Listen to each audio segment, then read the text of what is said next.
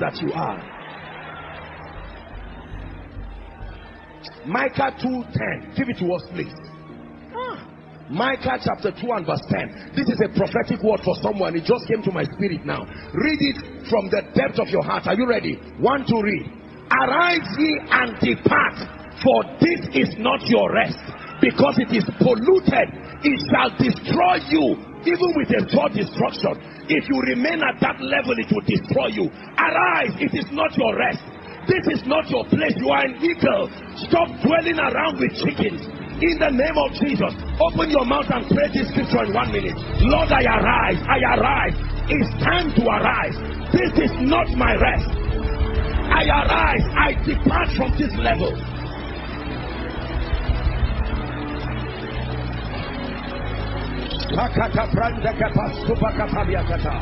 I arise in the name of Jesus.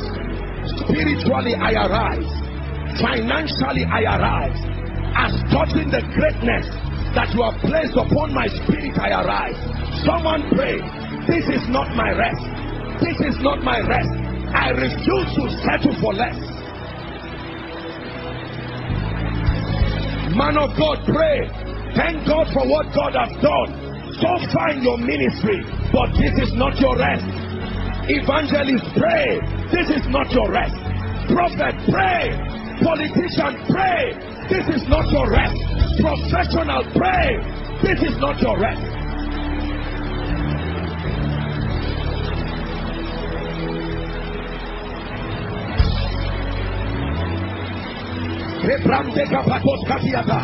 Please pray. This is a miracle service. You are praying yourself to a new level. This is not my rest.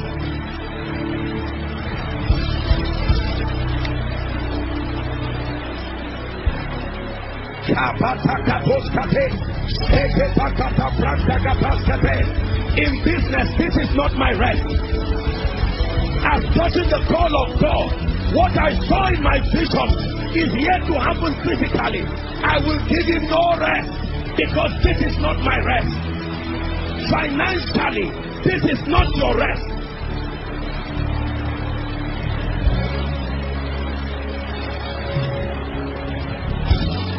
to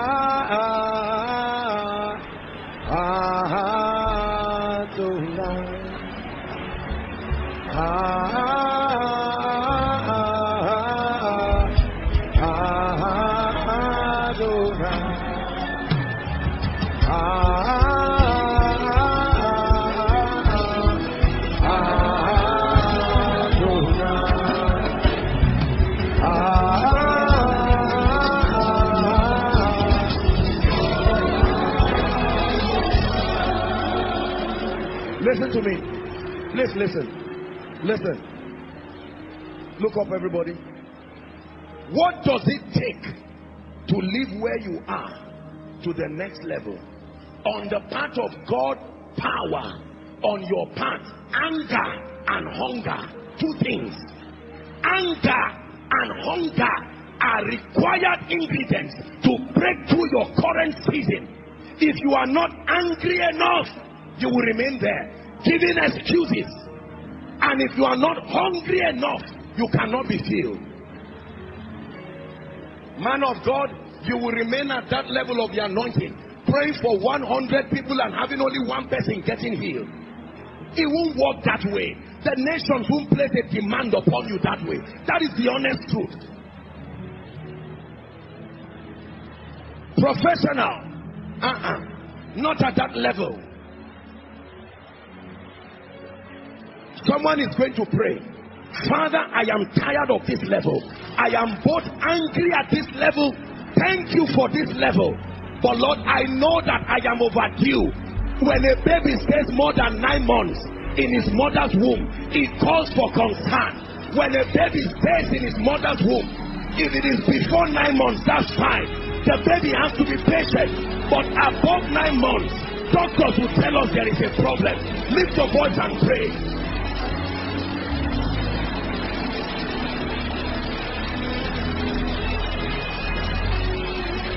Bring a performance of God at another level.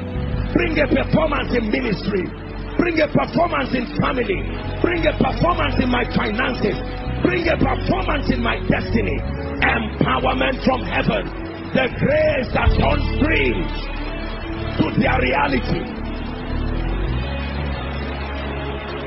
Outside, are you praying? Inside, are you praying?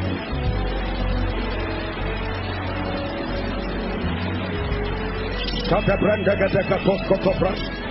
Elekata branda zagetis kalika toska sinekata. Manda branda tosko dobla zikete brestiga.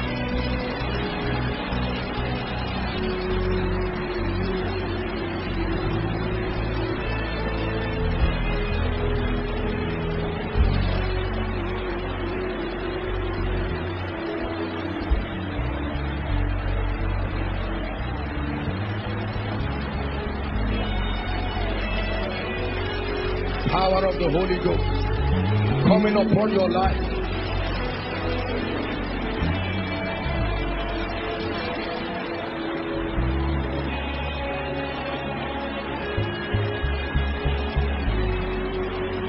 Hallelujah. Hallelujah. Please listen. When God answers your prayer, how does he answer it? By giving you power.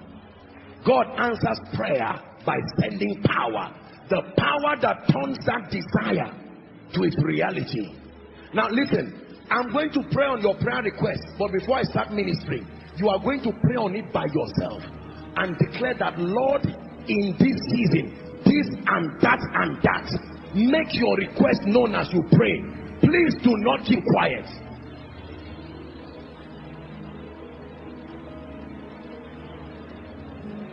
And don't say God cannot do it. Oh. Don't entertain unbelief. You don't have to lift it up. Even if it's written somewhere, you just begin to pray. Mention everything by name.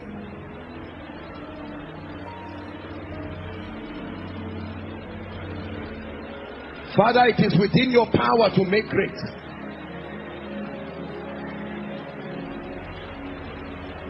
It is within your power to prosper. It is within your power to lift.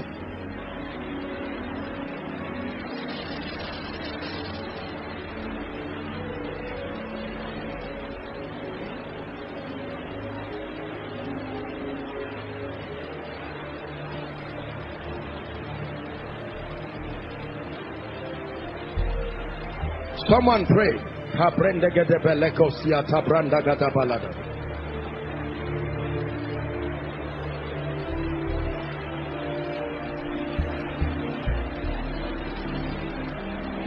Hallelujah.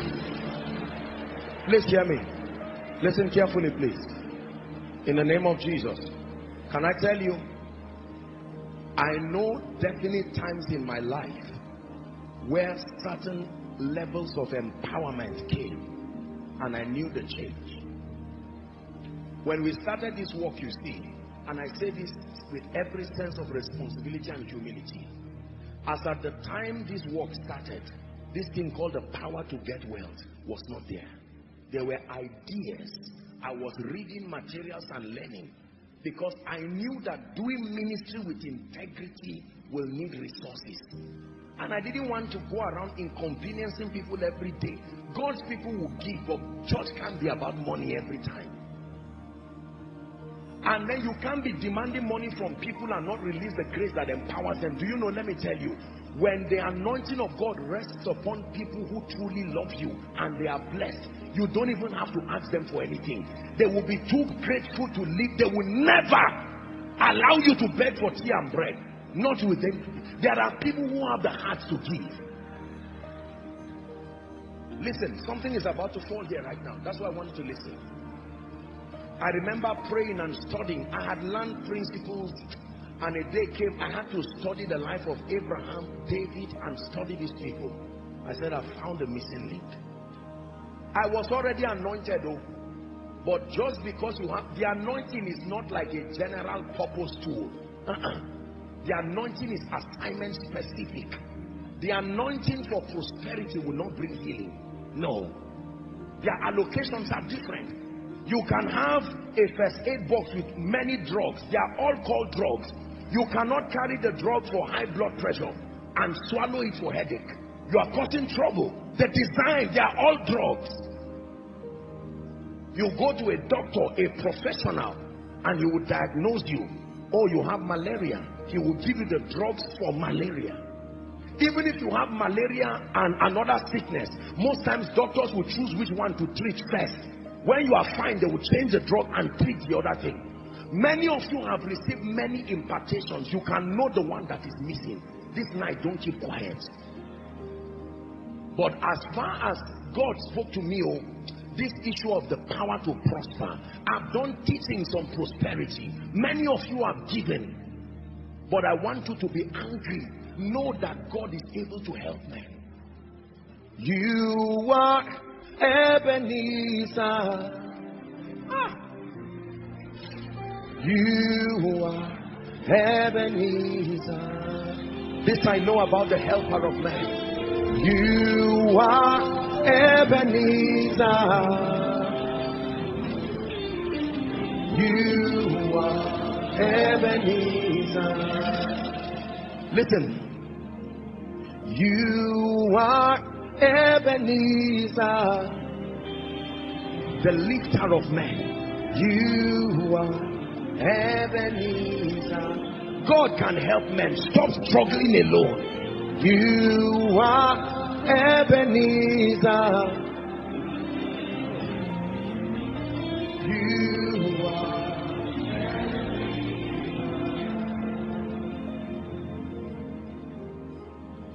I remember praying and crying to God and say, Lord, this work is enormous. The apostolic and the prophetic ministry requires a lot. Let this grace for God's sake come upon my life and also come upon this vision.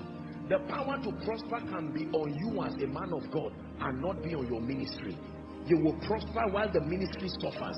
The power to prosper can be on the ministry and not on you the ministry will prosper and leave you to suffer and you will start compromising can I tell you this when that grace came with all due respect and honor to Jesus, I knew it has come to stay.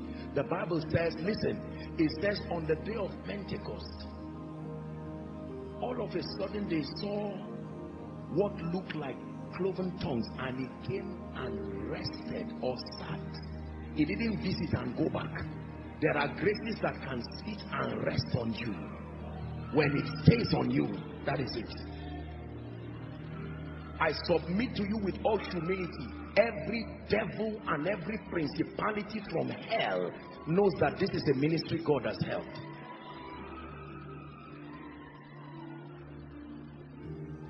The ministry is not the building, the ministry is you. And you must answer that name this night.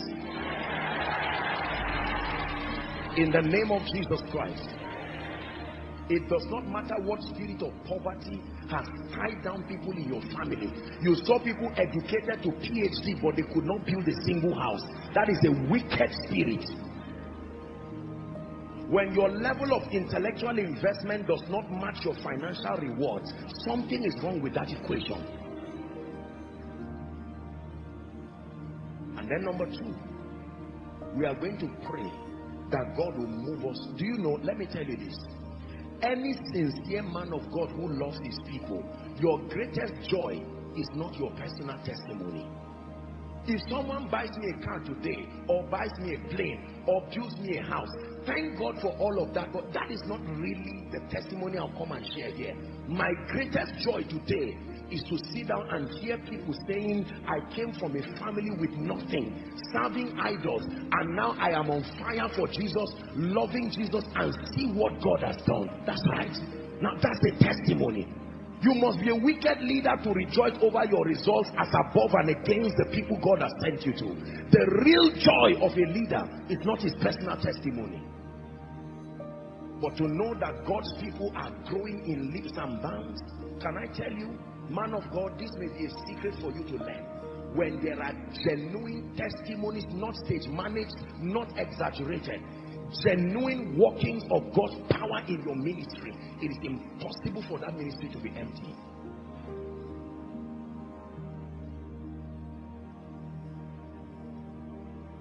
Lord, lift me up and let me stand by faith on heaven's stable land, a higher place than I have found. Lord, plant my feet on higher ground.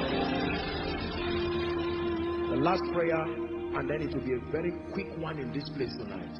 Father, I vow that as you cause me to be great, it will not distract my work with you. Rather, it will give me an opportunity to serve your purposes. Lift up your voice and pray that sincere prayer. Someone is praying. Pray and let my God surprise you tonight. Pray and let the one who backs us up surprise you tonight. Lord, that my greatness will not be an interruption to my spiritual life it will not be an interruption to my love and my fire for you. That is usually the condition. If the nations will see him through your greatness, if the nations will know him through your greatness, then there is no limit to what he can do. If that greatness will not bring pride, arrogance,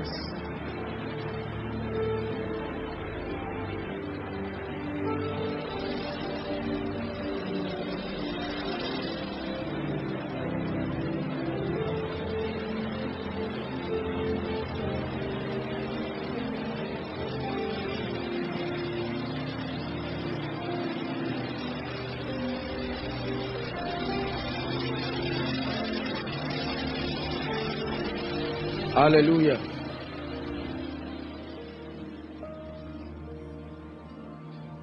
I wish I had the liberty to share some of my testimonies. But sometimes we live in a world where people misunderstand everything men of God say. Once you say A, people will say you said A to Z.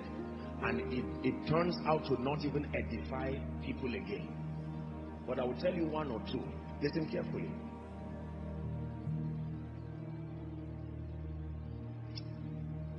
I remember a time when a real estate company came and met me and they said, sir, God gave us an instruction that everywhere on earth we build an estate that will build a house for you. It's our covenant with God.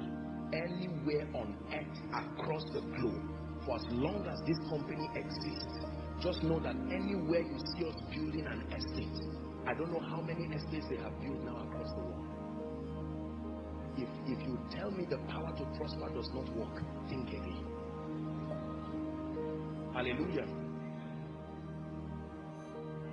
I remember a company of wealthy people who came and met me and said, Apostle, God said we should make you a non-executive board member of this company. What for? What do you people do? This and that and that and that. This is the instruction God gave. So what will be my contribution to your company? That spiritual advantage. You represent the ark of God to our business. I'm sorry, oh, I'm sorry. You see, this is why sometimes some, it's good to say certain things to just help you know that the man standing before you here is not talking nonsense. Let me tell you, if you think this is just a preacher's talk motivating you, think again. I submit to you with all humility what it takes to run koinon, one koinonia service is what many people may use for conferences. Believe me when I tell you. What it takes to run one koinonia service.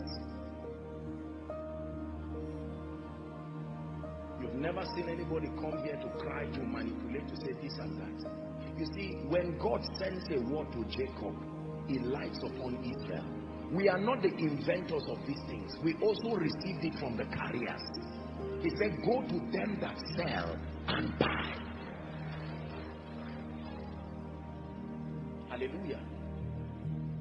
Our world today only wants people to brag. Once you are bragging and making noise, doing a lot of things, aha. But once you are modest and humble and you live your life with modesty, sometimes we say these things not to attract conflict.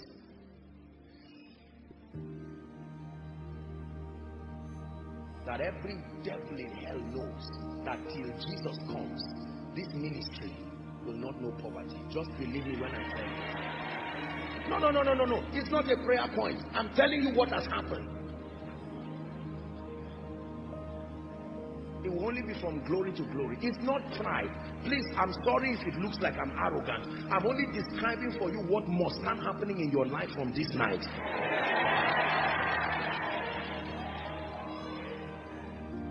Apostle, I'm coming from a background where nobody knows me.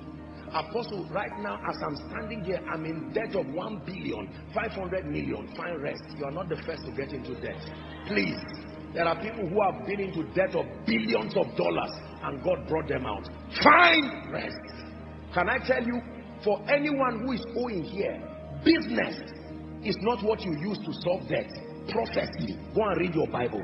Every time you are in debt, let me save you trouble. It's not doing another business that will bring you out. It is the power of prophecy. Alas, master, for it was borrowed. We are here for you. Come and do what you do. We are here for you. Come and do what you do. Set our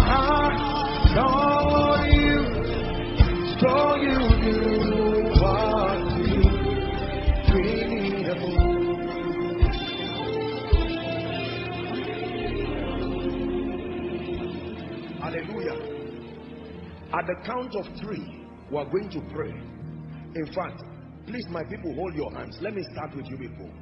This is my dear leaders. Look at me. In the name of Jesus, may this power to prosper come on you. Take that place right now. In the name of Jesus Christ. By the power that raised Christ from the dead, I release you to strange dimensions of prosperity and increase. That people will arise and begin to help you. In the name of Jesus Christ, I decree and declare by the power that raised Christ from the dead, in the name of Jesus, be shifted to a new level, mysterious dimensions of kingdom wealth, even by the power of God. Now I decree and declare, at the count of three, I want you to shout Jesus. Please bring those under the anointing. Some of you come from families where nobody has risen. My God is about to lift you. Are you ready now? Father, may this anointing, this man to come upon your people. Please bring them out. At the count of three. One, two, three. Shout Jesus. Take that grace now. Paros. Take that grace now. Bring them out, please. Take that grace now. I lift you by prophecy. From where you are, I shift you to a new season. Halikate, please help those, my God. Please, whether you're an usher or not, just help the ushers. We have to hurry up now. Someone's life is changing. I don't care what financial situation, by the power that raised Christ from the dead, such as I have, give I unto you. Step into a new season of prosperity. Open your mouth and begin to pray. Open your mouth and begin to pray. Lord, you are changing my life, changing my story. Please bring them out very quickly. Let's hurry up. If you can, as many as you can. If you can't bring them out, that's all right. But we have to hurry up. Someone pray. Don't wait till you fall under the anointing. Open your mouth and begin to pray. A renaissance of financial possibilities from your lowly estate. My God is lifting you.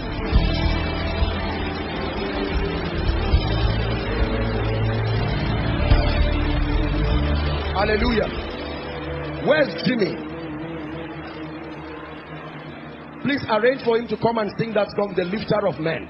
Just the chorus. David Dam, you help, whether it's a guitar or whatever. If the keyboardist cannot play, let someone help him very quickly, please. Please bring them out quickly.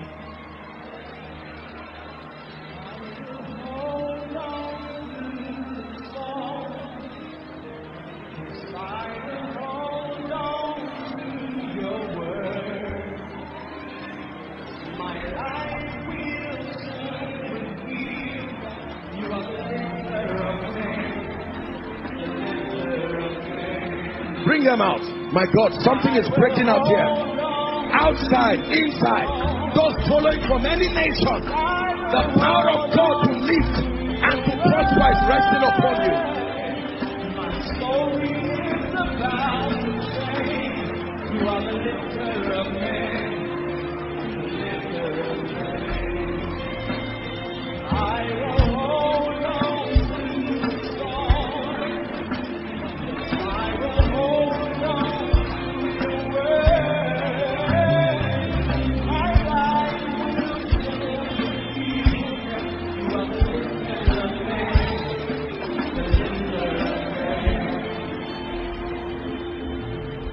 Hear me.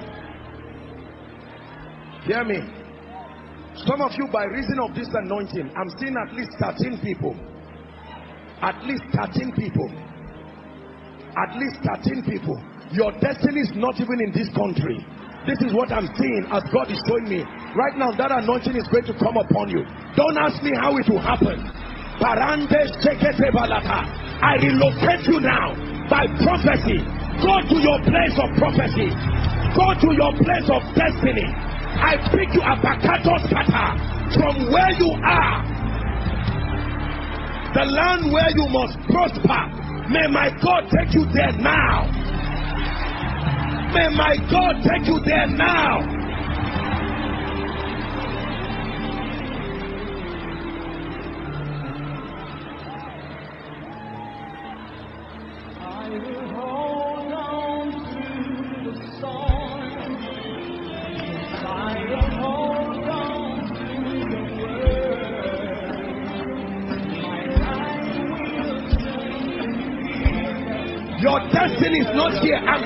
Again.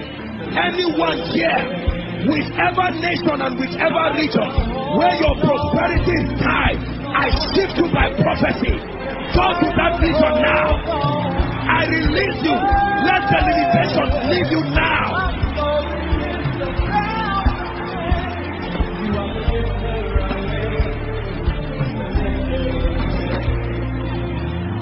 Can I tell you this? It is a dangerous thing to be in a place. And there are people who are watching me. You are outside this nation, but your destiny is in this nation. You are roaming around across the globe and finding out that even when you go to a place of plenty, there is no peace because you must be in your assigned place. I relocate you back to your place of assignment.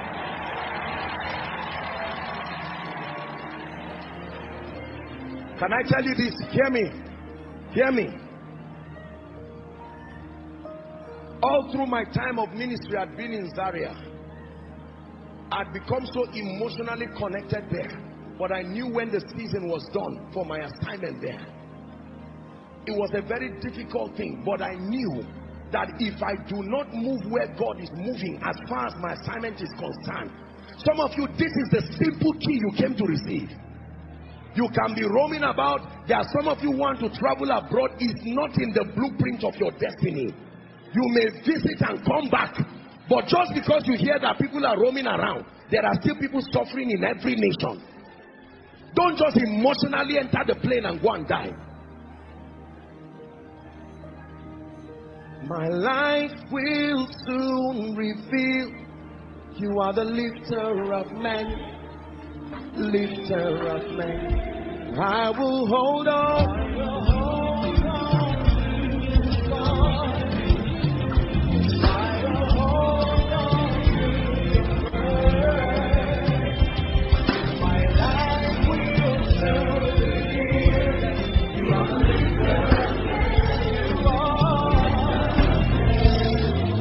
Now hear me. I want to pray for those who are in any kind of financial trouble. What's the power of prophecy? Bring you out of any financial situation. Hear me. There are people, some of you are owing. Some of you make careless business decisions. And as it is right now, it is only the God of heaven who can lift you. I've prayed for your spiritual life and I'll pray again. But this night we want to deal with these things. Some of you are under corporate debt. You may not be the individual in trouble, but you are under corporate debt. Your organization is owing all kinds to the millions and billions. God can help men. Can I pray for you? Father, in the name of Jesus Christ, by this anointing,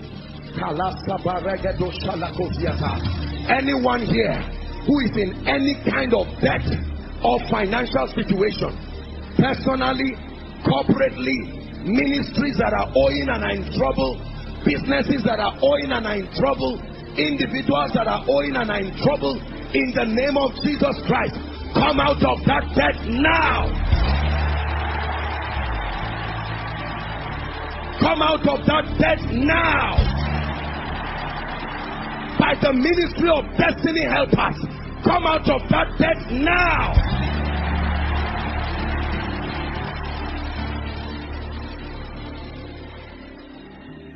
Hallelujah.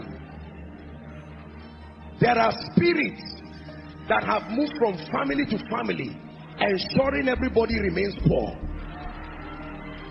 A family of everyone educated, nobody working. Everyone educated, nobody. The highest salary may be 20,000. Yes, we are grateful, but that cannot be enough. Now I want to pray. Fire will come upon you. God is going to set you free. Because there are many, hear me. Your salvation tonight is not just for you alone. It's for your family members. There are many of you. I decree and declare any family here under a spiritual yoke maybe something happened in time past and a cause or a pronouncement was made over your family that keeps recycling poverty and financial struggles right now at the count of three please bring them under the anointing. As you shout jesus that altar will catch fire now. Please bring them out. Are you ready? One two three shout jesus. I break financial yokes. Please bring them out. I break financial yokes. Every spirit recycling patterns of poverty. Every spirit, whether you're an usher or not, please help us under the anointing. Every spirit, outside, inside, following online, responsible for lack and poverty and want, as the church of the Lord Jesus Christ and by the blood of the eternal covenant.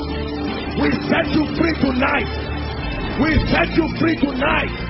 We set you free tonight. We set you free tonight. Open your mouth in one minute and begin to pray. I release myself from every embargo. Someone pray. I decree and declare a prophetic release. Every embargo, every yoke, it tied down my father it tied down my grandfather. It tied down wicked people. I am a righteous man in Christ. And I decree and declare that by the blood of the eternal covenant, I appropriate my healing and my deliverance.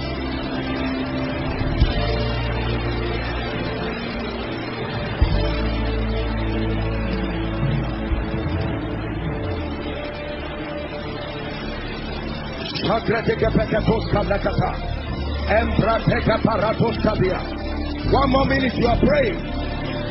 I break free from this embargo. I break free from this embargo. I break free from this embargo. I break free. Financial embargo, I cost you. Hallelujah. Hallelujah. Please look up by the privilege of God's grace, I've had the honor of meeting and learning from extremely wealthy people. Extremely wealthy people. I am not in ignorance. I submit to you by the privilege of God's grace as to the financial principles and the systems that make for the blessing. This prayer and this miracle service is by no means excusing your, your fortitude to comply with financial principles that bless you. But let me tell you something and let me teach you something.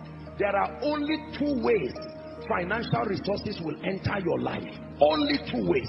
Number one, value that is exchanged. Number two, favor. That is it. There is no other way financial resources will enter your pocket.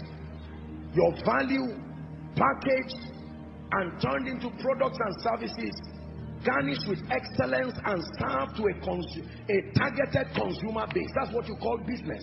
That is one dimension. But then the other is called favor. I want to show you how God restored Job. Job 42 verse 10. My life will soon reveal you are the lifter of men, the lifter of men. I will hold on through the storm. This is for someone. I will hold on through the rain. My life will soon reveal you are the lifter of men, lifter of. Sing it one more time as a prophecy that I will hold on to the storm. Ah. I will hold on.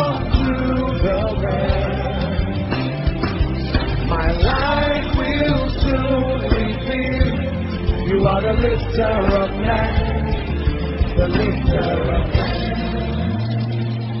Can I tell you this? There is no one here under the sound of my voice, or will there ever be, whose situation is worse than that of Job. Let me show you what God can do. And the Lord turned the captivity of Job when he prayed for his friends also the lord gave job twice as much as he had thank god for that but we want to know how it happened. Are you ready? Next verse. Verse 11 hmm. read with me if you're a christian. One to read. Hold on hold on hold on. Are you seeing how god restored him? Number one then came to him all his brethren. Every next level and finances you are trusting God for is in the hands of men. Until the men come, you cannot get what is in their hands. It says, then there came unto him. Where were they when he was crying? The Bible says God turned. So how does God turn? He places something upon your life that will start compelling people to start coming. There came unto him his brethren and all his sisters and they that had been of his acquaintance before they were the ones that made him prosper before that means how did poverty come to his life? Something was taken away from him and everybody left physically. How did god restore it? Something came. I'm i'm showing you because something is about to come on you now. Please read it. Are you ready? One to read. Then came there unto him all his brethren uh-huh and all his sisters and they that had been of his acquaintance before and did eat bread with him in his house and they bemoaned him and comforted him over all the evil that the Lord had brought upon him. Now here's the secret. Read. And every man, how many men? There is something that comes on you that makes every man bless you. Not just those who do business with you. Every man. Every man, read on please. One to go. Every man also gave him a piece of money and everyone an earring of gold. Can I tell you this? Some of you have gone through serious financial hardship. God organized this miracle service to bring financial healing, to bring financial deliverance. And I'm showing you how it happened because we are going to pray now i've taught you the ministry of destiny helpers these are men anointed commissioned by god to pay attention to your destiny. Not everyone is a destroyer. There are people who can enter your life like they entered the life of that my gentleman and turn his life around. Who would have told him that a year before or two years before there were people in that football field before he came? It is what is on you that controls what is around you.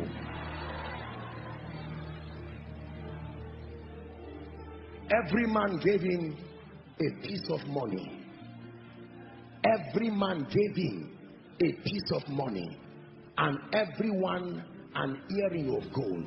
Father, who have you anointed in this season to hold my hands and move me to the next financial level i declare place the grace upon my life that will bring them to my destiny open your mouth and pray place that grace This is a miracle service. Make sure you are praying.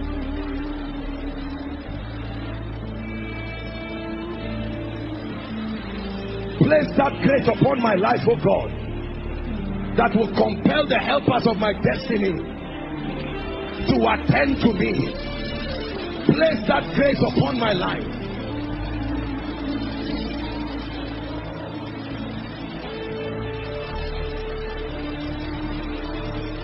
Forget about where you have been. Pray. pray.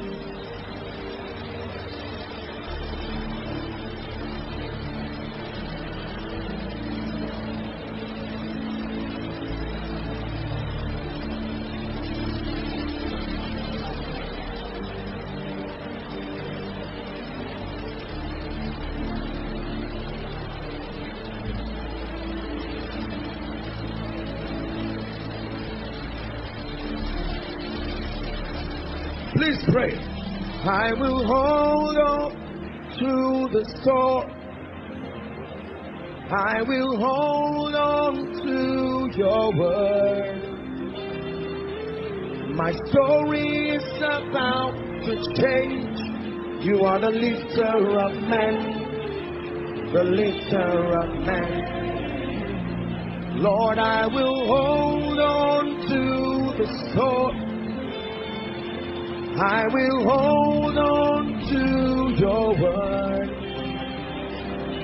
My life will soon reveal you are the lifter of men.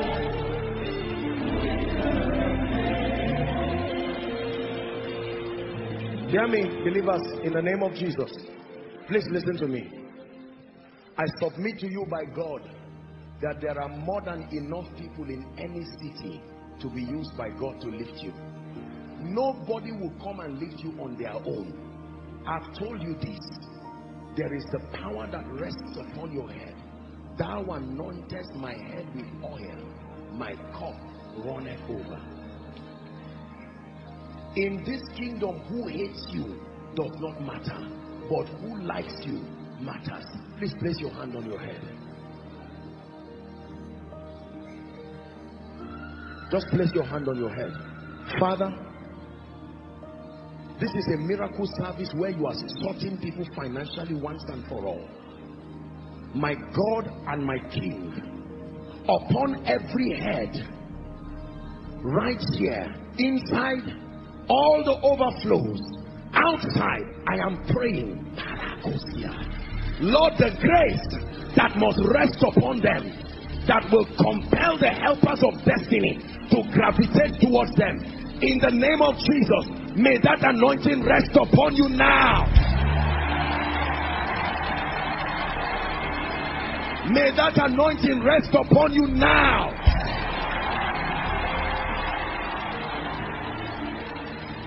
In the name of the mind is the devil's battlefield, but this vessel has mastered the game a custodian of deep spiritual insight, busting the tricks of darkness and projecting the truth of light. A man of the spirit with an in-depth understanding of kingdom mysteries and principles.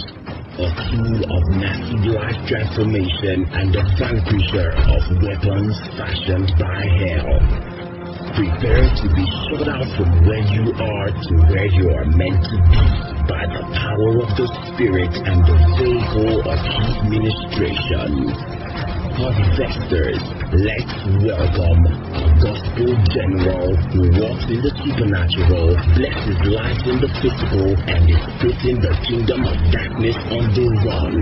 If your hands are not busy and your legs are not heavy, Wine Press 2022, let's welcome Apostle Joshua Selman.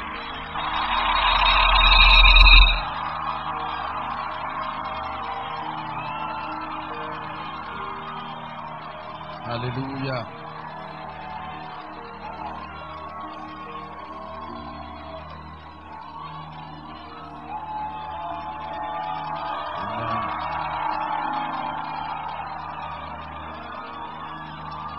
Praise the name of the Lord.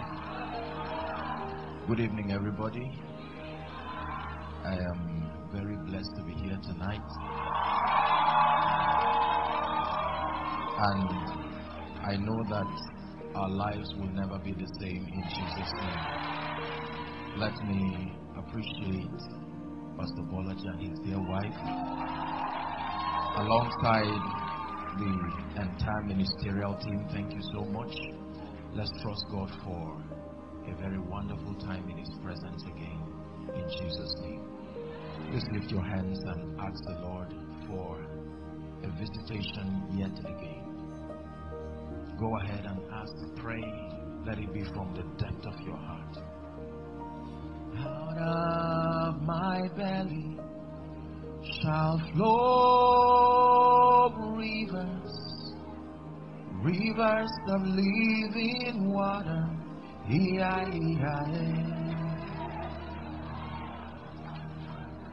Out of my belly shall flow rivers, rivers of living water.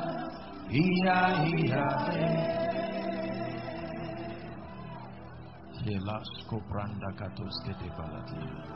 Go ahead and bless him as an expression of your hunger and desire for more.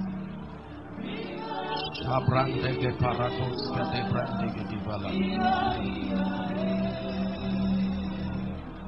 the name of Jesus, speak to our hearts, O God, and let us be changed and changed again. For the Bible says they go from strength to strength as many as appear before the Lord in Zion. Our hearts are opened in the name of Jesus Christ. God bless you. Please be seated.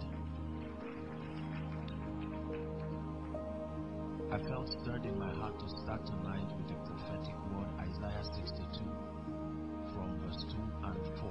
This is a prophetic word that the Lord gave me for someone. He says, And the Gentiles shall see thy righteousness, and all kings thy glory.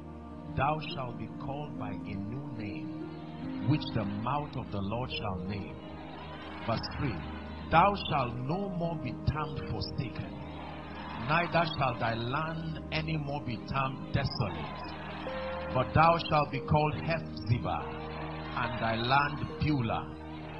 For the Lord delighted in thee, and thy land shall be married. Let it be unto you according to the word of the Lord. In Jesus' name. I'll be giving us a very short charge for a few minutes, and then we'll just trust God as we pray and minister within the time that we have. I'm teaching tonight on rest roundabout. Rest roundabout. Joshua chapter 21. Tonight's teaching is an attempt to help us experience the fullness of God in every aspect of our life.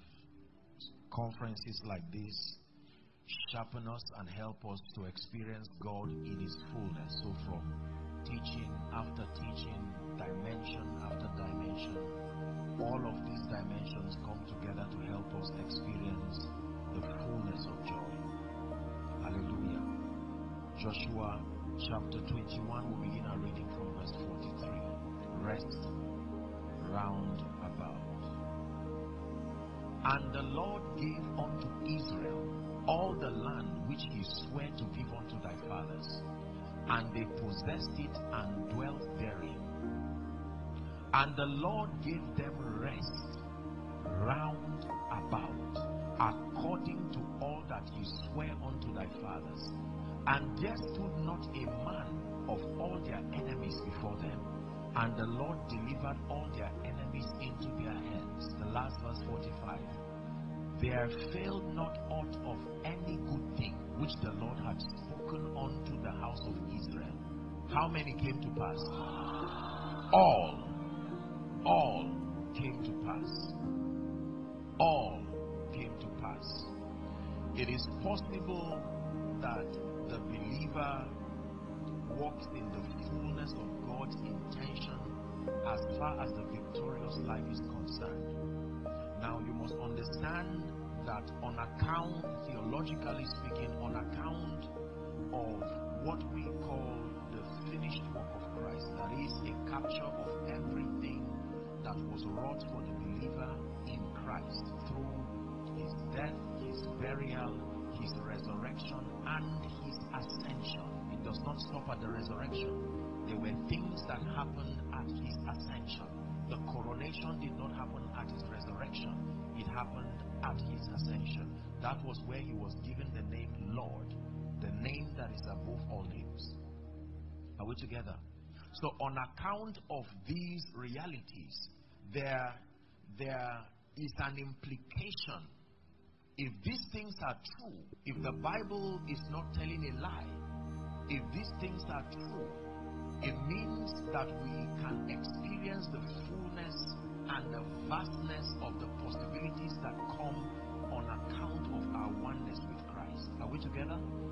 When the believer receives the life of Jesus into his spirit, when the believer begins to walk uh, in keeping with the ministry of the Holy Spirit and the Word, there should be a very glaring evidence there should be an evidence that number one, you are one with Christ through His Spirit. Number two, that you are led of His Spirit. And number three, that you live by His Word. It is impossible to claim to be a genuine recipient of the life of God. It is impossible to claim that you are walking in total submission and alignment to the person and the ministry of the Holy Spirit. It is impossible claim that you submit to the word and your life becomes an ordinary life. There has to be an implication. You don't have to tell people you are that diligent. Your results should speak. Are we together now? The Bible says, on account of the exploits of the apostles, they looked at these men and they reckoned that they were unlearned men, but they traced the secrets to their exploits or of their exploits to the fact that they had been with Jesus. So God is able to give us rest round about. It is possible that a the believer in Christ can experience the fullness of the love, the life, the power of God, the, the influence of the kingdom. It can find expression all through your life and in every aspect of your life. My first question or my first charge is why do we need to press to see that the fullness of the power and the grace of God finds expression all through our lives. I'll give you a few reasons, and they are found all in scripture. Number one is in Matthew chapter 5 from verse 13 to 16. Jesus there was saying, You are the salt of the earth. You are the salt of the earth. This is the first reason why our results and our overall success is good for God and for the kingdom because in the excellency of our results, we prove that in truth we are the salt of the earth. Salt means number one, you preserve that territory from decadence. Number two, you add value to the territory. The primary assignment of salt is to preserve and to add taste. Is that true? And then the Bible says, verse 14, same scripture for sake of time. It says, Ye are the light. Ye are the light of the world. This is another reason why our results are important. The definition of darkness is the world or any territory without us. The Bible does not say we have light, it says we are that light. Is that true? It says we are also a city that is set on a hill that cannot be hidden. Next verse. Neither. That means this should not be that men light a candle and put it under a bushel, but on a candlestick, and it giveth light to how many people? That means before the light came, there were still people in the room, but they were in darkness. But on account of that light, the people in the room can now benefit from the presence of that light. Are we together? John 15 and verse 8. Jesus was teaching and he said, Hearing 15 and verse 8. John 15 8. Hearing is my Father glorified. That means in this, this is how my Father gets glory. That ye bear much fruit. So shall ye be my disciples. That means Your results are a defense that you come from me. Are we together now? Herein is my Father glorified, that ye bear much fruit, so shall ye be my disciples. Galatians chapter 1 and verse 24. Simple but profound scripture. And they glorified God in me. And they glorified God. That means my life gave God a chance to be lifted and to be glorified. The way God gets glory is by lifting his sons and his daughters. John 17 and verse 1. That is the formula. Jesus lifted up his eyes to heaven, the Bible says, and this is what he said Father, the hour is come. He says, Glorify thy Son. Why? To the end that thy Son may also glorify me. So when believers fail to produce the kind of results that justify the all surpassing power of Jesus, we rob our territories of the opportunity to see Jesus manifest in and through our lives. Apostle calls it the mystery of godliness that God can be embodied in a man. Are we together?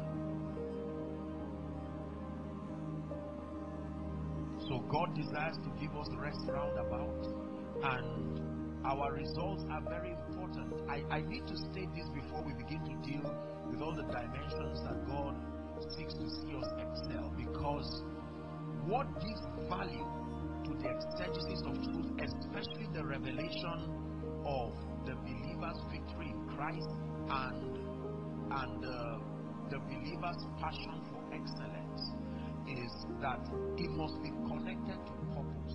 When you teach people things like prosperity, you teach people things like healing, signs and wonders, the anointing, if you do not connect them to a bigger purpose, it will not profit them holistically. Is that true? So if I prosper, to what end? If I am healed, to what end? If I have influence, to what end? It is important that we understand that all that we are and all that we seek is to one end. John chapter 1 and verse 6 and 7. Never forget, this is this is the, the ultimate motivation behind our pursuit. There was a man sent from God. His name was you, not just John. John is gone. Are we together now? Next verse. The same came. Why? For a witness. He did not come as a prophet. He came for a witness to bear witness of the light that men through his witness might believe. That is it. So, my prosperity, the excellence that comes from my life, my excelling in career, and whatever it is that comes as an expression of God's power is to one end that men might believe. And the only way men will believe is when Jesus is revealed through that process and when Jesus is glorified. Are we together now? If we do not understand this as simple a concept as it is, we'll be wasting our time doing whatever it is that we do. Jesus revealed, Jesus glorified through my prosperity, through my being healthy. Jesus revealed, Jesus glorified. If that becomes the anthem, the motivation behind everything you do, now the Holy Spirit can so lavishly invest the grace of God upon your life because He knows that the motivation and the goal is intact. That in it, in whatever it is that He does in and through your life, Jesus will be glorified. It is vain to just prosper for prosperity's sake. It is vain to just contend for influence just for the sake of lesser motivations like proving a point and all these kinds of things. It has to be, listen, God vets the degree to which his interest is represented in your pursuit. That that that becomes the principal motivation for the attention of the Holy Spirit in your life. To what degree will your excellence and your success represent the purposes of God? Are we together? So most believers want to prosper, we want to excel, we want to grow in grace, but to what end? If my prosperity, if I desire to prosper, to increase, if I desire to be a greater man of God by whatever standard in 2022, the question is why? To what end? If it is just for the glorification of the flesh, you missed it with God already. Are we together now? It is the reason why it looks very difficult for God to come through for certain people. It's not because his hand cannot be lavishly outstretched towards the believer. It is the corruption of our motive, largely. So I need to put that in perspective so that as we seek to excel in every aspect of our life, we will realize and remind ourselves again that this is not just um, for any self aggrandizement. This is to see Jesus through my life glorified. Are we blessed? That is the correct motivation and the correct position that a believer must take in the pursuit of things like the blessing of the Lord, influence, and all of these things. We must be able to defend our desire and our pursuit. Pray a prayer in one minute before we continue. Ask the Lord to purify your motive. That forever your motive as a believer, the principal motivation behind all you say, behind all you do, will be to see Jesus revealed and to see Jesus glorified. Go ahead and pray. God is blessing us already. He grants us rest round about so that in and through our rest, in and through the excellence that comes from our lives and our results, that Jesus will be glorified and that the nations will see that indeed He is Lord. So pray. Pray.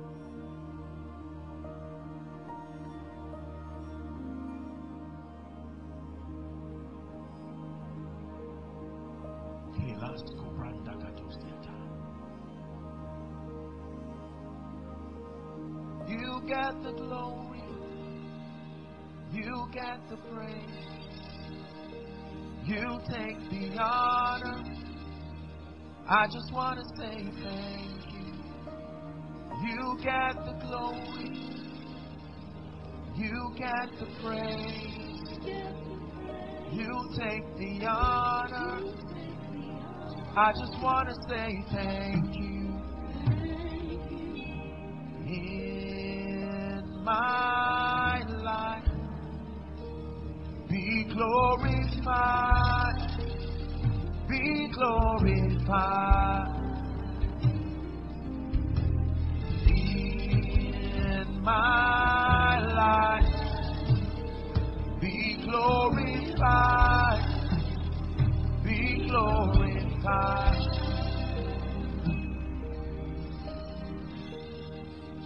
from January up until December, that if there is anything that is worthy of commendation in my life and in your life, it only becomes a means to a very definite end.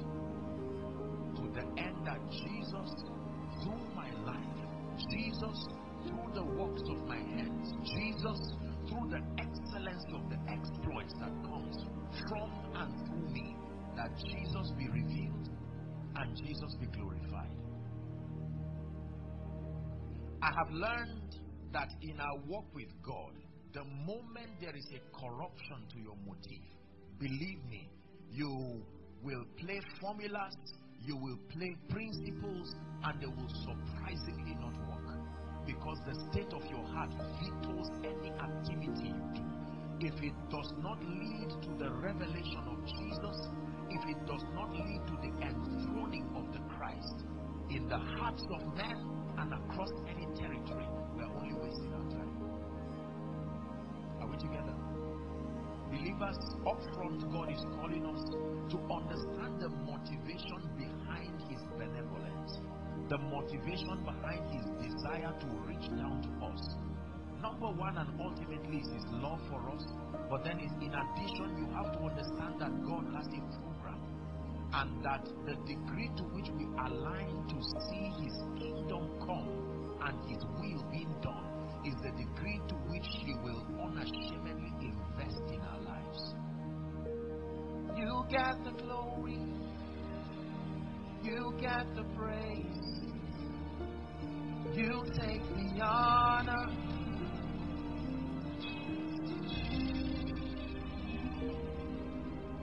Many years ago, the Lord spoke to me in one of my encounters, and this is what He said to me. He said, Son, if you will let men see me, there is nothing I will not give you. If you that's the only condition. If you will let men see me through whatever I bring, through whatever I lead, if you will let men, if you can be so secured in me that you are not ashamed of getting out of the stage, and that the more people see you, they should see me. You know you are yielded because when people see you and remember you, you are not reflecting Christ. When you look at the mirror, you don't remember the mirror. When you look at the mirror, you remember what the mirror is projecting. If you will let men see me, I can tell you, believers, there are dimensions of grace and favor, power and influence that we have not come close to, that is, is, is in store for us. Only if we can purify our motives to see Jesus lifted. There is this itch, you know, the human nature desires to be celebrated. The human nature desires to be at the center of the spotlight. But this is not how it works in the kingdom. There is only one name. There is only one name with power to save. Not two names, not ten names. Power to save. There is only one name. That's the name we project. That is the name we lift. That is the name we exalt. With power to save.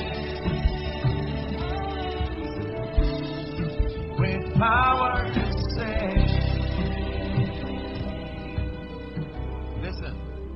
Let your entire life be about revealing Jesus, not using Him to fund your agenda. Not using him to find and make a name. No. Listen, this bag here, if you can see this, is holding this pulpit. It's impossible to look at the pulpit and ignore the bar holding it. But the focus is not the bar, the focus is this. It's impossible to lift Jesus and be invisible while you do so but that the motivation is not really you. If I stop here tonight, I'm satisfied because this I believe from the authority of Scripture and from you know just just examining believers. It is this one area of total surrender to see Jesus lifted in our lives is very difficult because something within us makes us feel that we will be cheated if we shift out of the stage and let Jesus take his place. Something within us craves for honor, craves for lifting, craves for a name, and, and these things are not wrong. God desires to lift us. Remember Deuteronomy 20, chapter 28, 1 and 2. It shall come to pass if thou shalt diligently hearken to the voice of the Lord to do and observe all that I command you this day. It says that you shall be exalted above all the nations of the earth, and that these blessings will come upon you and overtake you. So it is not God's desire to keep us low, but that the motivation must be Jesus revealed. I made up my mind that for as long as I live, for as long as I live, there is only one name, there is only one person who will be projected and lifted in this life. It's a determination and it's a covenant that in and through my life, whatever you want to say, Lord, you can say through me whatever you want to do. Lord, you can do through me whoever you want to live. Lord, you can live through me wherever you want to go.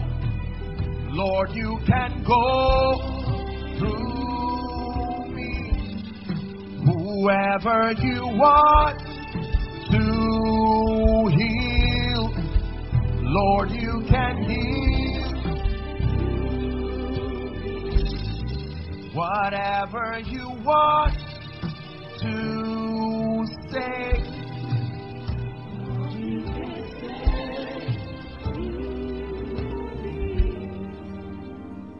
As simple as this you can wake up in the morning and sleep late in the night only to eat the bread of sorrow. Because except the Lord builds a house, ladies and gentlemen, please hear me. They labor in vain that build it. Except the Lord watches over a city. He said the watchmen watch it, but in vain. When people rise and they excel in this kingdom, God is the force behind the exploits of men. There are dimensions of results that men cannot produce. It is, it is above the reach of an ordinary man, unassisted, to produce certain levels of results. Are we learning? All that we see and all that we celebrate today in this church and the life of your man of God, they are attestations that there is a support system. Ordinary men, seemingly, but by the hand and the jealousy of the mighty God.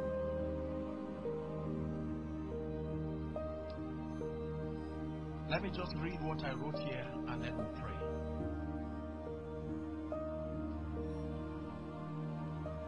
God is able to help men and God is able to give men rest roundabout.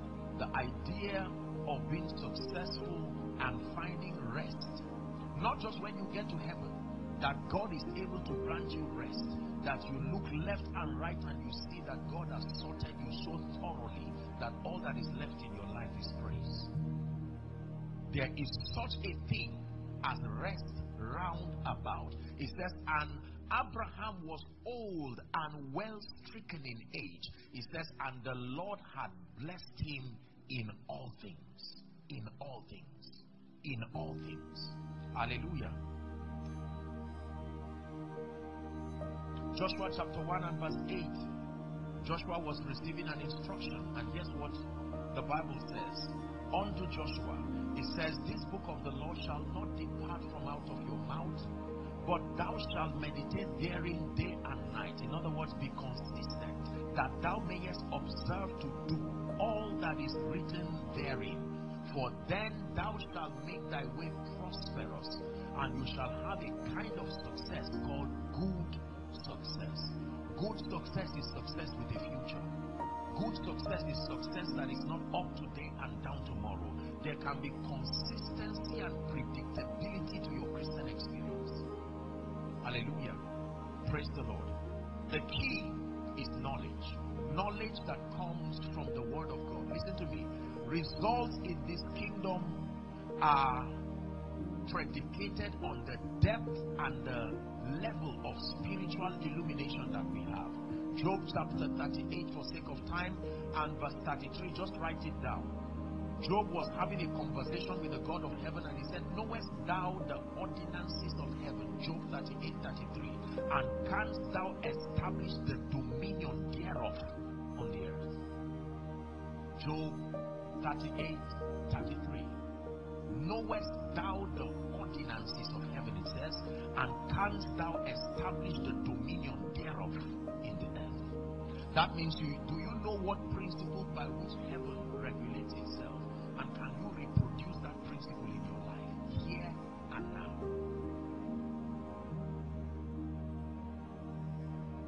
Hosea chapter 4 and verse 6, the prophet began to lament and he said, My people are destroyed for the lack of knowledge. The lack of knowledge. The lack of knowledge is the reason why my people are destroyed. Luke chapter 19, from verse 41 to 42. Twice, Jesus cried and wept twice in the Bible. The first one was at the grave of Lazarus. You find that in John 11 and verse 35. The Bible says Jesus wept. The second reason why he wept was in chapter 41. The Bible says when he was come, or verse chapter 19 and 41 of Luke, when he came, he was come near, he beheld the city and wept over it. Why did he weep? Read with me 42. One to read, saying, If thou hast known even thou at least in this thy day, the things which belonged unto thy peace, but now they are hid from thy eyes. This is why Jesus cried. He saw the level of ignorance at a territorial level, that people were in such level of blindness and ignorance, and he wept. It takes knowledge to excel. It takes knowledge to be able to capture the realities that are finished in Christ and to make them manifest in our lives. The faith that works wonders in our lives is predicated on knowledge. Is that true?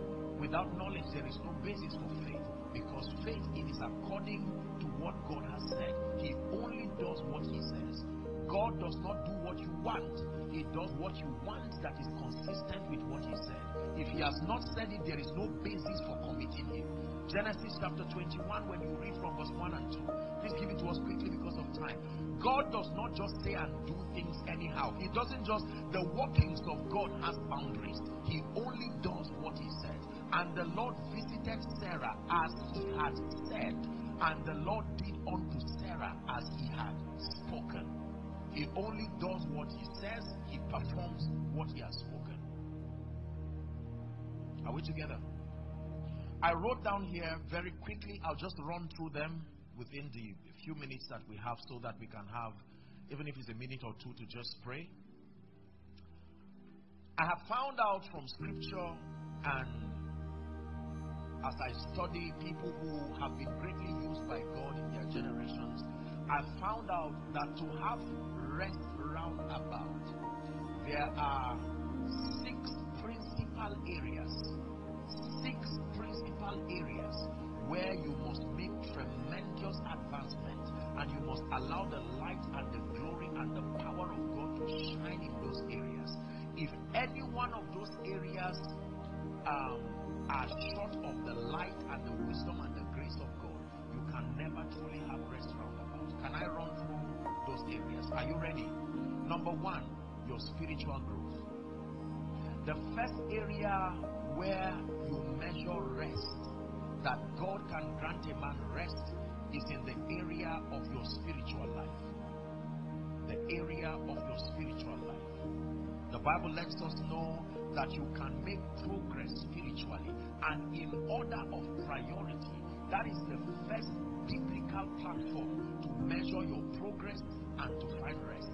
Everything else will eventually fail in your life if your spiritual life goes wrong. Did you hear what I said?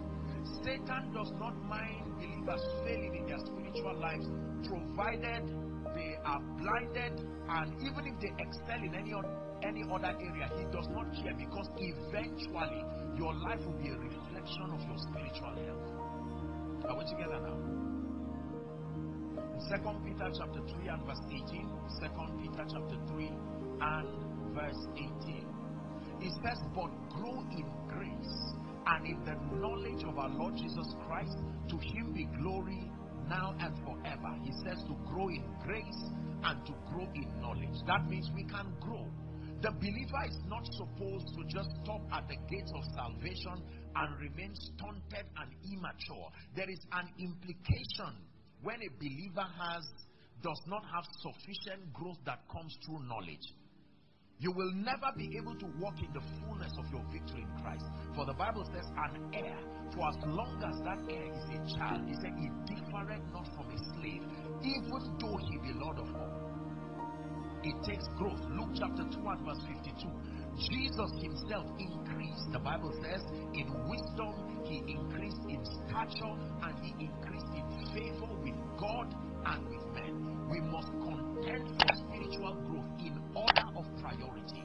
You will never find rest. You will never truly be able to enter your Sabbath. Remember the Bible speaking about the Sabbath, it said there remained a rest for the people of God. Why didn't they hear his rest? They stepped into his rest because when they heard his voice, they did not hearken to it. They trivialized it. They did not mix it with faith. There remained a rest for God's people. Your spiritual progress is very important. You must contend for light this year like never before. You must fight ignorance spiritually. You must you must contend to know Jesus Christ the Bible says, John chapter 17 and verse 3, it says, This is eternal life, that they may know you, the one true God, and Jesus Christ, whom thou hast sent. The administration of eternal life is progressive. That the more you know Him, the more the wealth and the riches of eternal life finds expression within you. Are we learning? Your spiritual growth. Let's hurry up. Number two. The second area you need to contend for that represents the platform for rest round about is mental transformation. Please write it down. Mental transformation. Romans chapter 12 and verse 2. Here's what it says. It says, And do not be conformed to this world. Romans chapter 12 and verse 2. It says, But be ye transformed by the renewing of your mind so we can change states, we can become greater and superior versions of ourselves. Listen, transformation means sustaining superior belief systems. You must obtain grace from God because the Bible is very clear that as a man thinketh in his heart, interchange for mind, he says, so will be, or so he is. You will never rise above and beyond your belief system. Many of us are victims of our thinking, as sincere and as well meaning and even as spiritual as we are.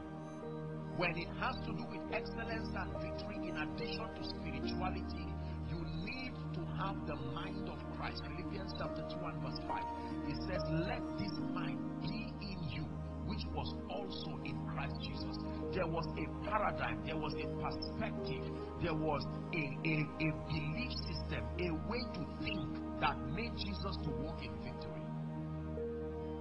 We have all kinds of belief systems that come from our cultures, our, our past, our associations, our levels of exposure. All of these factors help to shape our thinking.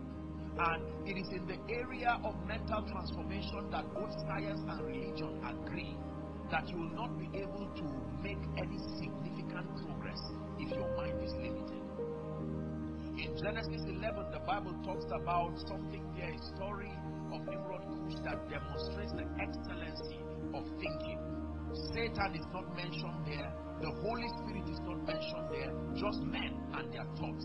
And yet, God Himself gave a testimony in that story that what they have imagined to do, nothing God is speaking now. Nothing will stop them that they have imagined to do.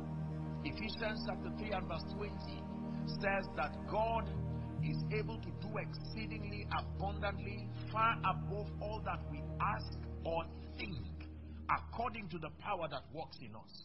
So our thinking matters as far as manifesting our results is concerned. Are we together?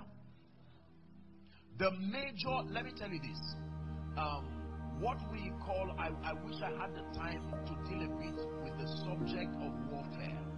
That the major, did you know that the principal battle of the believer is in the realm of the mind?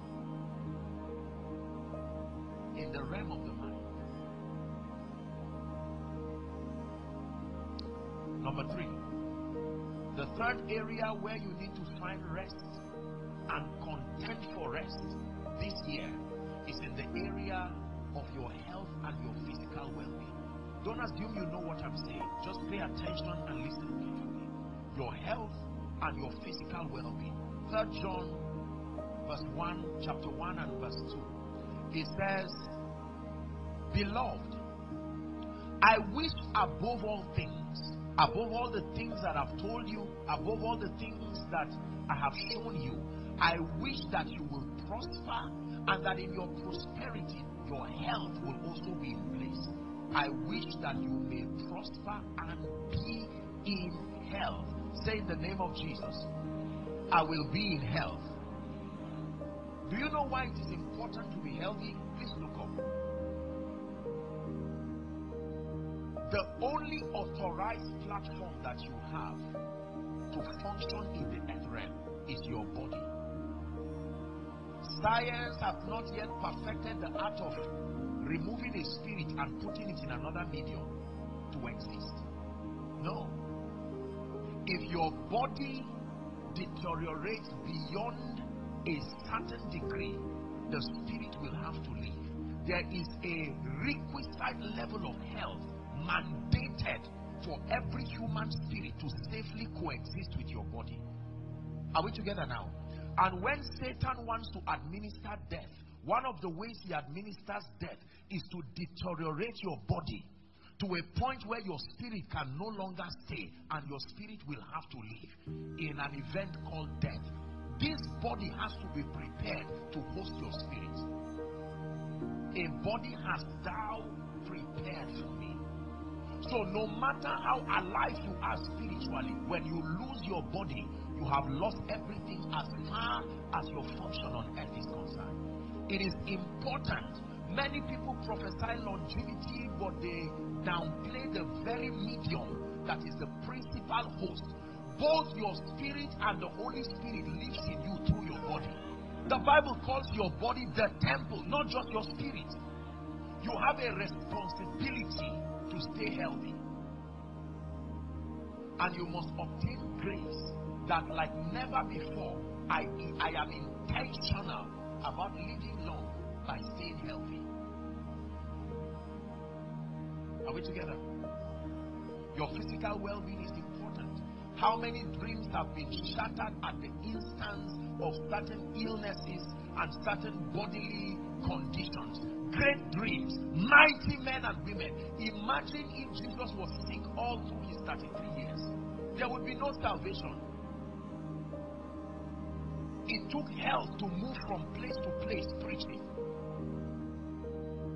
Imagine if the apostles, listen, there were many apostles who had potentials, but they sadly, because they died early, like Apostle James, like Stephen, the Messiah, only God knows what else he would have written that would be captured in the Bible. Dreams that just went.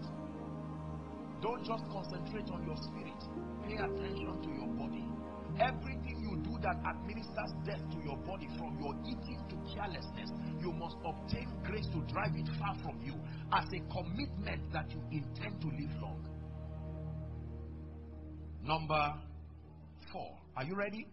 The second area where you must excel and find rest is in the area of purpose and destiny. Please write it down. Purpose and destiny. Hebrews chapter 10 and verse 7. You must be able to give definition and meaning to your living. Do not allow situations and circumstances to just navigate you through a part of short term relevance.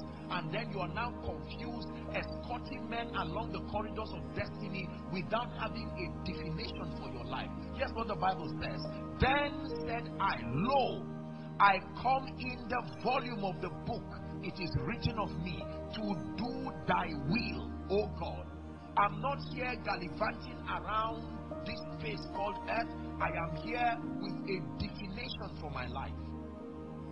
Jeremiah chapter 1 and verse 5. This was a conversation between the young boy Jeremiah and the Lord Himself. And guess what He said? Before I formed thee in the belly, I knew thee, and before thou camest forth out of the womb, I sanctified thee and ordained thee to be a prophet to the nations.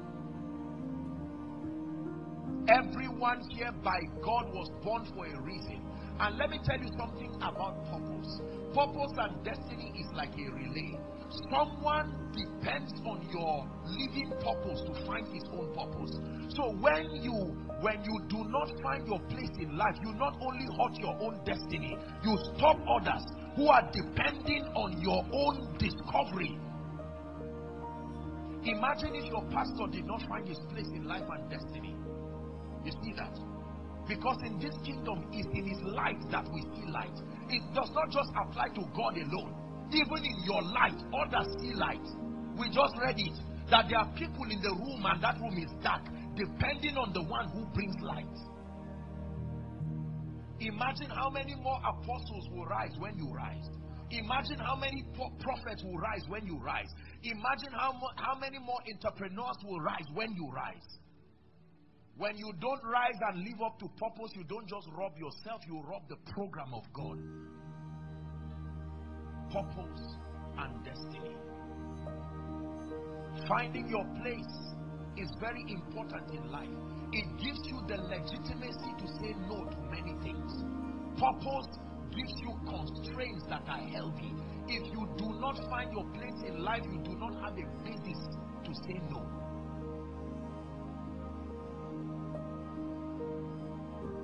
At the end of your life, there are only three things that will matter. Number one, your relationship with Jesus. Number two, your family. Number three, your assignment. Ultimately, these are the three things that sustain the power to give you fulfillment. You must this year know how to to um, to arrange your life in a way and a manner that you do not major on minors and then minor on majors. Is God speaking to us? Purpose and destiny. Acts chapter 26. Acts chapter 26. Let's hurry up. From verse 14, we'll read to 19. This was Paul making his defense before King Agrippa. Follow carefully as I read. And he says he's, he's narrating his experience now. When we were all fallen to the earth, I had a voice speaking unto me, saying in the Hebrew tongue, Saul, Saul, why persecutest thou me? It is hard for thee to kick against the pricks. 15. And I said, Who art thou, Lord? And he said, I am Jesus whom thou persecutest. Verse 16. Ready? Let's read together. One to read. But rise and stand upon your feet, for I have appeared unto thee for this purpose, to make thee a minister and a witness, both of these things which thou hast seen, and of those things in the which I shall appear unto you. 17 delivering thee from the people and from the Gentiles, unto whom I now send thee, to open their eyes and to turn them from darkness to light, and from the power of Satan unto God, that they may receive forgiveness of sins and inheritance among them which are sanctified by faith. May 19 be your verse. Whereupon, O King Agrippa, I was not disobedient to the heavenly calling. It's not an earthly calling. I was not disobedient, constrained by the awareness that heaven sent me. This is what I am up and about doing. Is someone learning? You cannot find rest just when you have money or when you have all of these things. One of the indices, psychologically speaking, psychologists tell us that there are about six indices that make for fulfillment. One of it is impact and contribution. You find fulfillment to the degree to which you know your life is counting, as far as making impact and contribution is concerned. May this be the year that you don't just clap for people for doing great things for God, but that your life also becomes part of that drink offering. Number five, are you learning? The fifth area that you must contend to find rest in roundabout is the area of finances. Access to the supplies of heaven, access to resources. Psalm 35 and verse 27. Very quickly, Psalm 35, 27. Let them shout for joy and be glad that favor my righteous cause. Yea, let them say, How long? Continually. Let the Lord be magnified, which had pleasure in the prosperity of his servant. God desires for us to be blessed. Second Corinthians chapter 8 and verse 9. It says, Ye know the grace of our Lord Jesus Christ, Second Corinthians 8 and verse 9, that though he was rich, yet for your sake he became poor, that ye through his poverty might become rich. Don't be ashamed to receive it. You know to what end now. That with that prosperity as a tool, you are not only comfortable, but it gives you the opportunity to reveal Jesus. You may have heard me say it that the weight of Jesus is heavy. Takes prosperity to lift him. It takes more than just a desire. Next time you sing that song, We Lift You High, think of what you are saying. You must have in place all the tools that make for lifting him high.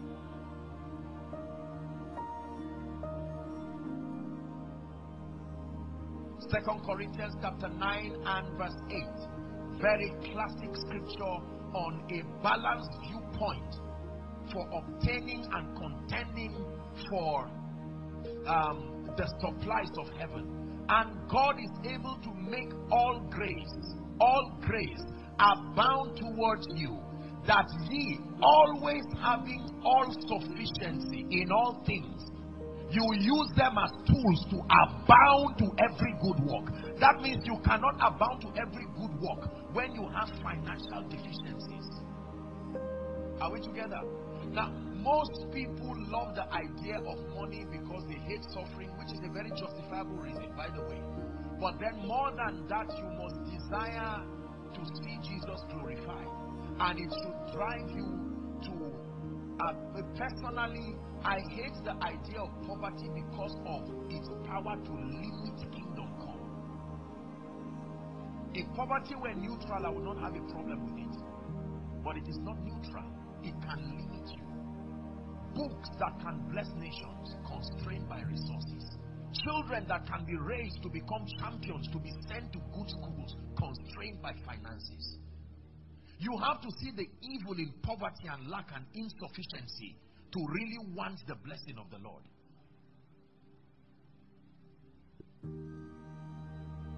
With all due respect to people who may be struggling financially, it is evil to desire to remain. It is not just bad, it is evil because you are in direct partnership with Satan to frustrate the program of God.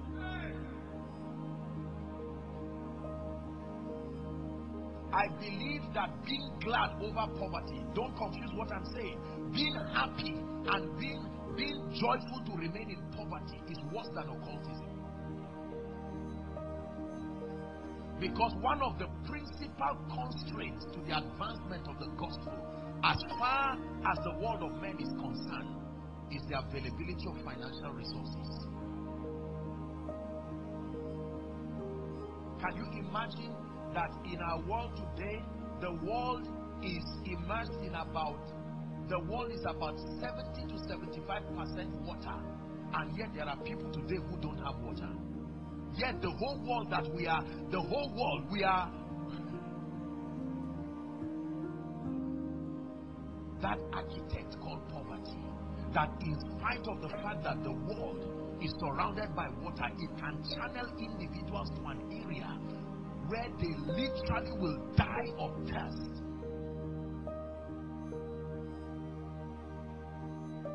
I pray that through my life and your life, God will be able to grant us greater resources in this system, in this in this season, to do so much for the kingdom. In the name of Jesus Christ. Can I tell you this? One of the assignments of poverty is delay. It was the delay of the bridegroom that made the oil to finish. If the bridegroom came early, all ten would not have a problem. Poverty can make time pass, and yet the events that should happen in time don't happen. If someone is to write WAEC this year, and because of lack of resources, he writes it five years from now, no, something has happened to him Listen, the blessing of prosperity is not that it comes, it's that it comes when needed. You have to understand that there is timing to wealth. Wealth can come late.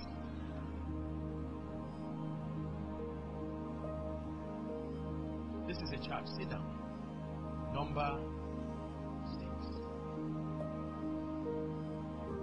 One last word on this prosperity thing I just said finance.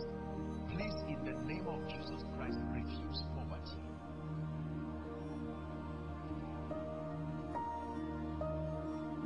You, you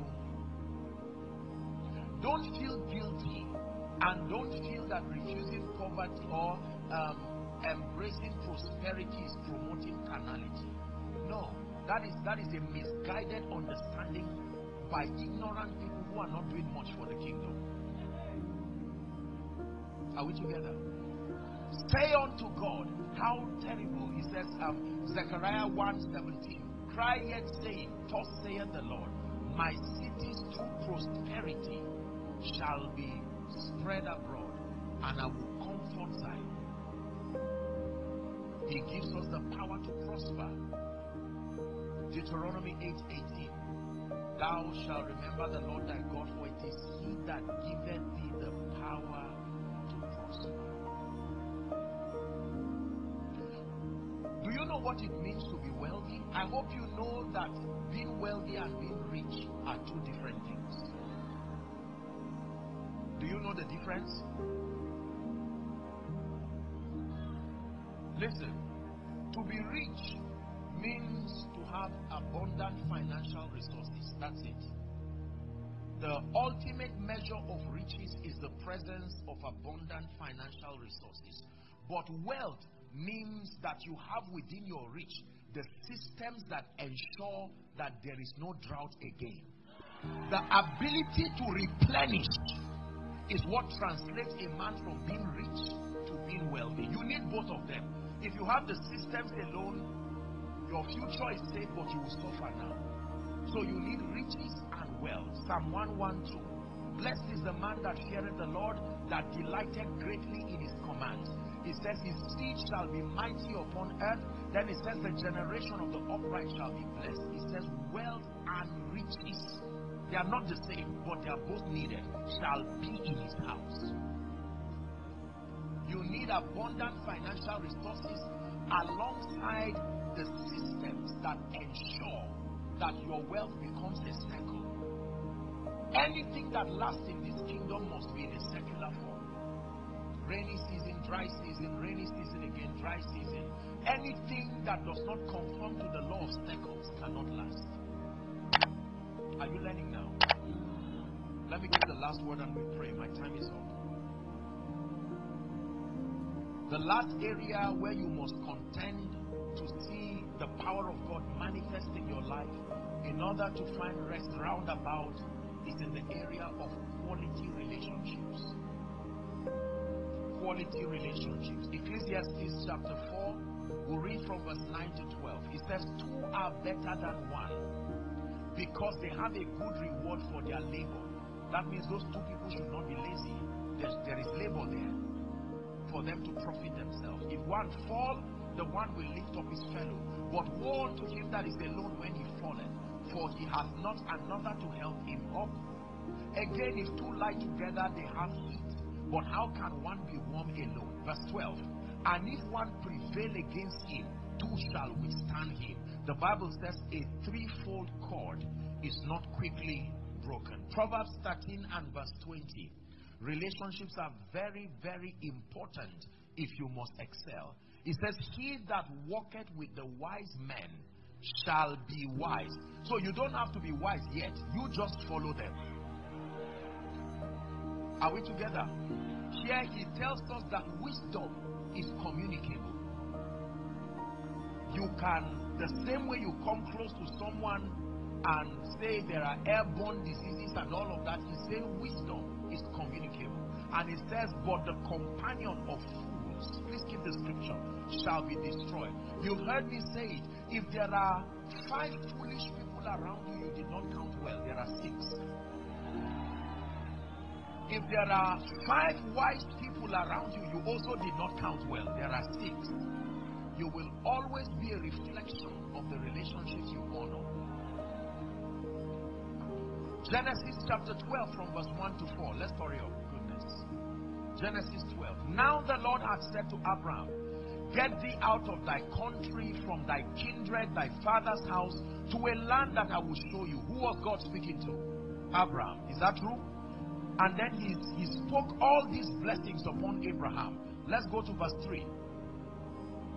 Verse 3, Genesis now. And I will bless them that bless you, and curse him that curses you, and in thee, one man, he's speaking to one man, shall all the families of the earth be blessed. Read verse 4 with me if you're a Christian. Ready? One to read. So Abraham departed as the Lord had spoken to who? Him. And Lot went with him. Stop. God did not speak to Lot. Lot was not part of that project. But Lot said, I didn't hear God, but I will follow the man I know had God.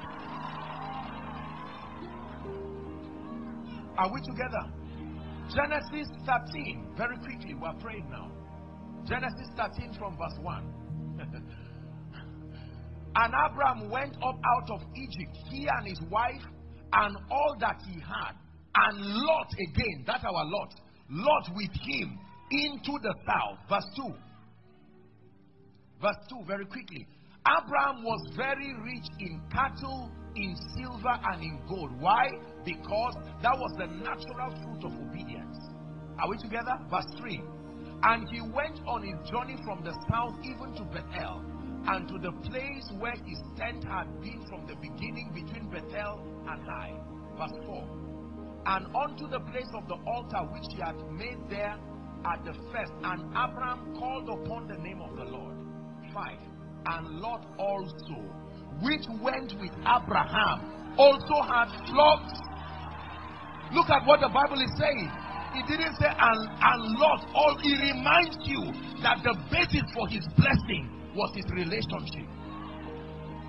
And Lot also, he would have just said, and Lot had flocks. He said, no, Lot also, who took the risk to see value in relationships. He had flocks and herds. You are as wealthy as your relationships. I pray for my people time and again that may you never be so poor that all you have is money.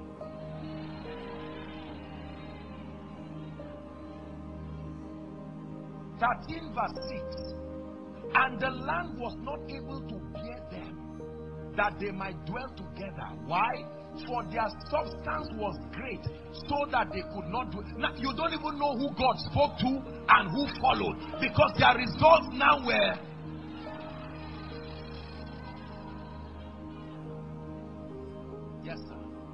Are the mysteries of the kingdom. Verse 7. Unfortunately, there was a strife between the headsmen of Abraham and the headsmen of Lot. Unfortunately, for sake of time, you would read that Abraham, knowing that the blessing was on him, he said, Lot, choose anywhere. Because it's not your location, it's what is on you. Lot, you are an escort. I am a carrier of something. I give you the benefit of doubt. Choose anywhere. Foolish Lot would have said, I know why God blessed me. It's not because I had God directly. It is my remaining with you that is the basis of my blessing. But the Bible says, listen, the first decision Lot will make outside the influence of Abraham landed him to stay near Sodom.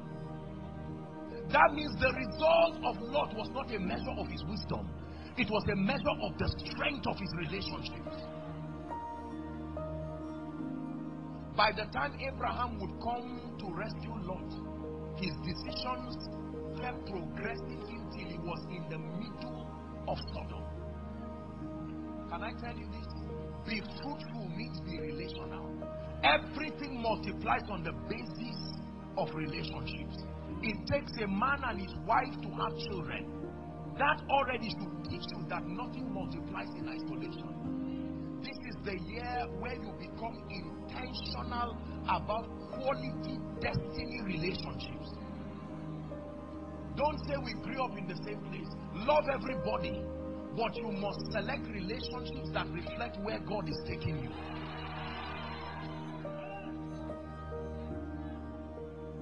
There are people whose, whose refusal to be transformed will sooner or later become a source of, of, of impedance to your advancement. And you should love them and say, Well, my passion for God, it doesn't look like you are motivated by the same passion. And we can't be unequally yoked. I love you, but we may not be able to continue this journey together. Are we together? These six areas, if and when you allow the grace of God and the word of God to find expression, you will be surprised that you will look left and right and you will see that God would have sorted you roundabout. A final recap your spiritual life, sustaining superior belief systems through mental transformation, your health and your wellness, your purpose and your destiny, your finances, your relationships. Show me a man who excels in all these areas, and I show you one who has personified what it means to find rest round about. Please rise up on your feet and let's pray.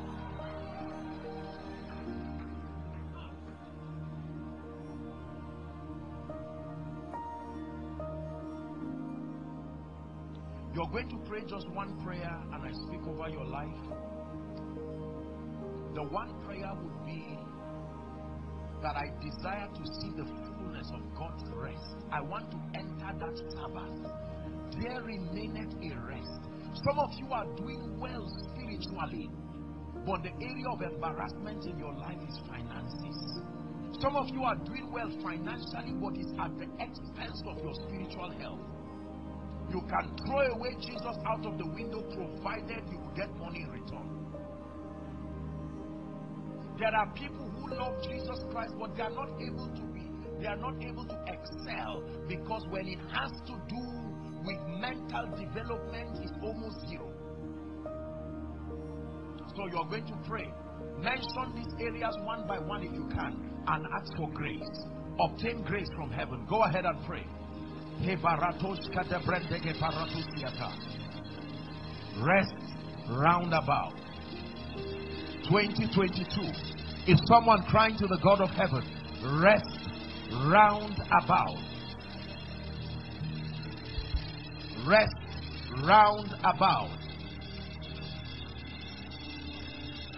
I obtain grace in the name of Jesus. It says labor to enter that rest. There is a labor dimension in the spirit, engaging the word, engaging the ministry of the Holy Spirit through obedience, stepping into that Sabbath. Go ahead and pray. Lord, I desire to find rest round about. According to Genesis chapter 24 and verse 1. And Abraham was old and well stricken in age, and the Lord had blessed him in all things. In all things. Somebody prophesy all things, all things that pertains unto life and pertains unto godliness.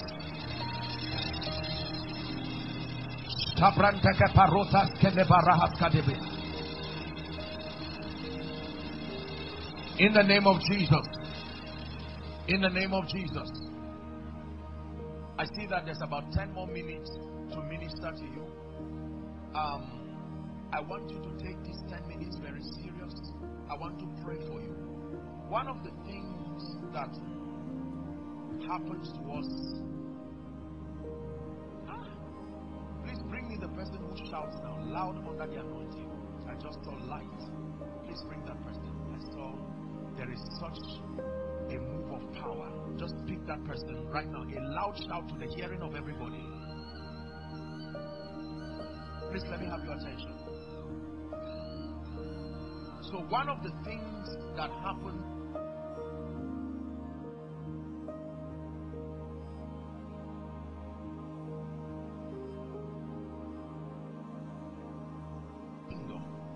depends on the kind and the grace and empowerment that is upon us.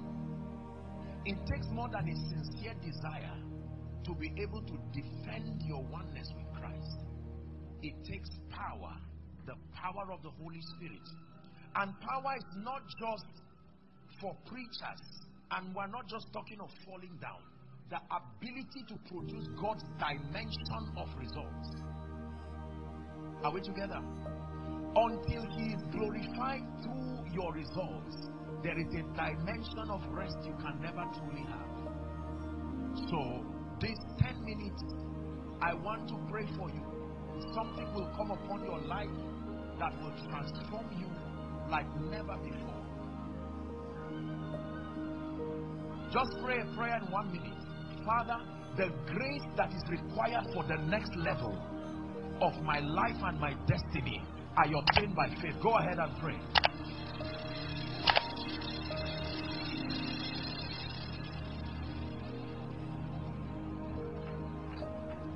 Go ahead and pray.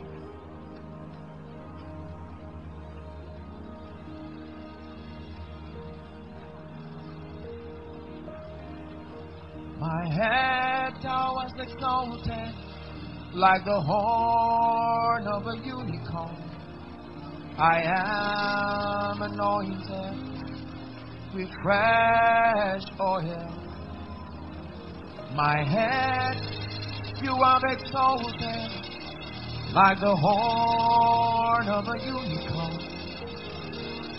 I am anointed with fresh oil. Shalabaratos kadebrendege baratus. New seasons, oh God.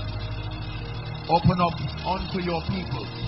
New seasons, new dimensions, new possibilities.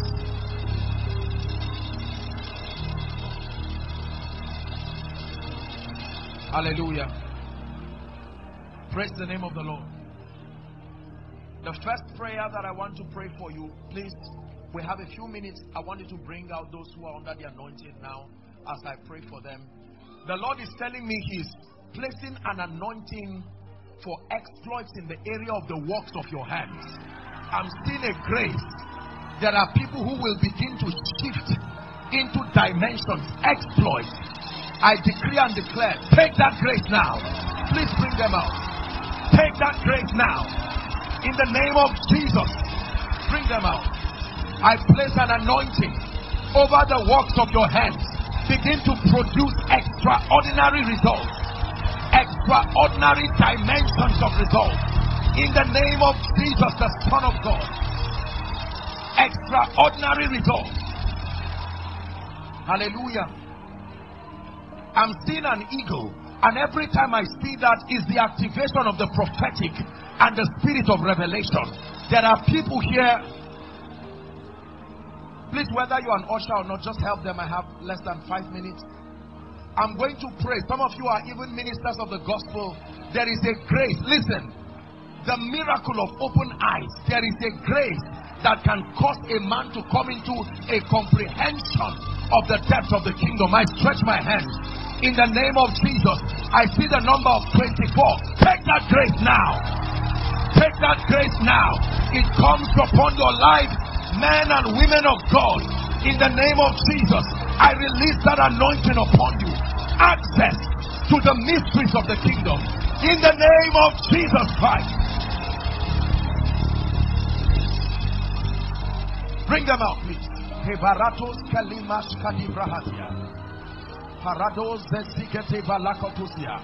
Yesterday I prayed a prayer at the island that I'm going to pray here, there is a grace for speed that can bring a man from where you are and grant you access to dominion over time. I want to pray, and the power of God will come on so many of you. Please let me have them outside. In the name of Jesus, I decree and declare the grace that makes for speed right now. Take that grace. Take that grace.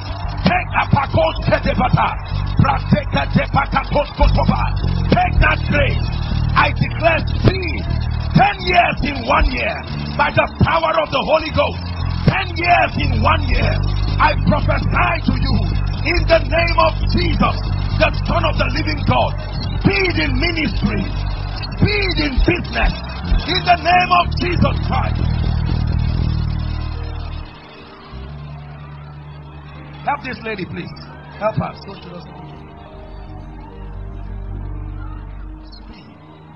Hallelujah.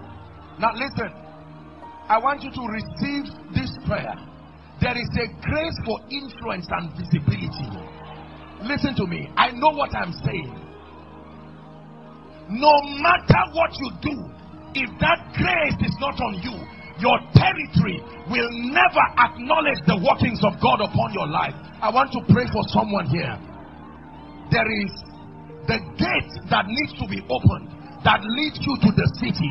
You can be in a city and yet the gate is closed over you. I prophesy business people, men and women of God.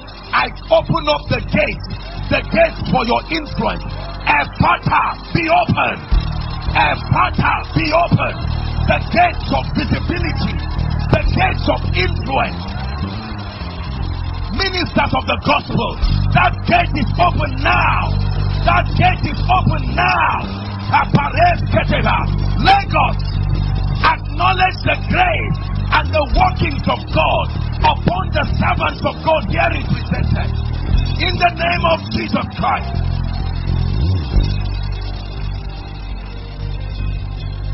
Where thou hast been deserted, so that no man passes through you, he says, You shall be an eternal excellency and a joy of many generations. I want to declare prophetically and call to your life the helpers of your destiny. It matters who likes you, sent by God to hold your hand and make this adventure of your kingdom experience easy. In the name that is above all names, I speak over you right now Whoever has been anointed in this season to hold your hand financially, spiritually, and help you rise wherever they are by the power of the prophetic, I call them forth now. I, I call them forth now. Ministry helpers, arise. Business helpers, arise. In the name of Jesus Christ.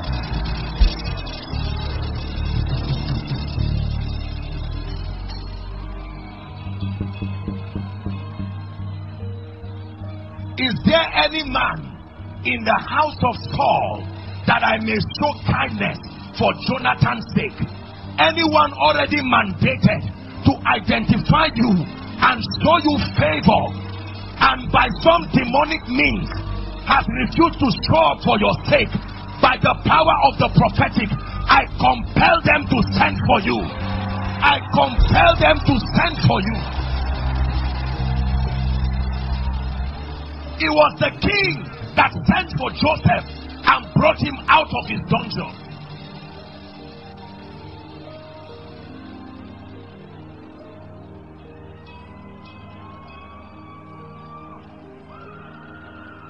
Everyone here under the yoke of delay.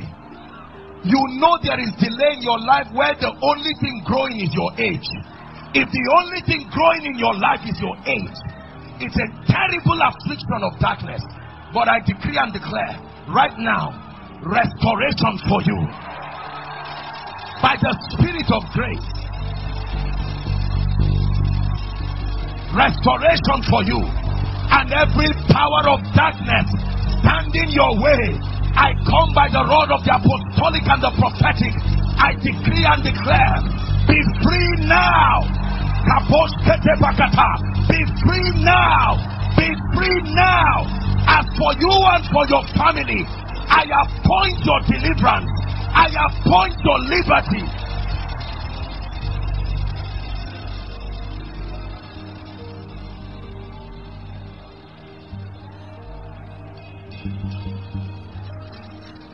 Final prayer.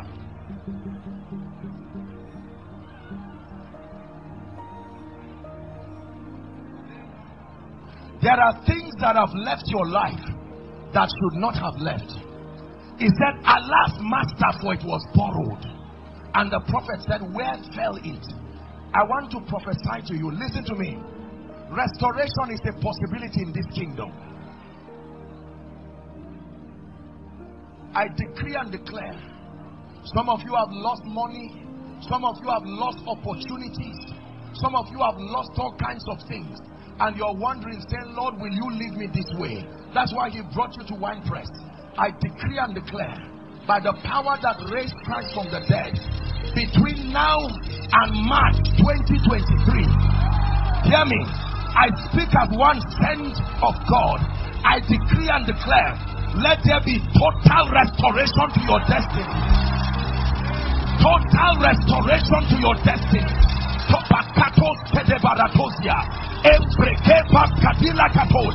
Don't wonder how it will happen. You may not see wind, you may not see rain, but I prophesy to you your valley shall be filled with water. You will not see wind, you may not see rain, but your valley shall be filled with water.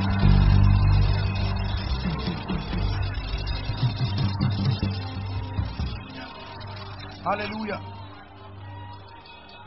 You're trusting God for healing, just lay your hands on your body. Please give me one minute to speak over your life as I wrap up. All who are in front here, I decree and declare over your life that the graces you have received remain with you. And the obstacles lifted from your life, they are lifted forever. In the name of Jesus Christ. Please lay your hands. Let me just pray in one minute. Who is Ruth? I'm hearing the name Ruth. Ruth. I hear the name Ruth Of course, I can, I can presume that there are so many people. Ruth. The lady I'm seeing in my vision, I don't know if it's your hair, plenty hair. This is what I'm seeing. You have like, I don't know if you, there's, you didn't pack your hair. What's your name?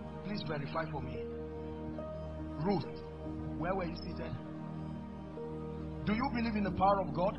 Yes, I do. I want to pray for you. What do you do? I'm a digital creator, voice actor. In the name of Jesus Christ.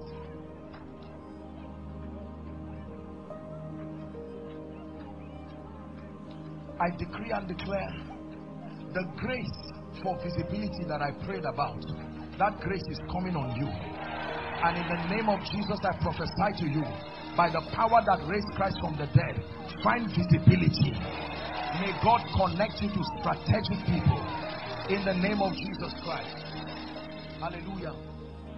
This lady, this lady, putting your hand on your, lift your hands. I want to pray for you. I just saw light on you. I don't know who you are.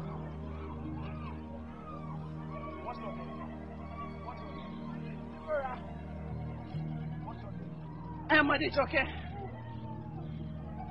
Who is is it Dora or Laura or something? No, no, I'm not talking about you. Is it Laura or Laura?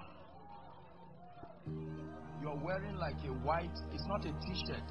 You are a smallish lady. This is what I'm seeing. Laura. I'm seeing you around the minister's stand where this is what I'm seeing. Is there someone like that? What's your name, my dear? Laura, come.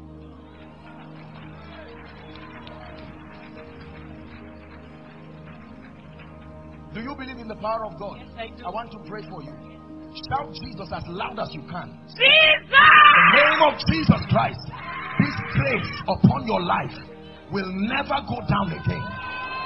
Experience grace and favor, even by the power of the Holy Spirit.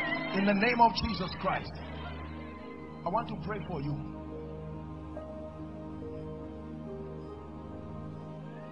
What did you say your name is? Stand up. Okay. Huh? Adejoke. I want to pray for you. Who is Deborah? What's your name? Deborah. In the name of Jesus Christ. I will pray, I, you don't have to be. In the name of Jesus, look at me. I'm seeing an anointing coming on you. And the Lord is saying that this grace will grant you speed.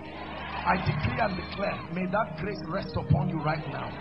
And for you, my dear, in the name of Jesus, I don't know you, but I pray that by the power of the Holy Spirit, may God grant you a great visitation in the name of Jesus Christ, who is the Son of the living God.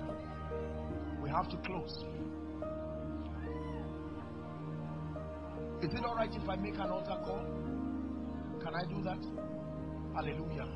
I know that our time is fast spent. We have to honor the time. But there are people here, listen to me. Please, no movement. There are people here who are saying, Apostle, whilst hearing you speak about rest roundabout, I confess that my spiritual life is in desperate need of the power of God and the grace of God. There are people here who are saying, I need to make Jesus Lord of my life genuinely. I pray for you, you can go back so that you clear the way for those who are coming.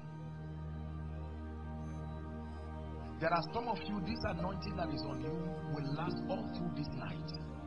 You will go to bed and you will have a lot of angelic encounters. Like this woman, Madam, I don't know you, but I'm seeing oil being poured on your head. Help her. And the Lord is telling me that He's opening you up to a new season. This is what I'm seeing. There is a season that is being opened to you. So there are people who are saying, Apostle, I need Jesus. I want my life to become a reflection of all that I need to be in Christ. I want to surrender my all to Jesus. And there are those who are saying, Apostle, I once gave my life to Jesus, but as it is now, things are not are not in place in my life at all. Please if you belong to any of these categories, I'm going to count one to five. I want you to run like there's fire on the mountain and come and stand. Don't kneel for space. Quickly. One. Let's celebrate them as they come. I'm running. I'm running. I'm running to the mercy seat. Two. Are you coming? Let's celebrate them as they come. Run to Jesus.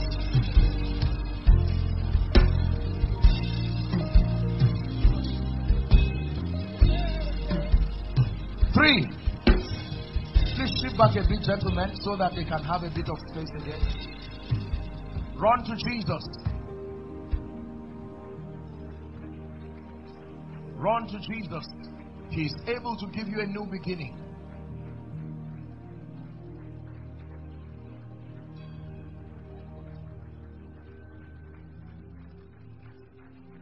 Now, before I pray with you, you will notice that the counselors the counselors are giving you a card and please do well to accept it. Just make sure that you have one as I lead you to make this prayer. Those who are still coming very quickly will give you a minute so that we'll make this very, very quickly.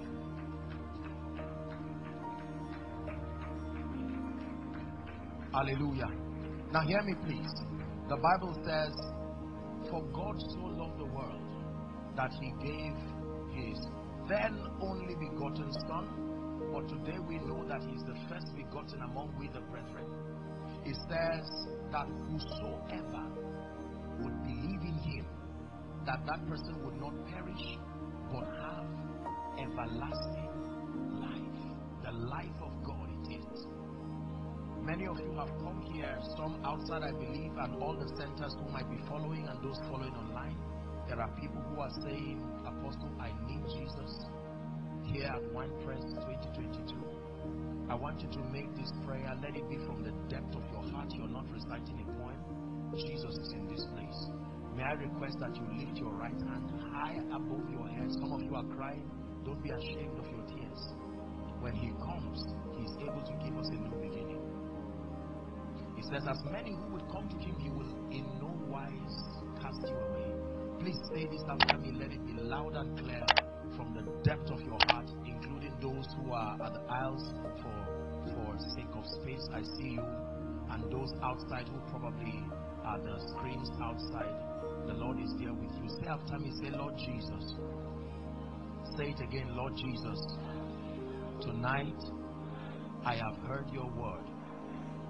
I believe with my heart that you died for me. I believe that you rose again for my justification. I receive you as my Savior, as my Lord, and as my King. I declare that from today I am a child of God, a recipient of eternal life.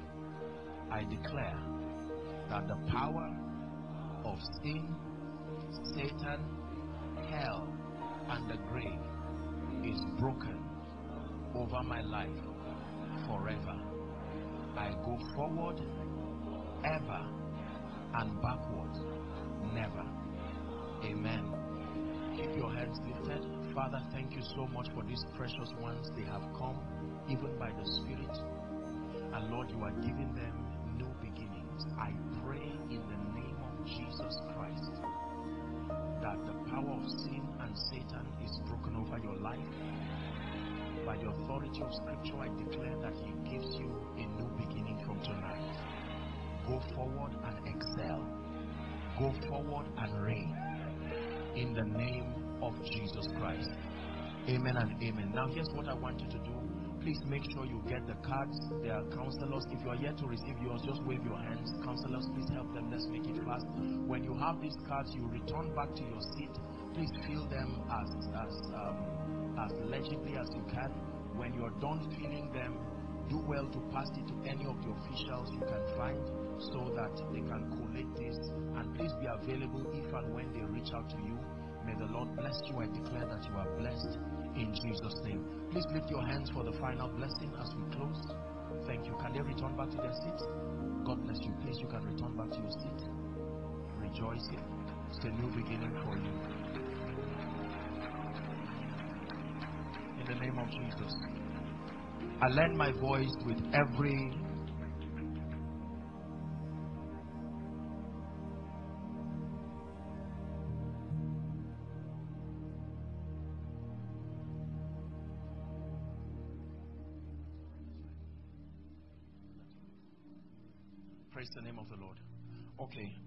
to pray the final prayer, and I've been given the liberty of a minute or two to allow these people go back to their seats. I want you to please stand on your feet and pray one prayer, that which you desire to see in your life as your request. I'm releasing my faith with you in the name of Jesus. The Bible says, For everyone that asketh receiveth, everyone who seeketh findeth, and to him that knocks, he says that the door is opened. I want you to lift your voice and ask. Go ahead. He said, Ye have not because ye ask not. Go ahead and ask. I'm releasing my faith with you in the name of Jesus, who is the Son of the living God. There are ministers of the gospel trusting God for higher levels in the spirit, business people trusting God for an increasing greater relationships, broader horizons. There are career people trusting God for jobs, trusting God for opportunities. Go ahead and pray. Some of you are trusting God to grant you all kinds of rest. I'm releasing my faith with you. Go ahead. Please don't be distracted. Make sure you are praying. There is a God that answers prayers. It says, Unto thee that answers prayers shall all flesh come.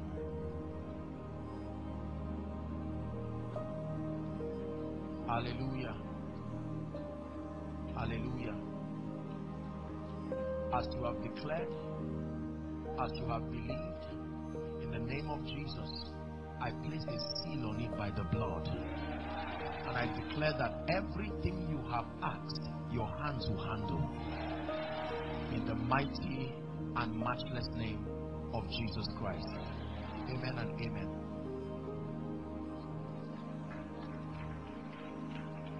for you. Hallelujah. Are we ready for God's word this evening? Are we ready for God's word one more time this evening? Hallelujah. All right, please let's watch this video and then we'll bring up the man of God. Hallelujah. The mind is the devil's battlefield, but this vessel has mastered the game. A custodian of deep spiritual insights, busting the tricks of darkness and projecting the truth of light. A man of the spirit with an in-depth understanding of kingdom mysteries and principles. A key of massive life transformation and a vanquisher of weapons fashioned by hell. Prepare to be shot out from where you are to where you are meant to be by the power of the Spirit and the vehicle of His ministration. Professors, let's welcome Please stand to your feet, Harvesters International Christian Center, and let's make welcome an apostle of God and founder of the Eternity Network International, hands Apostle are not busy Joshua and your legs are not heavy.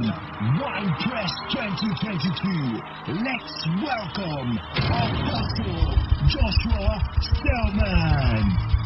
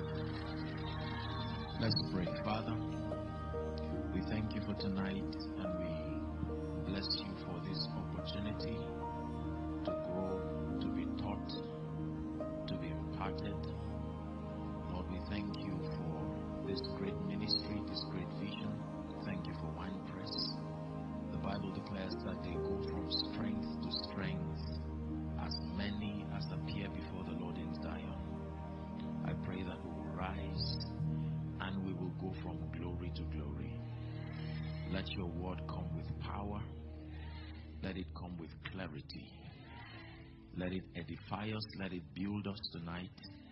And I pray in the name of Jesus that within the time that we have to share, let the sick be healed. Let the oppressed be delivered. And as always, let Jesus be revealed and Jesus glorified. In Jesus' name I pray. My joy to be here. Thank you so much. Please be seated. Let me very quickly bless and honor the man of God and his dear wife, Pastor Bolaji. Please honor him for me and his dear wife. And I want to sincerely celebrate all of the pastors, the leaders, and all who are part of this vision. Let's honor them. Great work. May the Lord bless you in the name of Jesus Christ.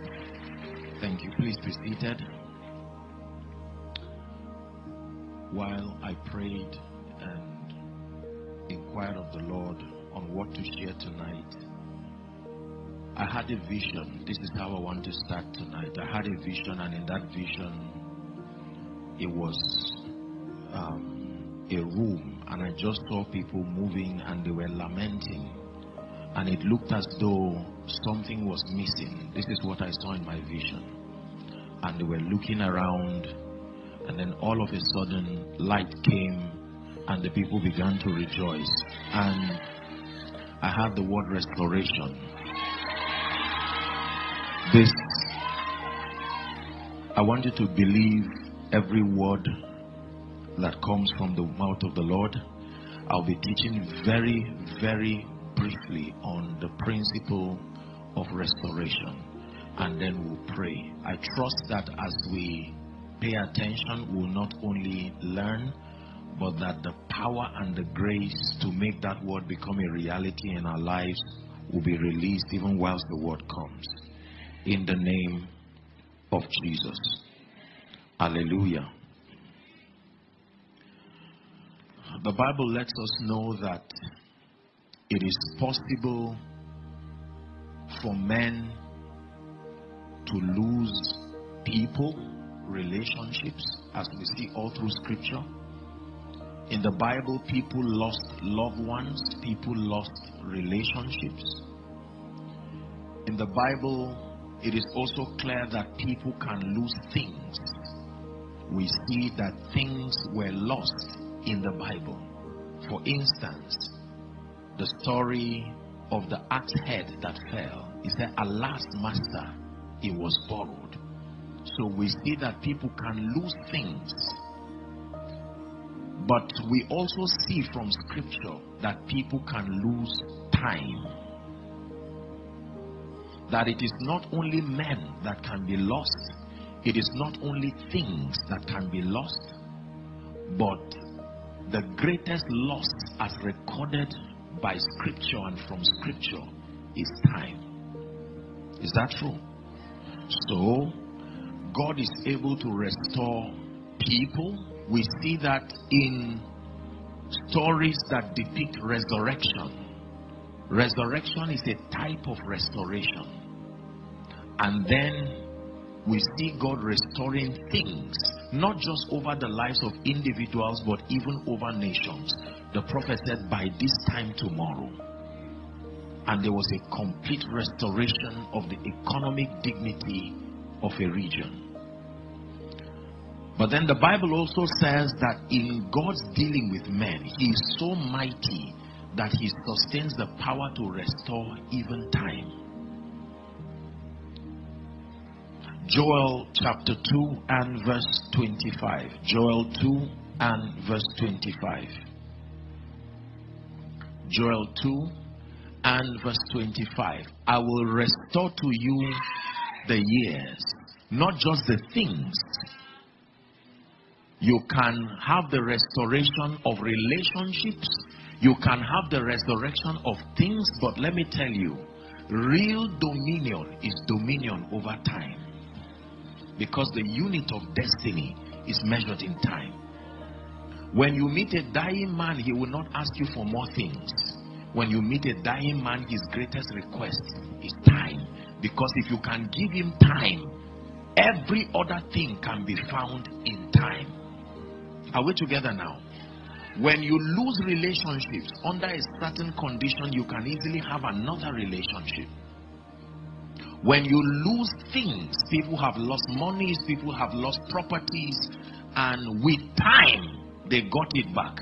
But when you lose time, there is no factor that guarantees the restoration of time again.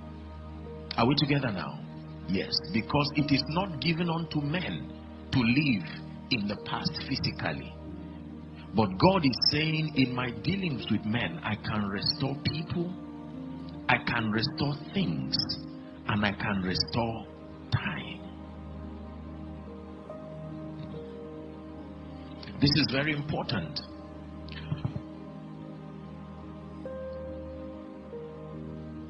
I examined the subject of losses. Um, it is a word that people do not want to hear. The moment I mention a loss or losses, either to a businessman or someone who just lost a loved one, it's not a word that anyone wants to be associated with at all. Is that true?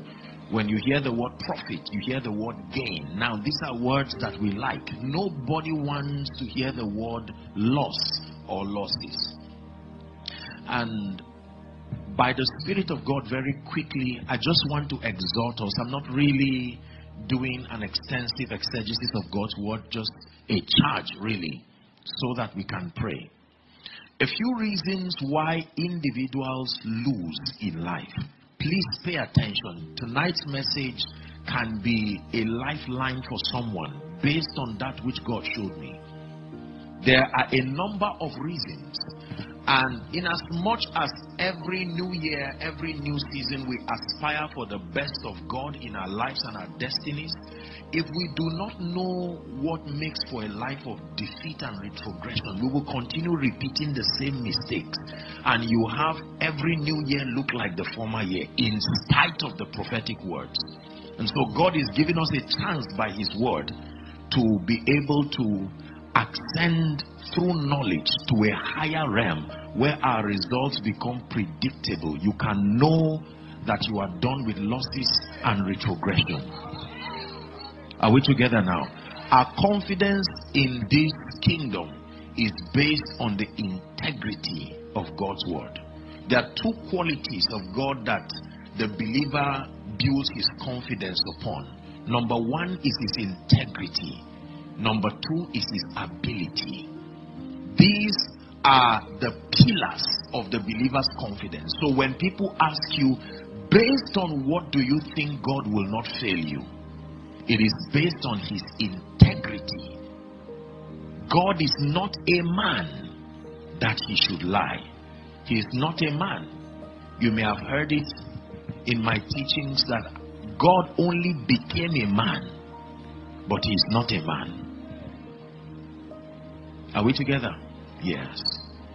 The Bible tells us that men lie. They don't lie because they are bad, they lie because they are men. So it says, God is not a man that he should lie, He's not the Son of Man. That is the basis of your confidence. It means God only says what He can do. So if you hear God say anything, He has vetted His ability to find out that that that what he has said, it is within his power to make it come to pass. Are we together now? This is very powerful.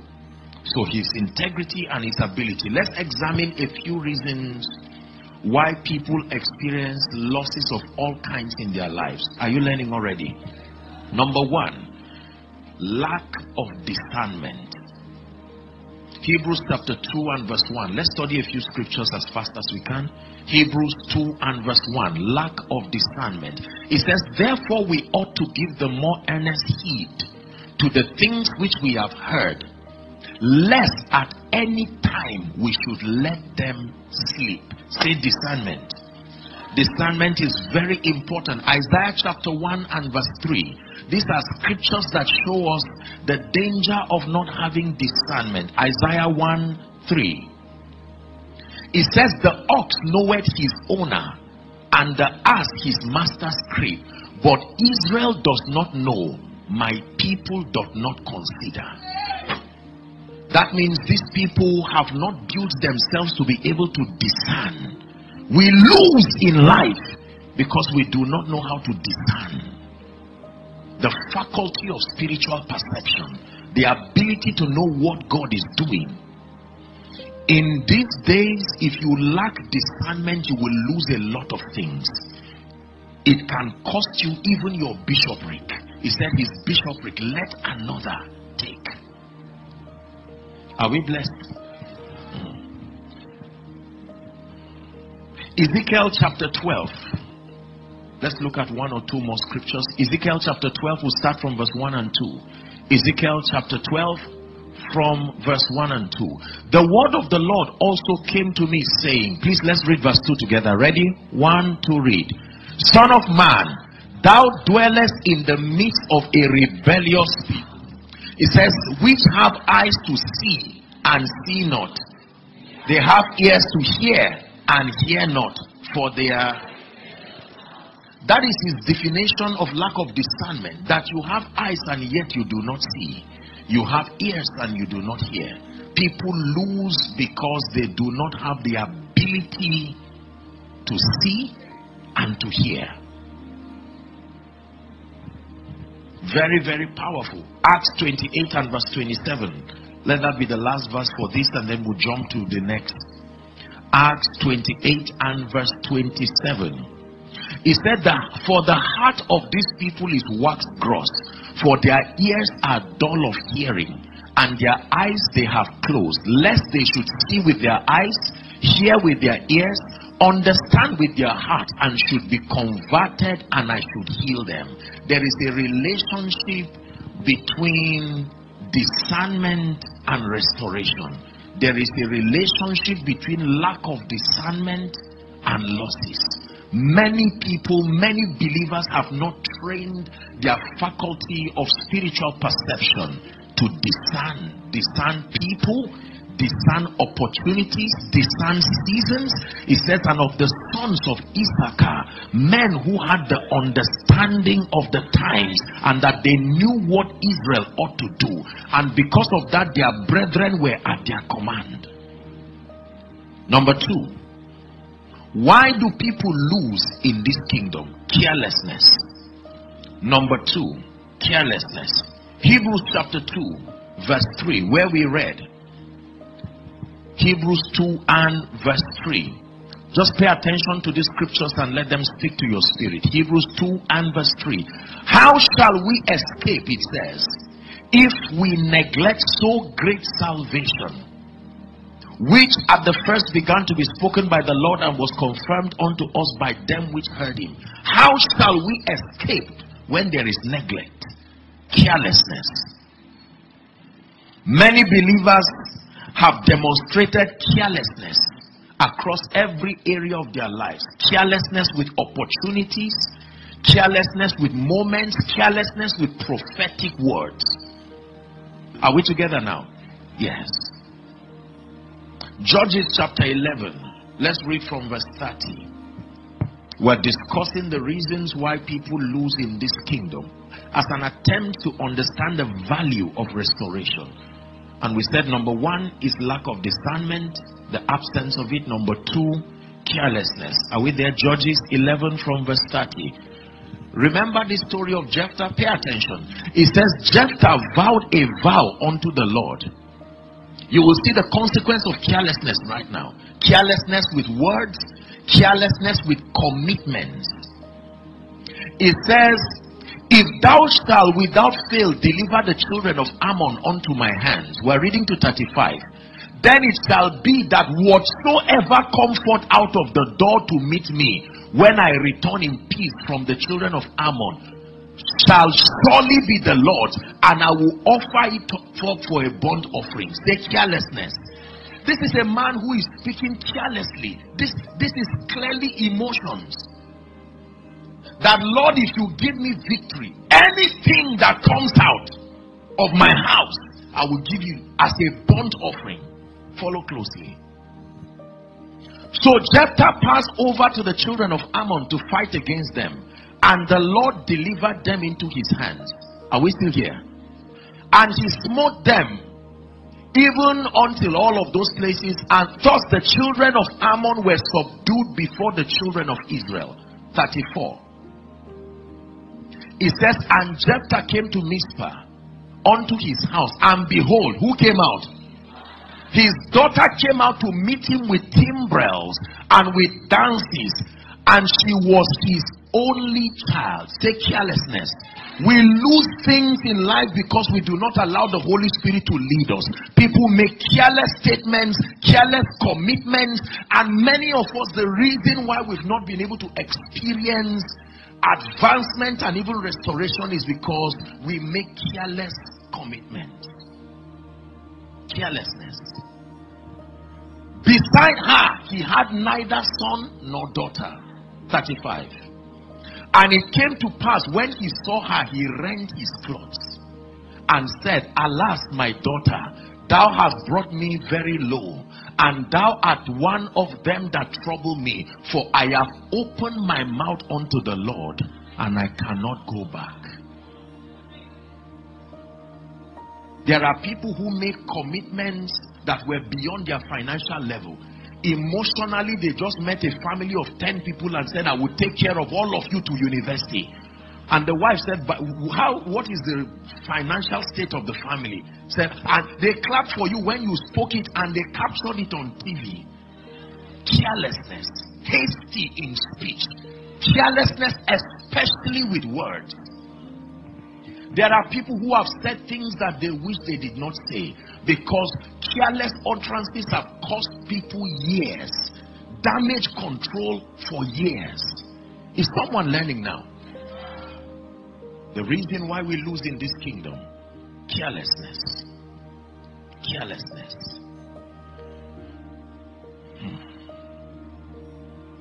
In Matthew chapter 14, when you read from verse 6 to 11, I don't know if you can look at it, is is a parable, the parable of the talent. Remember, he gave unto one five, he gave unto one two, he gave unto Matthew 14. Let's look at it from verse 6. Sorry, uh, that was the story of Herodias. Keep it, let's just read it since you've, you've put it up. The Bible says, when Herodias' birthday was kept, the, when Herod's birthday was kept, the daughter of Herodias danced before them and pleased who? Are you ready to see carelessness again? Please read verse 7. One to read. Whereupon he promised with an oath to give her. You see how careless people are? How in the world do you stand as a king who is responsible for the destinies of many, and simply because a lady danced before you and you were happy, and you made a careless statement that anything, that means if she said, Get up from that throne. Are we together now? Verse 8. And she, being therefore instructed of her mother, said, Give me here John Baptist's head in a charger. And the king was sorry. You, you see it now. That every time people do careless things and say careless things, eventually. Why do we lose in this kingdom? Because we are not thoughtful, we are not guided by the word, we are not guided by the spirit. You see, there are three faculties. Let me teach you this very quickly. I wish I had time. There are three faculties for by which we interact with this realm and we make decisions. I will start from the third. The third is emotions. It is the weakest of all because it vacillates.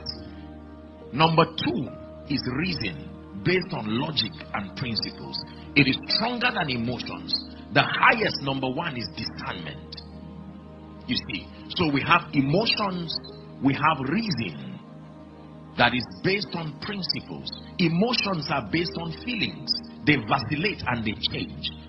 Reasoning is based on principles, and so there is a measure of stability. But the highest is discernment because it is based on the voice of God, it is based on the word of God. Are we together now? That means I can look at your life and know which of these faculties you have exalted. If I see the vacillations around your decisions, I know that you have exalted emotions above reason and above discernment. If I see that you are excessively philosophical with no honor to the ministry of the Holy Spirit in your life, I know you have exalted reason above emotion and above discernment. In this order, it is discernment, then reason, then emotions. When the devil wants to destroy people, he manipulates them because he's the master of the sense realm to exalt their emotions the moment you get to the realm of emotions, you are in Satan's domain. He will play miserable with you. Can I tell you this? Both frustration and excitement can lead to emotions. So, whether you are responding from a state of excitement or a state of frustration, if you are not careful and you're not guided, you can be careless. This man was excited and he said, Young girl, whatever it is that you want, I will give it to you. And she met her mom and said, Mom, look at this offer.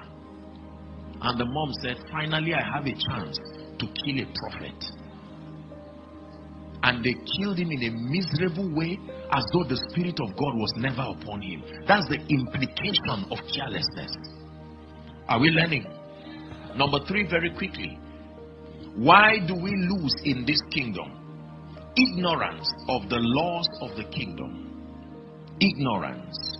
Ignorance of the laws of the kingdom. In psalm 82 and verse 5 popular scripture it says they know not neither will they understand. They walk on in darkness and all the foundations of the earth are out of course. They know not. They know not this is a kingdom that thrives by knowledge. Proverbs 19 and verse 2 proverbs 19 and verse 2 the bible says through knowledge shall the just be delivered. Proverbs 19 and verse 2. Are we there? It says also that the soul, okay, that the soul be without knowledge, it is not good. I was quoting another scripture. It says, and he that hasted with his feet sinned. So it is not good to be without knowledge. Lay your hands on your head in one minute and declare that this year 2022, this is the year you will contend for superior spiritual knowledge. Go ahead and pray in one minute. Make a commitment by God, make a commitment by His grace.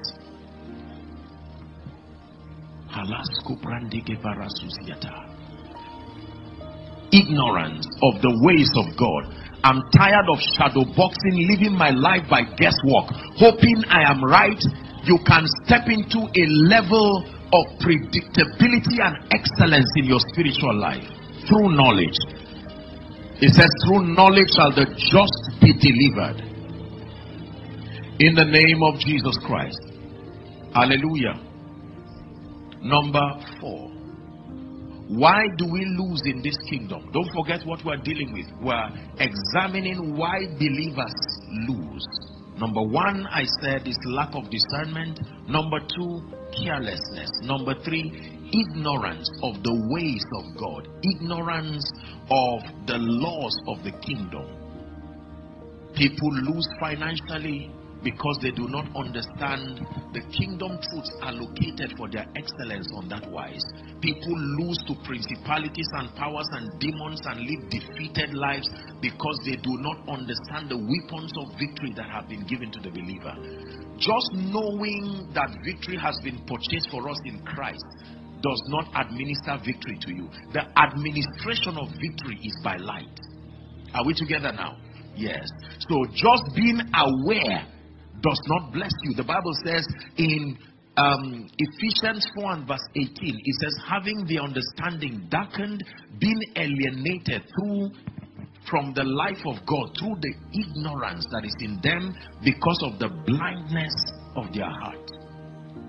It takes knowledge. It takes knowledge. It takes knowledge. It takes knowledge. I commend you to God, he says, and to the word of his grace which is able to build you up and then to give you an inheritance among them that are sanctified. Are we together? The Bible says, an heir for as long as that heir is a child. A child means one who is void of knowledge. It says, he differeth not from a slave, even though he be Lord of all. Number four, why do we lose in this kingdom? Abuse and misuse. Write it down, please abuse and misuse. A major reason why believers lose abuse and misuse. Just write for reference, we may not have the time to go through it.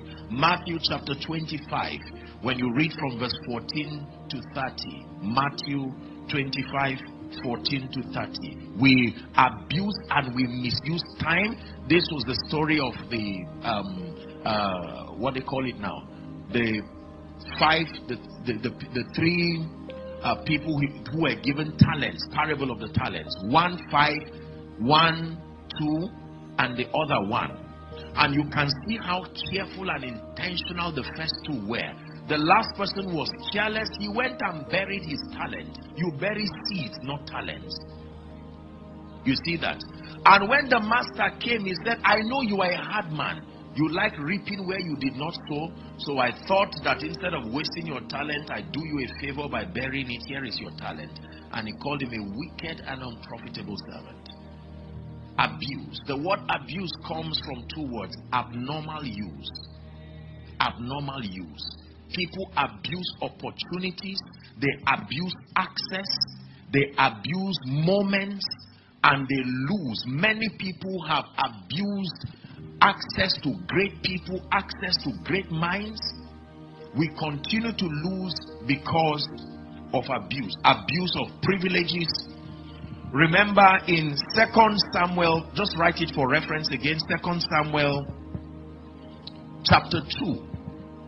Well, let's read from 12 to 17, but the entire text is from chapter 12 of First Samuel, First Samuel chapter 12, down to chapter First Samuel chapter 2 down to First Samuel chapter 4. This was the story of the sons of Eli. But let's just look at chapter 2, First Samuel 2 from verse 12 to 17. The Bible talks about the sons of Eli. Remember Hophni and Phinehas. The Bible says the sons of Eli were sons of Belial. They knew not the Lord. Read to 17. It says, And the priest's custom with the people was that when any man offered sacrifices, the priest servants came while the flesh was in seething with a flesh hook of three teeth in his hand. Uh-huh. And they struck into the pan or kettle or cauldron or pot all that the flesh hook brought up, the priest took for himself. It was a privilege of priesthood. And this principle still works till today in the body of Christ. Are you seeing that now? There are privileges that priesthood brings, but there can be the abuse of it. To cut the story, the long story short, it was that when the meat or whatever the sacrifice was boiling, you are given the privilege to put that fork and whatever you bring out, it is your own blessing from the Lord. But the, Hophni and Phinehas said, uh-uh, before you boil it, let us clearly look at it and pick. You see that? They kept taking advantage of the fact that their father was a priest. You will see their end. Remember the story Ichabod? When the ark of God was taken, they were also captured and killed. They brought Eli a report and said, Listen, your sons are dead. That was not even what disturbed him. They said the ark of the Lord has been captured. He fell down, broke his neck, and that was the end of it. Abuse, abuse, abuse, and misuse. We, many of us have misused privileges. We have misused opportunities. Have you heard people say, I'm connected to so many people and none of them can help me? Find out why none of them can help you, even though you are close to them. You abuse access to their numbers. You call them every time and say, You are not answering me. Have you forgotten we're relatives? Abuse.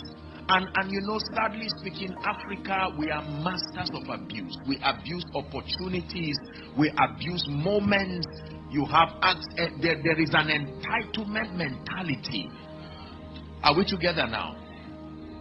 We just believe that someone somewhere owes us to succeed and come and bring a, a, an honorarium from that success. Abuse and misuse. Number five.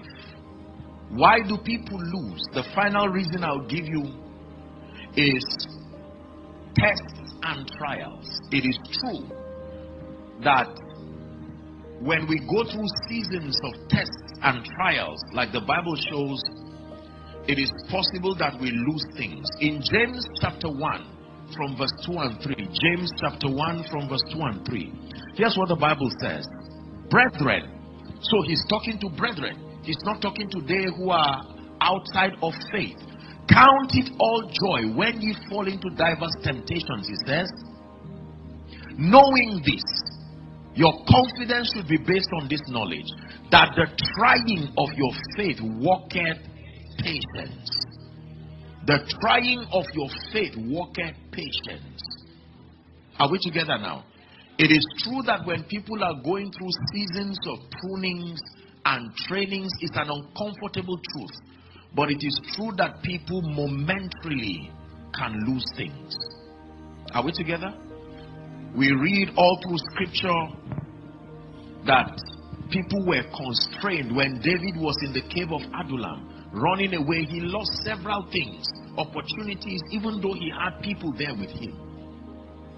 When Joseph, on account of his his his diligence and his his honor to God and to the integrity of his person, he found himself in the prison. He lost the opportunity to be the head, even though he was a slave. There were privileges that were withdrawn from him. So there are times that we go through seasons that, on account of the dealings of God in our lives, on account of several things, it is possible that we can lose some of these things.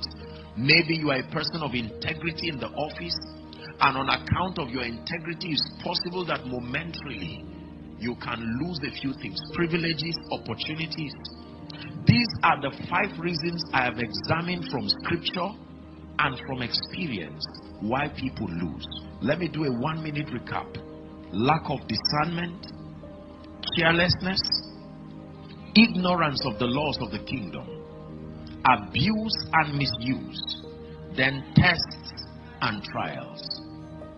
But I have good news for you that in the name of Jesus, it does not matter by which means, by the power that raised Christ from the dead, there must be restoration in your life. In the name of Jesus Christ. Now, please pay attention. Let me give you, by the Spirit, about four keys that are responsible for restoration. Are you ready? Number one, the first key that is truly responsible for restoration. If you want God to restore moments, time, or whatever it is in your life, the first key is self examination. The power of self examination.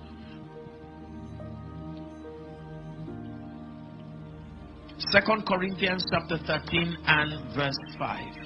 It says to examine ourselves whether we be in the faith. Prove your own selves. Examine yourself. Can I tell you this? When people are downcast, they do not take the personal responsibility of saying, Listen, why am I here? This is not self condemnation. You have to learn to sit with yourself. Why are things not working for this family? Why is it that I have been in Lagos for 10 years and have only celebrated the testimony of others? There is something about the responsibility of thoughtfulness that most believers do not submit themselves to. You have to sit down and ask yourself honest questions. The Bible says, Examine yourselves whether ye be in the faith. Luke chapter 15 from verse 17. I'll just cut it and start from verse 17. This is a very classic story that, that demonstrates responsibility and the power of self examination. This is the story of the prodigal son. The Bible says, when he came to, he never said the Holy Ghost spoke to him. Uh-uh. You, it is within your power to come to yourself. Sometimes you see pain is a gift because it can bring you to a point where you come to yourself. It is true. When things happen too cheap, when you keep reaping harvest for seeds you did not sow, there are many of us who have been shielded by the love of others, and it has never given us an opportunity to examine ourselves. Whether you sow or not, someone's harvest, he will share it with you. And chances are excellent that you can think that because you are receiving a harvest outsourced from another, you don't see the value of seed time, you don't see the value of anything because someone else is shielding you. The power of self examination. You must learn this. Have a time where you stay alone with God, lock yourself, go somewhere, and say, Lord, I, I am not happy at the way my life is going. Proverbs chapter 18 and verse 1 says, it says, through desire, a man having separated himself, he seeketh and intermeddleth with wisdom. Once you separate yourself, you have separated yourself from foolishness too. The moment you take the pain of separating yourself, it is wisdom you will encounter. Are we together? Yes. Why is my business not working?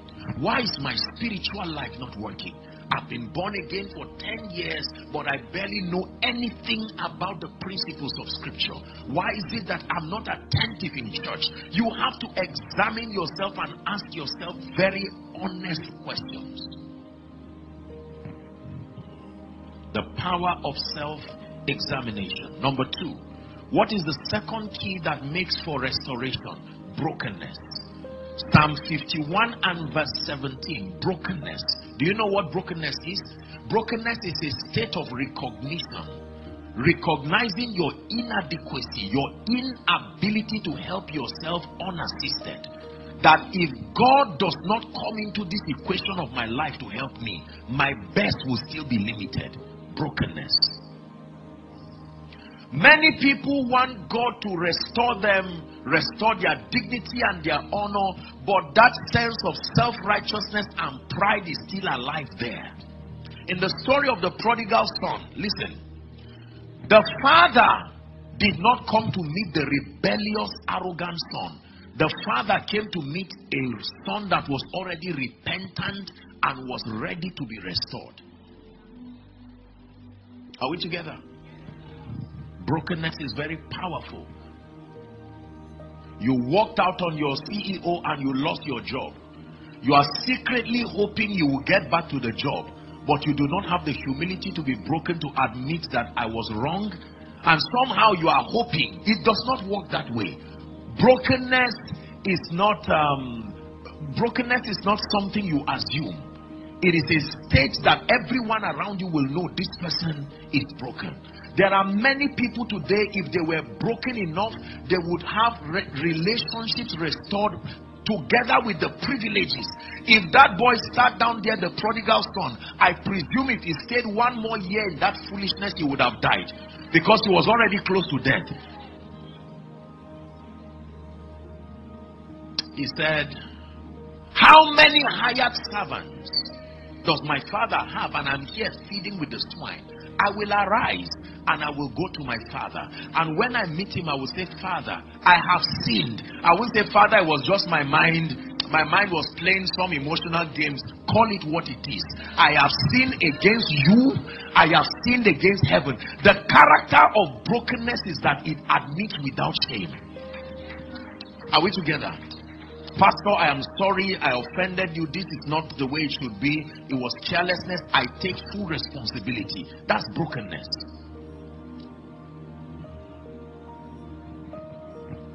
The Bible says, A broken and a contrite heart, oh God, thou will not despise. Many, many, many people are unable to experience restoration in their lives because they are not genuinely broken genuinely broken. There are many children who would get back the support of their parents, their sponsors, their loved ones, if only they communicate brokenness in truth and in sincerity. Is that true? Brokenness. Number three. What's the third key that makes for restoration? Knowledge. Knowledge. Knowledge. Knowledge. Proverbs 11, I, I believe, verse 9 says, Through knowledge shall the just be delivered. Isaiah chapter 60 says, Arise, shine, for your light is come, and the glory of the Lord is risen upon you. You arise and you shine when your light comes. Knowledge. Knowledge of what? Not knowledge of your situation or knowledge of what you want. Knowledge of what it takes. Listen, most people know what they want, they even know what they don't want, but they do not have the knowledge of what it takes. Is that true? So, this is what I want. I desire this so desperately. And this is it here. The Bible says that this should be given to me. But you must know, have the requisite level of spiritual illumination that takes you from prophecy to experience. Otherwise, you will keep wishing things that will never, never manifest in your life. It takes more than knowing what God has said, it takes more than knowing what God has told you to have it. Is that true? You must find out the, the participatory conditions He has connected to that promise. You're acting in keeping with the condition is your demonstration of faith. That faith is not just believing alone, believing is part of the process of faith. Faith is the name given to the action of obedience you take as a sign that you believe God.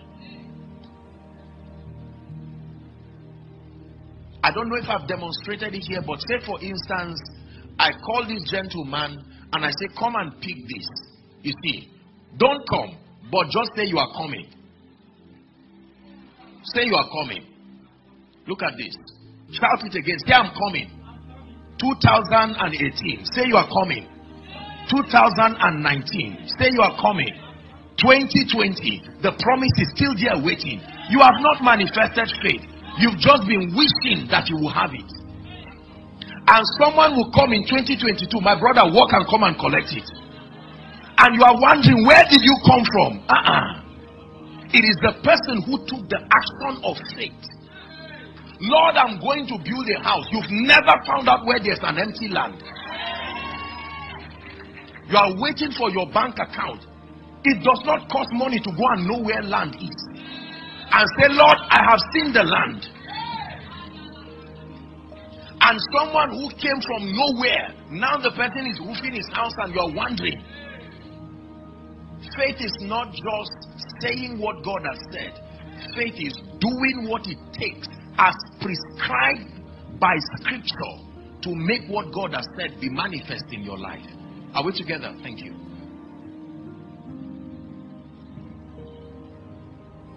Knowledge. we need high level spiritual illumination. Let me challenge you. I want you to go back home and write a list of all the areas in your life where you have not seen the word of God produce the kind of result that you desire, knowing that God is glorified in your results. Remember what the Bible says? It says, Let your light so shine before men that they may see. God wants men to see because in seeing the results that proceeds from you, they will glorify God. Herein is our Father glorified. John 15 and verse 8. When ye bear much fruit, not little fruit, sustainable, predictable results brings glory to the name of the Lord. Are we together? Galatians 1:25 it says and they glorified God in me. They glorified God in me. The excellency of the workings of the word in and through your life it compels all and sundry to know that Jesus Christ is lifted and glorified in and through your life. God is counting on everyone here as a membership, counting on individuals that through your life, your life will become a living epistle. Someone will look at your life this year and anything he did not understand in the morning, he will look at your life for the explanation.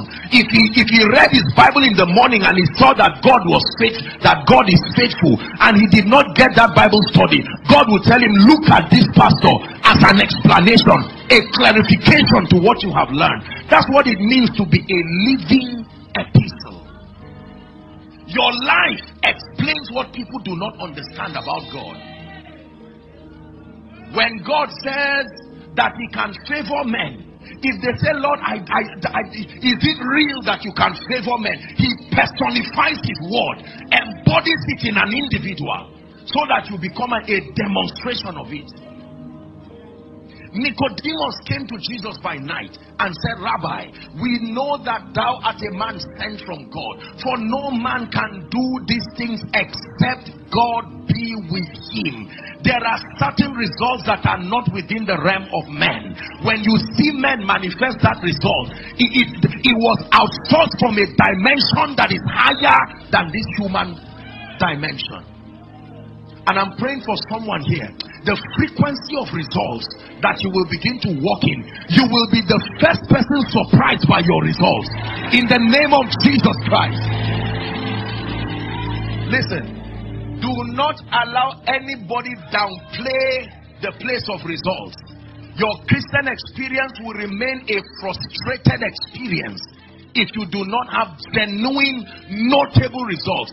Gentiles will not come to you, they will come to your light. Their kings will not come to your light, they will come to the brightness of your rising.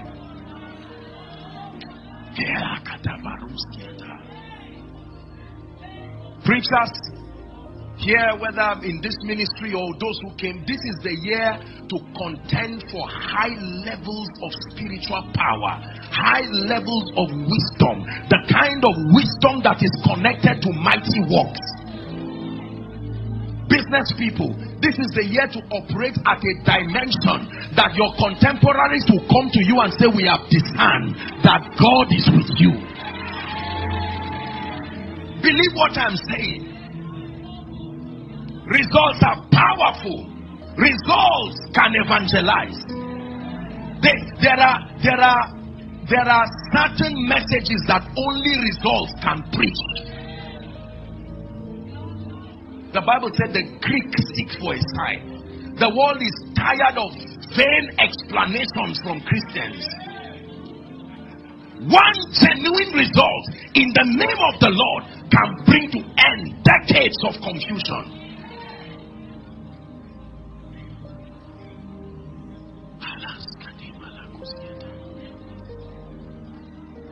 Knowledge. We rise in this kingdom by knowledge. There is what you must know. There is what you must know. to reign and to excel. There is what you must know to remain on fire. There is what you must know to access the spirit of wisdom. There is what you must know about kingdom influence. There is what you must know about longevity. There is what you must know about wealth and abundance. There is what you must know about dominion over systems and structures. There is what you must know about relationships. The question is, which aspect of your life are you taught? Go back and become a spiritual archaeologist. Is that for everyone that seeketh, findeth.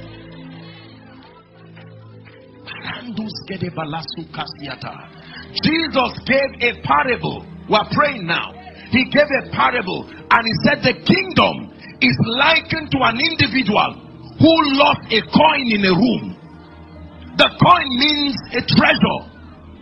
The power to make purchases was missing in the room. He knew that if that coin is somewhere. The first thing he did was he brought light. The second thing he did was to carry a broom and started sweeping. I know this breakthrough is somewhere in scripture. I don't know what verse, I don't know what principle, but I know in scripture God lifts. I know in scripture God restores. I've not understood the dynamics. You are sweeping, sweeping with messages, sweeping with prophetic words. And the Bible says she found it and she rejoiced. Can I tell you this? Every time you claim you have found something and it does not show in your life, you are yet to find it. I found your word and it was a joy and a rejoicing to my soul. Listen, light is powerful. Light is powerful. When you find this thing, you have found it. Believe me, Listen, you can gain mastery in the spirit. You truly can gain mastery in the spirit. He said, He that strives for mastery is not crowned except he strives lawfully. Move past the realm of trial and error, shadow boxing and hoping that one thing or the other will work. You can rise to a level of predictability in your Christian experience that you wake up in the morning and you know you will be favored today. You know Paul said, But I know whom I have believed. He said, I am persuaded.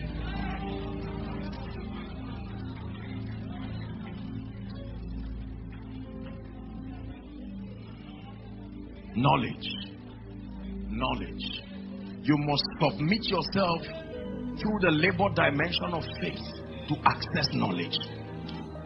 No matter how great a door is, there is a small key that opens it and you can put that key in your pocket. But if that key is missing, you can stand before that door from morning till night. But then, if you find the key that is knowledge, you need understanding. Because there are times that you can have the key and the dynamics of opening that door. Some doors you turn once, some doors you turn twice. For others, you turn and do some other things. The Bible says, In all thy getting, get understanding. Knowledge tells you what to do, understanding tells you how to do it. Knowledge says give, but understanding tells you how to give in a way that prospers you. Knowledge tells you pray, understanding tells you how to pray to get results. Knowledge says fast, understanding tells you the kind of fast that has been commanded. It's good to have knowledge, but in addition to knowledge, have understanding. Understanding brings stability to your life.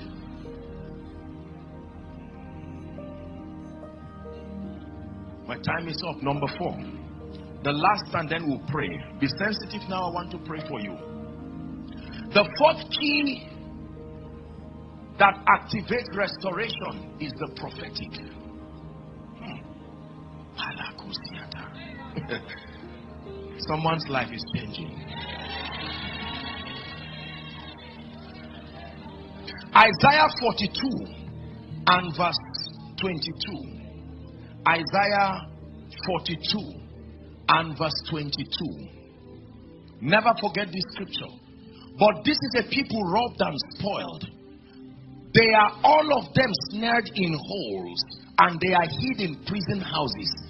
They are for a prey and none deliver it. Read with me. They are for a spoil and none say it restore. Restoration does not just happen, someone must say it. None say it restore. None say it restore. In Second Kings chapter 6, when you read the first seven verses very quickly, Second Kings chapter 6. This was a very interesting rendition. The Bible says the sons of the prophet said unto Elisha, Behold, now the place where we meet with you is too small. So it was a desire to advance. Next verse. It says, Let us go, we pray thee, unto Jordan and take thee every man a beam and let us make a place where we may dwell. And he answered and said, Go ye. Verse 3. And one said, Be content, I pray thee, go with thy servants. And he answered and he said, I will go. Verse 4. So he went with them, and they came to Jordan and cut down wood. But as one was felling a beam, the axe head fell into the water. He cried and said, Alas, master, for it was borrowed. Wise man. Many people would try to jump inside the river and die there. No. There are certain results that you cannot just get it by yourself. God has positioned people within the body that in addition and in connection to your faith this man cried and said, Alas, master, I'm in trouble. I borrowed this. The prophet said, Where fell it? And he answered, He showed him the place, and he cut down a stick and cast it thither, and the iron did swim. The iron did swim. The finances that left you did come back. Because you see, everything that left you is still on earth. Under a certain condition, it can come back. This is true. Please listen to me. When the prophetic is administered outside the boundary of scripture, it just becomes a display of ignorance with no potency and power. But when the prophetic is administered within the jurisdiction of scripture, it works wonders. Listen to me. My beloved people, there is a dimension of growth and restoration and excellence that only the prophetic can bring to your life. When you lose money, it's not another business that will bring the money back. No. You will only waste your time and keep digging deeper.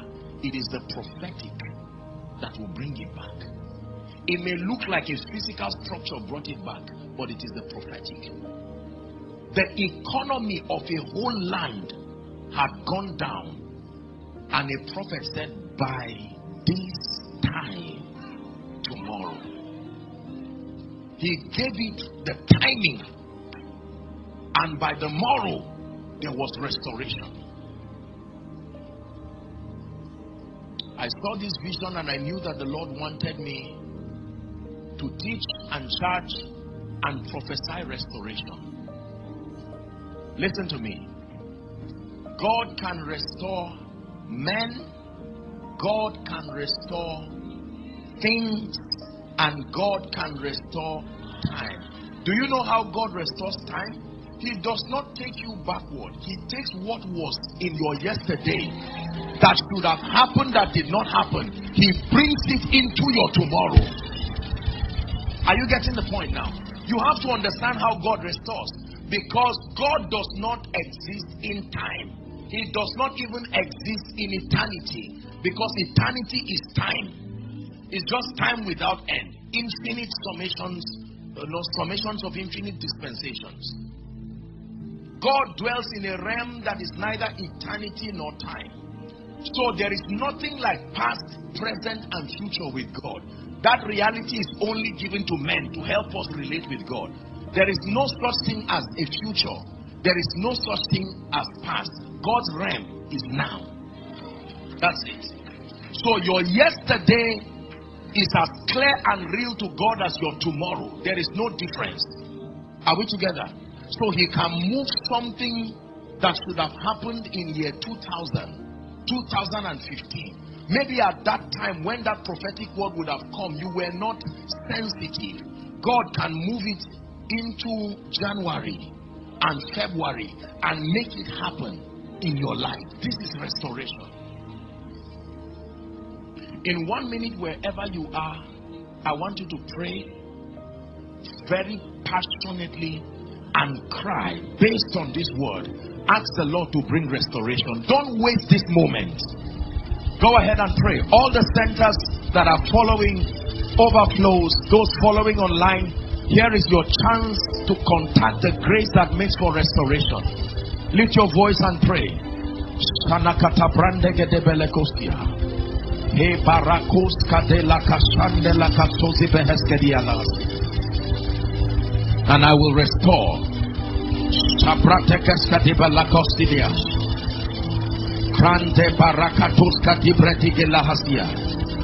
Someone pray.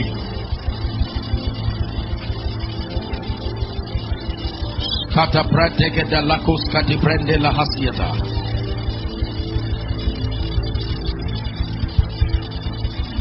Sabres kedi la suda.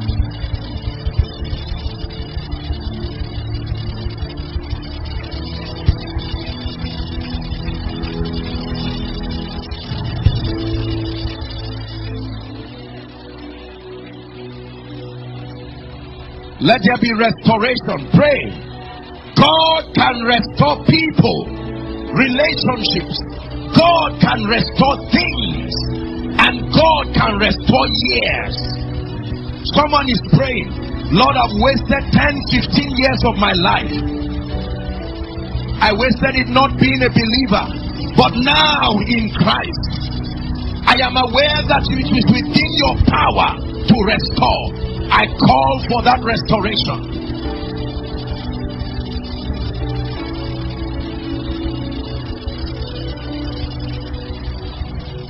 Hallelujah.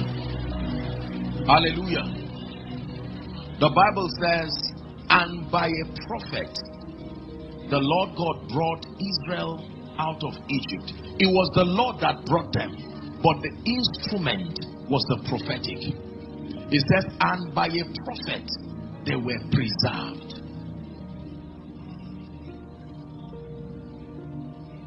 Let me read this one scripture and then I'll just take two or three minutes to just minister and speak over your life and we'll end with an altar call. Nehemiah chapter 5 from verse 11. Please do not forget this scripture. Nehemiah chapter 5 from verse 11. Restore, I pray you to them, even this day, their lands, their vineyards, their olive yards, their houses, also a hundred part of the money, and of the corn, and wine, and oil that ye exact of them. Listen to that scripture. Someone is making a decree He said, restore everything.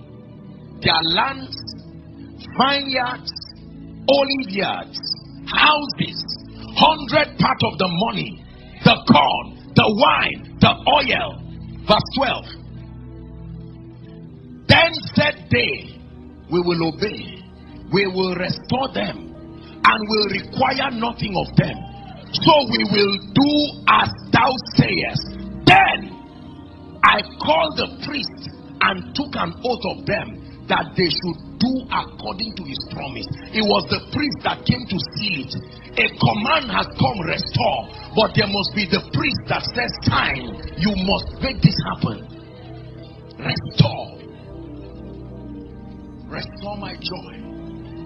Restore victory. Restore everything. Listen. The Bible says, when the Lord turned again the captivity of Zion, it says, We were like them that dream. Our mouths were filled with laughter, and they testified among the heathen. The Lord had done great things for them. He says, The Lord had done great things for us, whereof we are glad. Then he says, Turn again our captivity like the streams of the Negev. I sense in my spirit that there are people here. I tell you, I sense such a strong anointing. We just have about two or three minutes. We're not taking too much time. But I want you to believe in the power of God. The power of God is his currency for purchasing realities for believers.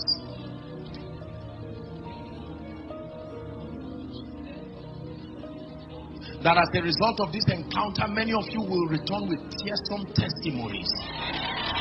And will say, I've not seen it in this fashion before. Hallelujah. There are three categories of people I want to pray with very quickly. Very, very quickly. And then I just speak over our lives. Number one, I want to impart the grace for speed. Listen, truly believe me when I tell you there is a grace for speed.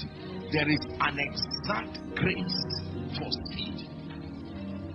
That when that grace comes upon an individual, you will know because you will have dominion over time. Dominion over time. Many of us are, are limited by time dominion over time. I want to pray for you. I sense such a strong anointing.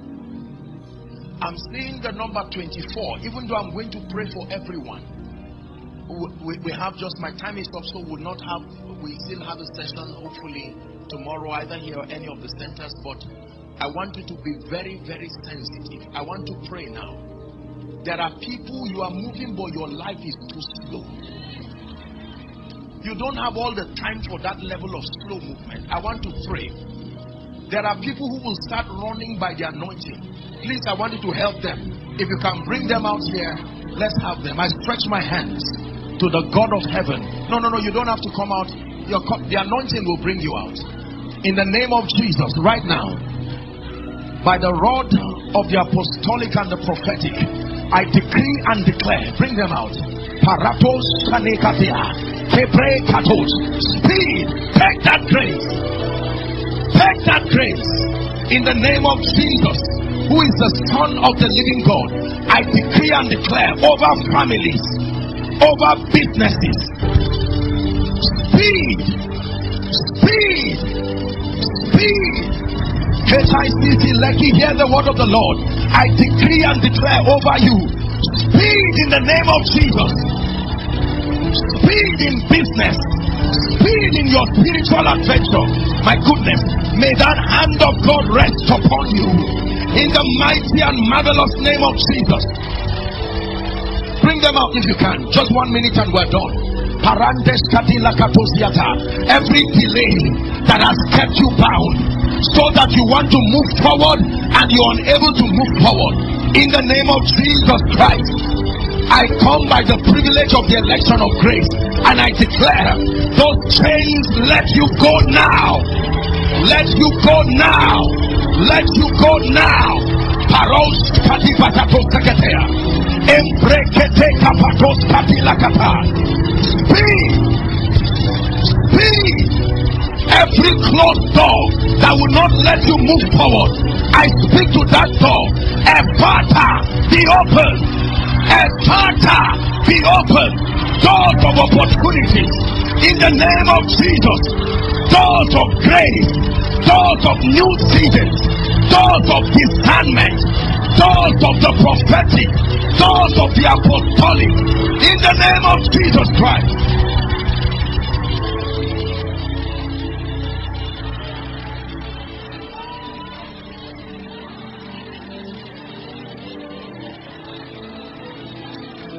Everything you have lost that left your life and should not have left, I stand by the power of the prophetic. Between now and the next three months, I call upon my God. Hear me, I'm speaking to you.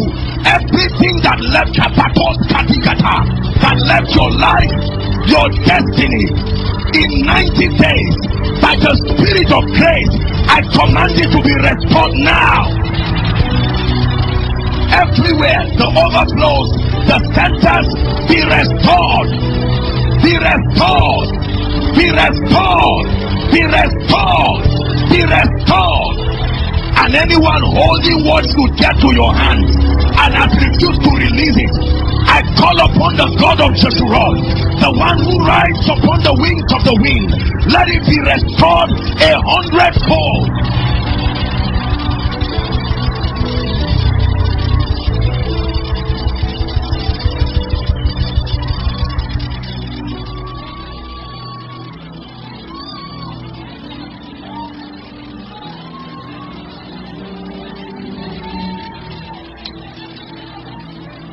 Every pending project that you've started and has refused to be completed. The Bible says the hand of the Zerubbabel that began this work, that same hand will become will, will, will perfect it. I pray 2022. I speak it that let this be your year of completion. What God has started in your life, this is the year you will see it completed.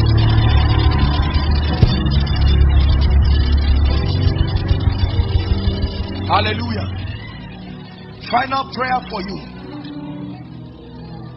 Every destiny helper anointed to locate you and partner with prophecy as far as your restoration is concerned, wherever they are, I prophesy to the north, the south, and the east and the west by the spirit of grace. I call them to your life now. I call them to I call them to your life now. HICC, hear me. I speak to you by the Spirit of grace. Enlarge to the left, enlarge to the right, enlarge to the east, enlarge to the west. Break forth to new seasons in the name of Jesus Christ. Businesses break forth, families break forth, ministries break forth, career break forth in the name of Jesus. That when men say there is a casting down, for you let it be that this year there is a lifting up. Hear me? Everyone who is part of this spiritual family whether here represented in this branch, across the other branches, connecting from around the world, I speak and I decree and declare in the name of Jesus, as God has declared to the man of God and his wife, I join my faith with them and I speak. This year, may you see a performance of prophecy.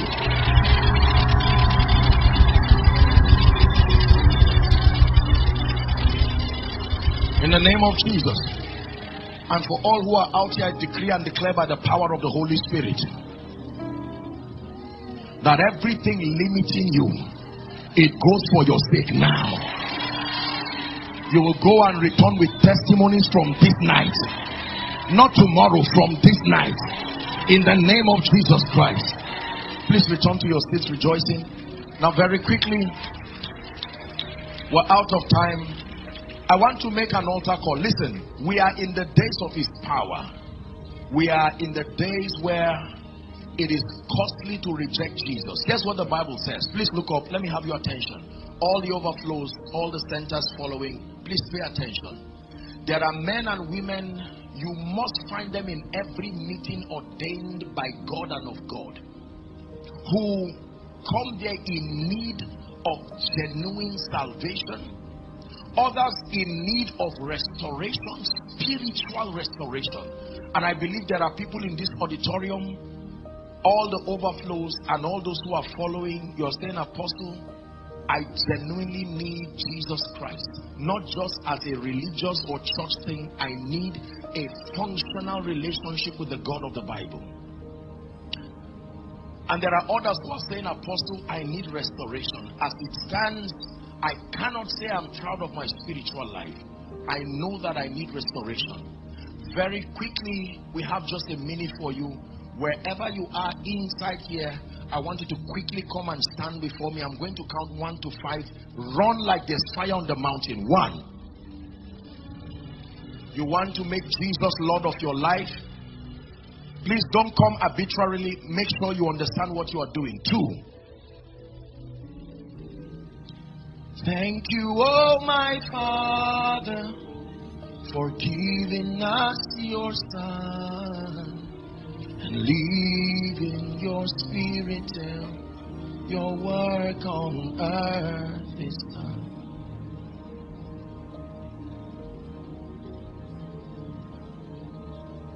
The greatest experience that the believer can have is the experience of receiving the life of Jesus in this encounter that we call the new birth. An exchange of your weakness for his strength, his life imparted into your spirit. For all of you who are in front here, whether making a first time decision or dedicating your hearts to Jesus, please lift your hands high above your head. Say this after me truthfully. Don't play games with God. We are in the days where we need high level spirituality to excel in this life. Some of you are crying, there's no reason to be ashamed. This is an encounter with Jesus. Say after me, Lord Jesus, I love you with all my heart, and I believe that you are the Son of God. Tonight, I come before you just as I am. I ask you to wash me to cleanse me, make me anew. I believe that Jesus is my Savior, my Lord, and King. And I receive eternal life into my spirit. From today, I am a child of God. I go forward ever and backward never. Amen. Keep your hands lifted. Father, thank you for these ones. They have come declaring your lordship over their lives. And scripture declares that as many who would come to you. Anointed man of God. A man that is on a mission to impact his generation.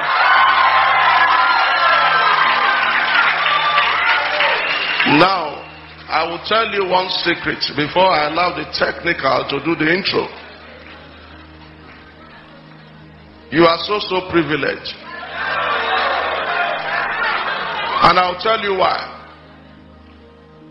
The man I'm about to introduce, this month is his birthday.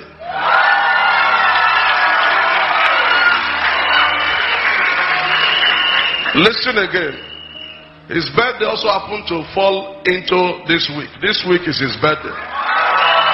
His birthday anniversary. Ordinarily, he does not like traveling or he doesn't travel out of his base on the week of his birthday anniversary because he takes that time to stay back and seek the face of God, you know, and, you know, hear from God. But for your sake,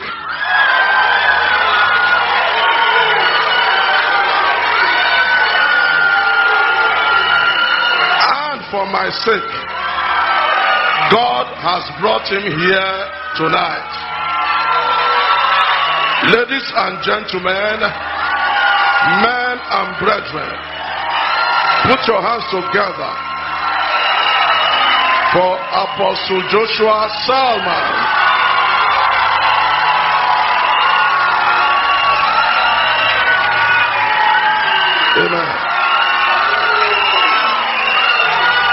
Now, briefly, the technical team will do a brief intro. Amen, amen, amen.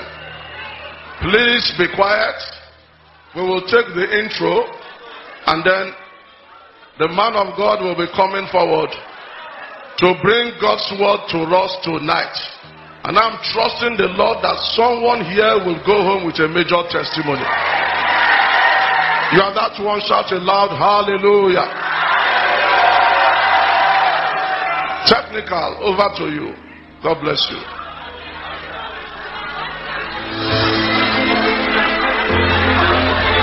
A chemical engineer, a pastor, a psalmist, a conference speaker, and a televangelist. Highly sought after, the founder and senior pastor of Eternity Network International, ENI the convener of Koinonia, a place where people come to experience worship, the Word, miracles, and love. Experience true intimacy with the Holy Spirit. Learn to be with Him, be like Him, and represent the fullness of God's life on earth. A worshiper and lover of God's presence, and as well as an end time general, who unites the body of Christ with a prophetic mandate as well as an apostolic calling. To take us to another level in glory, please join us as we make welcome God's choice son, Apostle Joshua Nimart.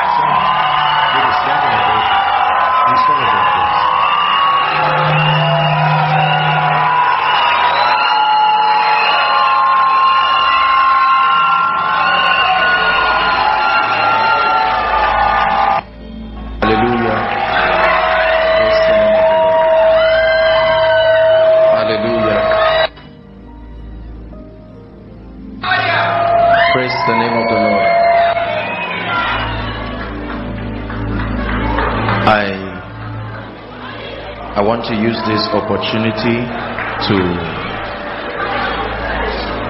really truly appreciate Pastor Emmanuel. Thank you.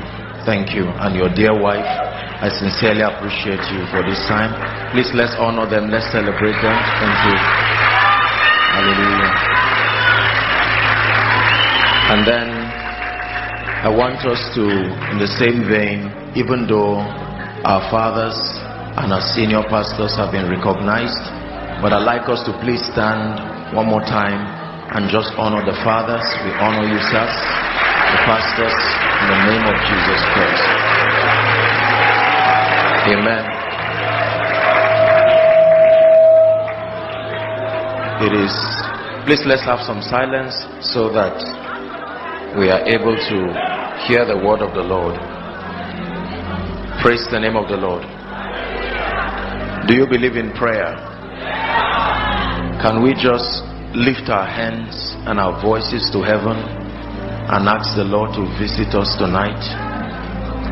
The Bible says they go from strength to strength as many as appear before the Lord in Zion. Go ahead and pray. You are my hiding place.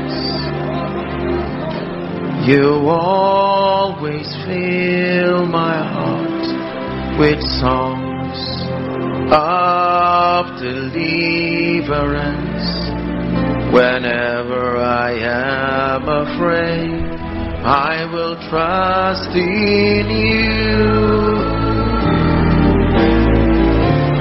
I will trust in you. Let the weak say I am strong in the strength of the Lord. Father, we're gathered tonight as proof that we trust you. We're gathered tonight as proof that we love you. We're gathered tonight as proof that we believe in you. Lord, I pray that in this conference you will visit us tonight in a mighty way. Let the sick be healed, O God. Let the oppressed be delivered, O God.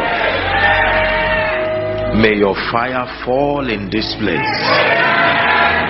And I pray in the name that is above all names that as the word of God comes, our ears, our eyes, and our hearts are open to receive. Jesus, we declare that you be glorified tonight. For in Jesus' name I pray. God bless you and please be seated. By the way, is it alright if I just use a few seconds to really bless and wish Pastor Emmanuel a very, very happy birthday? Let's honor him. Thank you. Amen. We love you, we honor you, and we celebrate what God has done and is doing. And our prayer as the body of Christ is that you will go from glory to glory in the name of Jesus Christ. God bless you, sir. Thank you. Amen.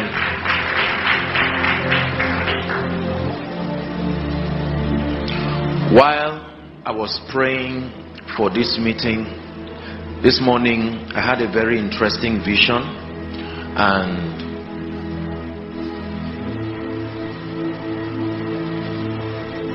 in that vision I saw it was like Ezekiel 37 and I was given a picture of what was happening whilst Ezekiel you know his encounter bones began to come to bones.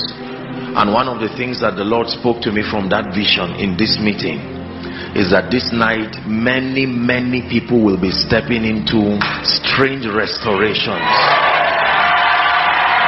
Please I want you to believe it believe it with all your heart that there are things that have left you for some of you decades by the power that raised Jesus Christ from the dead that God is bringing them again to your life. Joel chapter 22 please let's get to the word. I'd like you to be sensitive. Be sensitive. Sing hallelujah. Sing. Just help those under the anointing please sing hallelujah to the Lord. I'm just seeing the smoke of his presence across his place sing hallelujah. Sing hallelujah. Sing hallelujah.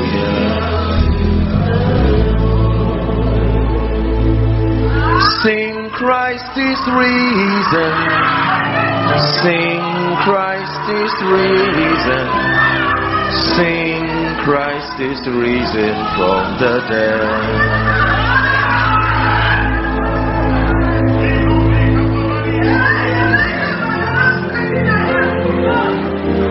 Spirit of the living God,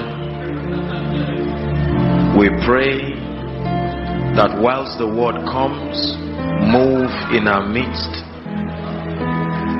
and let it truly be that this was a night of encounter in the name of Jesus. Joel chapter 2 from verse 25. Joel chapter 2 from verse 25.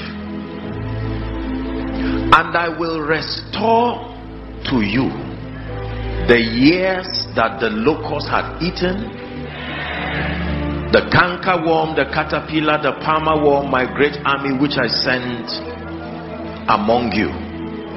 And ye shall eat in plenty and shall be satisfied and shall praise the name of the Lord your God that had dealt wondrously with you.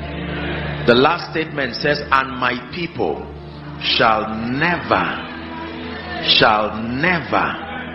Let me use this opportunity to speak that everything that followed you here, representing shame and representing reproach. I stand upon this altar in the name of Jesus, who is the Son of the living God. May shame and reproach be rolled away forever. Shame and reproach be rolled away forever. The Bible says, and Jabez was more honorable than his brethren. That was his end but at the beginning, the Bible says, because the mother bore him in sorrow, she named him Jabez.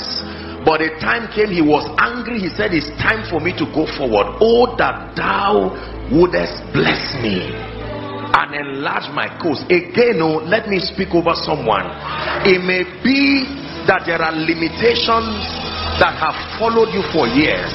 In the name of Jesus Christ, who is also the lifter of men, I prophesy to you everything tying you down so that the only thing moving is your age nothing else is moving in your life i command let it be broken now be broken now be broken now be broken now be broken now be broken now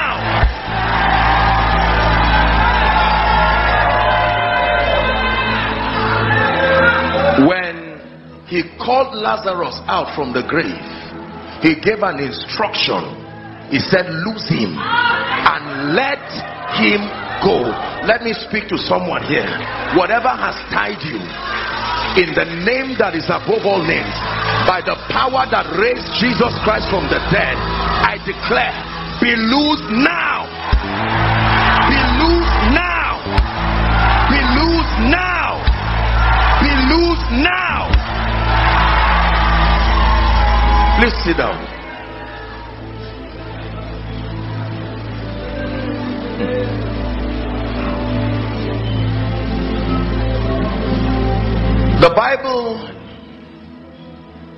Bible lets us know that in our walk with God, please pay attention.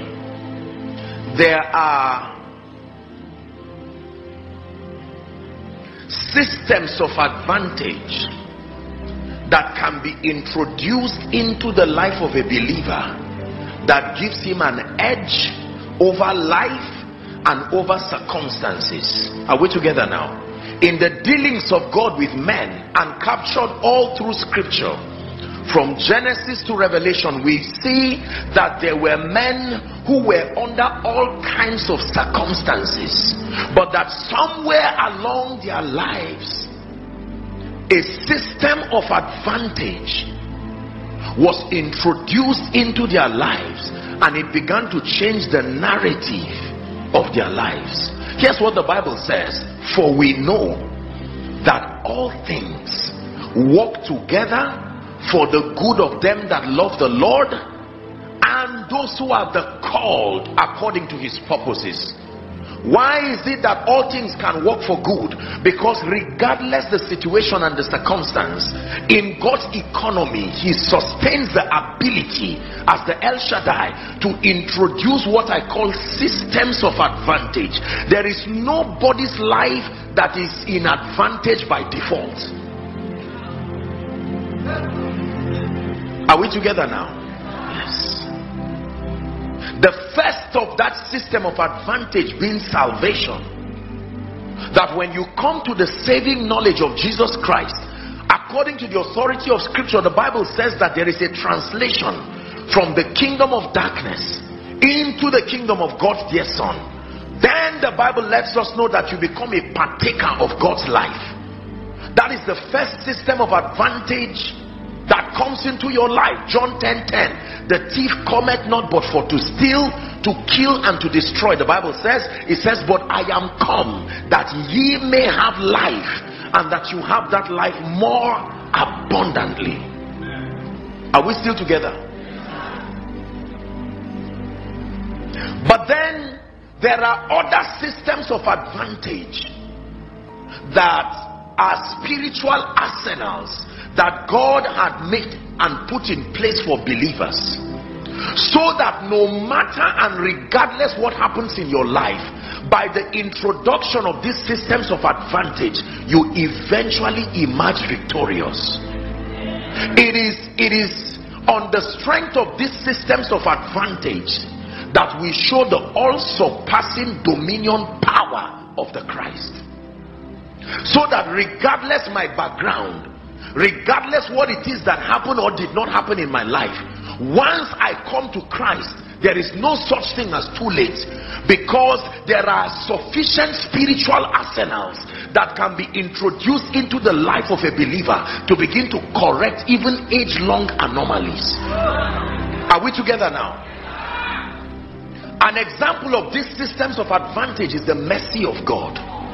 One of these systems of advantage is the favor of God. One of these systems of advantage is speed and acceleration. All these are provisions that were captured in the economy of God to the intent that when and if any man decides to walk with the Lord and begins to grow through knowledge, you can access these truths. And then the reality of the divine life starts speaking because you engage these things. There are people, for instance, who come from backgrounds where they are saddled with all kinds of yokes and curses, and by default, these individuals become victims of life, victims of situations and circumstances. And even if they get born again, there are still constraints that their lives, constraints in their lives by reason of the advantage the devil had. There has to be a way of correcting that anomaly. Are we together now? There are people who by reason of activities of witchcraft did not have the privilege say to go to school early and to move forward early. So already by default they are already retrogressed and delayed in life. Is there a way that God can help those people to catch up in destiny? Oh yes there is. The name given to that mystery is called speed. That God can take the 10 years that were wasted and transfer it into a man's future and make it happen in one day. Are we together now? Listen, when we say we are victorious, we're not just saying it because Jesus died and resurrected just religiously. We're saying it because we are aware of the spiritual arsenals that the death, the burial, and the resurrection of Jesus has provided for the believer today. It is on the strength of these truths that we make our boast in the Lord. Are we together now? So we know that we are victorious. We know that in spite of what happened or did not happen, a woman may be barren for five years, 10 years, even 20 years. If that woman gives birth to a child, Yet thank God for the child, but time has gone. If she's to give birth to four children, one by one by one by one, at what age will she be done giving birth? So when God gives her quadruplets, he did not just give a child, he carried years and brought it in nine months. Are, are you seeing that now? I'm saying this because tonight there is something that is about to happen to someone here. In the name of Jesus, the Son of the living God that the things that have have have been um, a, a disadvantage to your life we have come to introduce a system of advantage into your work that will begin to so change things that those who knew you will say is Saul when has Saul also become one of the prophets? Please sit down. Hallelujah. Are we together? Once upon a time, Moses went to meet his half-brother Ramesses, who had now become the Pharaoh of Egypt, to advocate the exodus of God's people. And they came out of Egypt and he began to pursue them. They stood before the Red Sea. There was no provision to move forward again. Egyptians behind, the sea in front by what architectural mechanism were they going to build a system of safety to cross over? Everybody says systems of advantage and in Exodus chapter 14, when you read from verse 13 and 14 and 15, Moses had a strange encounter with God. He said, Fear not. Moses is speaking now, a visionary leader. He said, Stand still and see the salvation of the Lord, which he show you today. For these Egyptians whom ye have seen today, you shall see them no more forever. Listen, as at the time he was saying this, he did not even know the dynamics of how it will happen all he knew was that the Lord will fight for you and you shall hold your peace. Then verse 15, the Lord said to Moses, wherefore criest thou to me? He says, speak unto the children of Israel that they go forward. Hold on. How do I go forward when I know that a sea can swallow anything? I hope you know that it was not just that the sea parted the gap the land had to rise to their level to be able to walk. Because even if the sea parted it would still be a depth that they would not cross. Listen carefully. Just help those under the anointing. And then Moses received that instruction. And when he stretched forth his rod the Egyptians saw a dimension of God they had not seen among any of the gods of Egypt. The God who with the breath of his nostrils he parted the sea like doors, hither and thither, and lifted land to their level on dry ground. When they crossed over, Pharaoh attempting to cross over was swallowed by the sea. Miriam was too grateful. She sang a song. She said, I will sing unto the Lord, for he has triumphed gloriously. Even the horses and his riders have been thrown into the sea. One time they became hungry. Very hungry. And God said, I want to show you the systems that are available in this kingdom. Manna, not seeds for you to sow. There are times God can give you seed and wisdom to sow, but there are times the urgency requires bread. You don't have the time to start sowing and waiting for harvest. God can send both seed and He can give bread. He can give seed to the sower, but He also can give bread to the eater. It is true that God can give you a job and you can start saving for five, ten years. But there are times that God can give you the keys to a house in one day. It is the same God doing it. Please pay attention. Then they stand in front of Jericho. A fence so fortified, the Bible says five chariots could stand on it. Imagine a fence that five chariots could stand on it. Even if it collapses, it's still a fence again. And Joshua was led to introduce another system of advantage.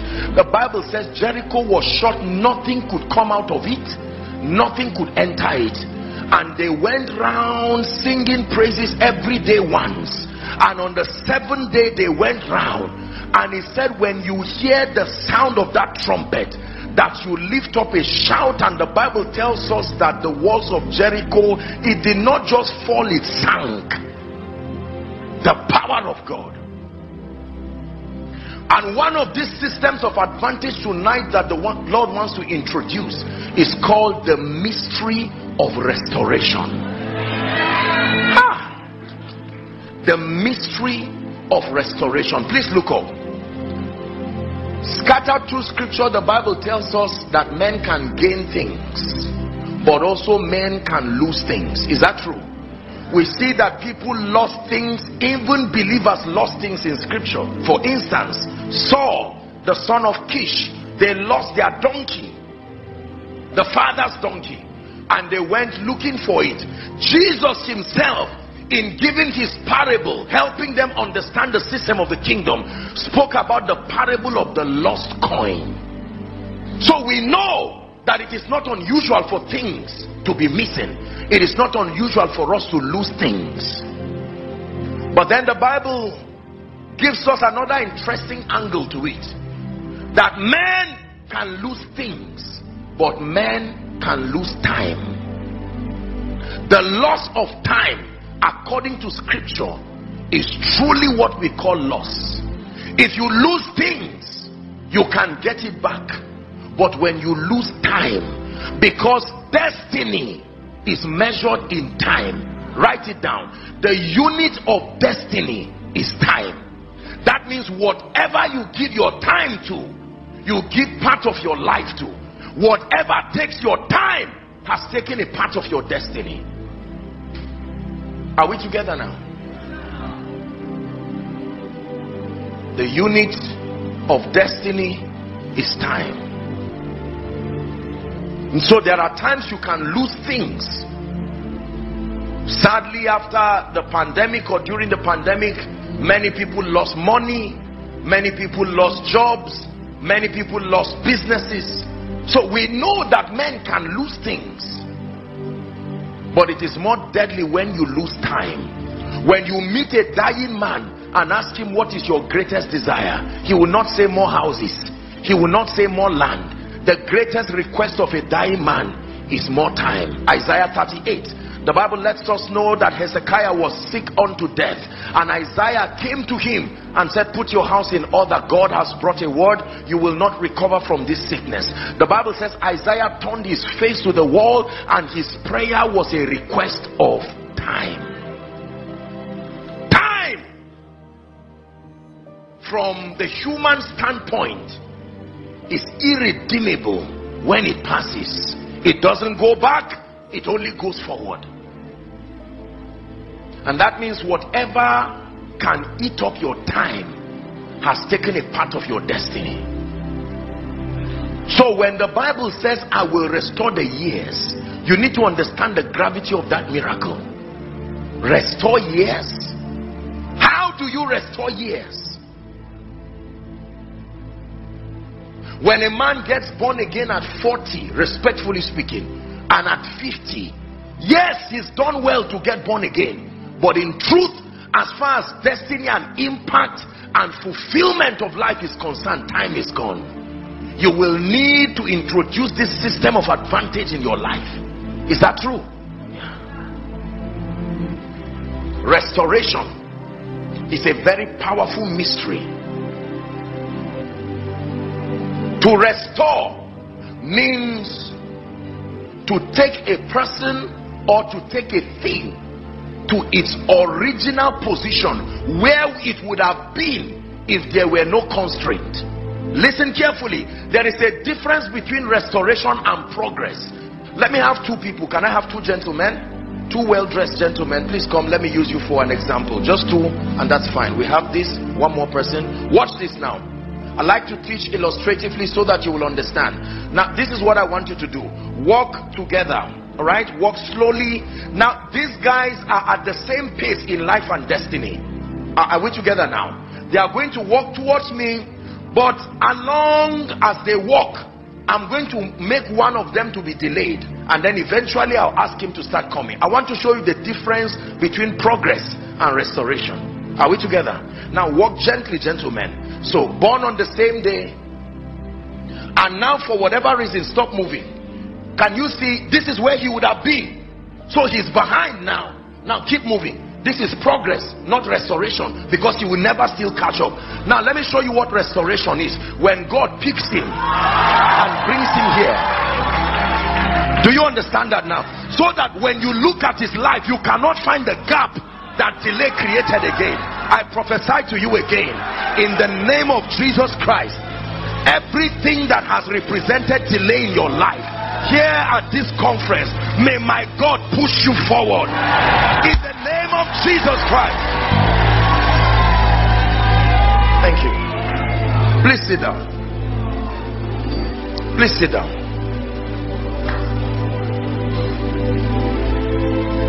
so it is true that we can lose things. The concept of losses is a concept that we do not want to hear anything about. Not in business not nobody wants to lose. Losing is dangerous.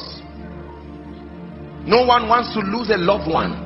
No one wants to lose money. No one wants to lose honor. No one wants to lose respect. No one wants to lose your valuable. Why do we protect our cars why do we protect our homes? Because we hate losses. Let's discuss the subject of losses for a while. Is god helping someone? There are five reasons why people lose in life. Remember we are teaching on advancement but we have to deal with the subject of delay and retrogression. There are five reasons from scripture why men lose number one very quickly. The first reason why people lose in life is because of lack of discernment. Write it down please. The lack of discernment. Lack of discernment can cause you to lose. Hebrews chapter 2 and verse 1 we'll walk through a few scriptures. Hebrews chapter 2 and verse 1 the bible says therefore we ought to give the more earnest heed to the things which we have heard lest at any time we should let them sleep. Remember jesus was giving us the parable of the sower. Is that true? And he said the seed is the word of god the soil being the hearts of men. And he said for all the soils seeds were sown but Satan came immediately and he caused losses. And for those that Satan came they were the ones who did not pay attention to produce understanding from their hearing. Genesis chapter 28 and verse 16 very interesting rendition. This just a background for that scripture very quickly. This was Jacob. Remember the Bible tells us that Jacob came to a place called Luz and he laid a stone for to sleep in the night. Are we Bible students? And then the Bible says, while he slept, he saw a ladder. He had a dream. And he saw a ladder that connected the earth and the heavens. Angels were ascending and descending. But do you know none of them were coming to him? They were moving close to him, taking messages to those who were calling them. And he was there and never partook of that angelic activity. And when he woke up, verse 16 please. He made a very instructive statement. He said surely the lord is in this place and i knew not. I did not discern that i was not just lying down on a floor that there was an altar here. My father had a covenant with god. I came close to the place of covenant.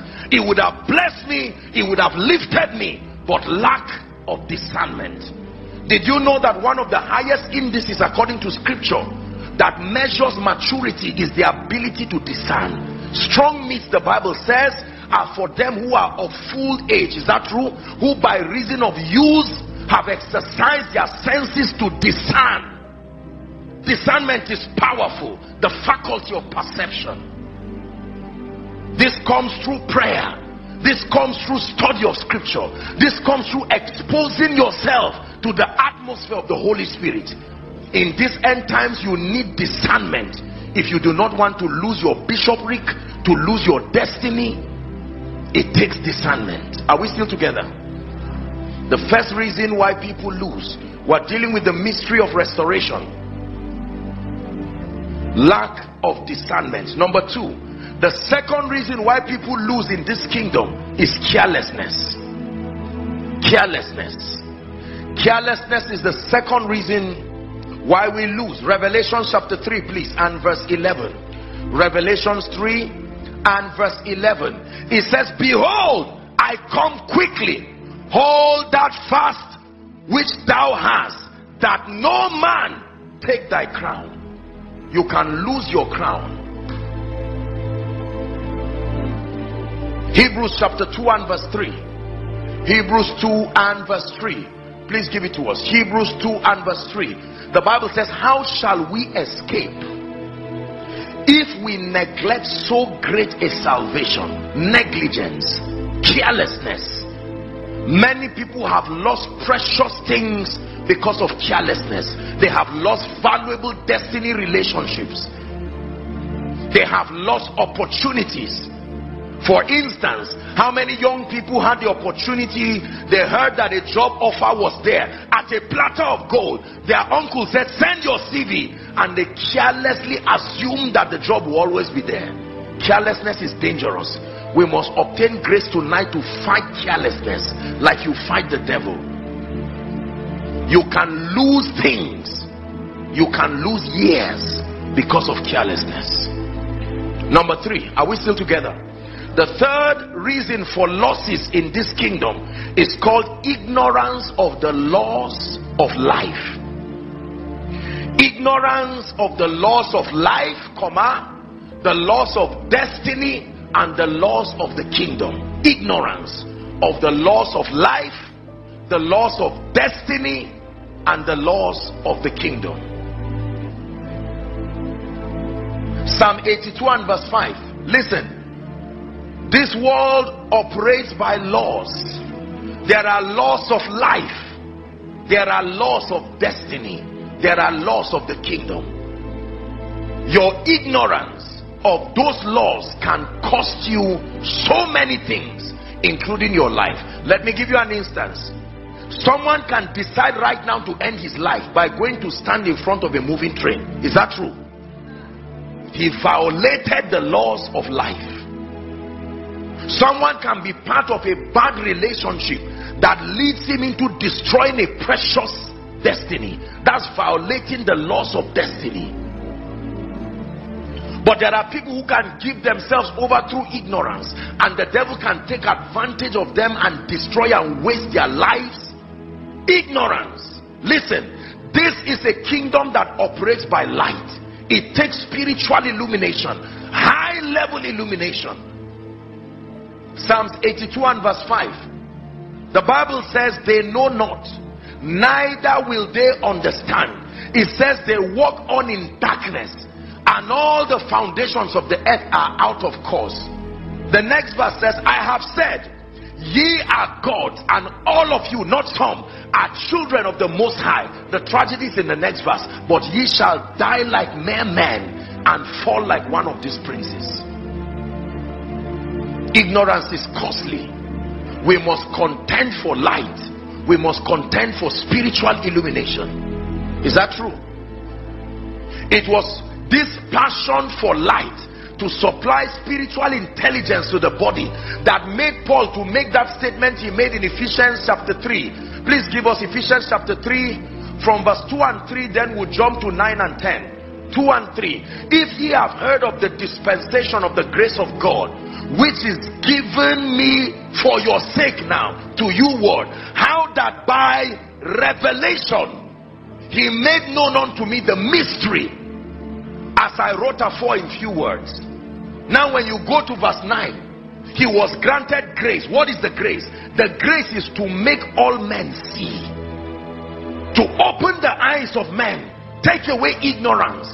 And verse 10 is the reason to the intent that now to the principalities and powers in heavenly places might be known by the church the manifold wisdom of God. Dominion is the resultant effect of the comprehension of the principles of the kingdom. Dominion is not an impartation. There is no anointing in scripture for dominion. Dominion is the resultant effect of your comprehending the ways of God. We have beautiful media people here doing an excellent job of coverage while I teach. They are operating by knowledge, not their size, not their gender. It is the level of illumination they have as far as this activity is concerned we must contend for mastery and fight ignorance like we fight the devil are we together number four is god helping us. We're discussing losses because when you want to make advancement advancement happens in the absence of situations that retrogress or impede you to the degree to which that impedance is taken away. That is the degree to which it can be said you are advancing. Number four the fourth reason for losses is abuse and misuse. The fourth reason why people lose is abuse and misuse. Matthew chapter 25 from verse 14 jesus is teaching now and he's teaching about what we have come to know as the parable of the talents follow carefully. For the kingdom of heaven is as a man traveling into a far country. It says who called his own servants and delivered unto them goods. So he gave them something. And unto one he gave five talents to another two to another one. The bible says to every man according to his ability not according to his love for them.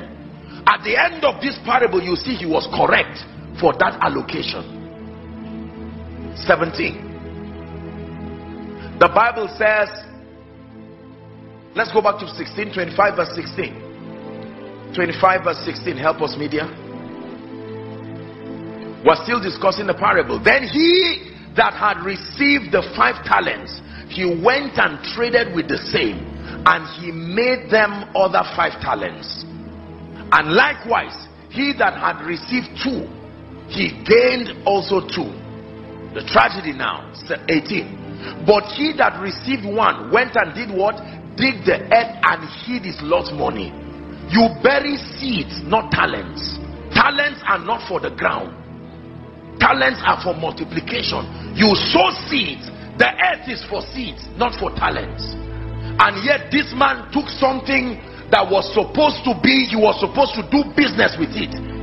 Abuse and misuse is one of the reasons why people lose. When the owner of the talents came back to demand accountability. In his arrogance he said i know you are a hard man. You like to reap where you do not sow. And so i thought to do you a favor. I buried it here is your one talent. And he called him a wicked and unprofitable servant. He took that one talent and he gave it to the one who had proven faithfulness in stewardship. The Bible says, moreover, it is required in stewards that a man be found faithful. Are we still together tonight? Abuse and misuse. It was Dr. Miles Munroe of blessed memory who said, when the purpose of a thing is not known, he said that the abuse of it is inevitable. The word abuse is an abbreviation for abnormal use. When a thing is not used within the boundary of its purpose, is called abuse. Are we together? So a quick recap before I mention the last point.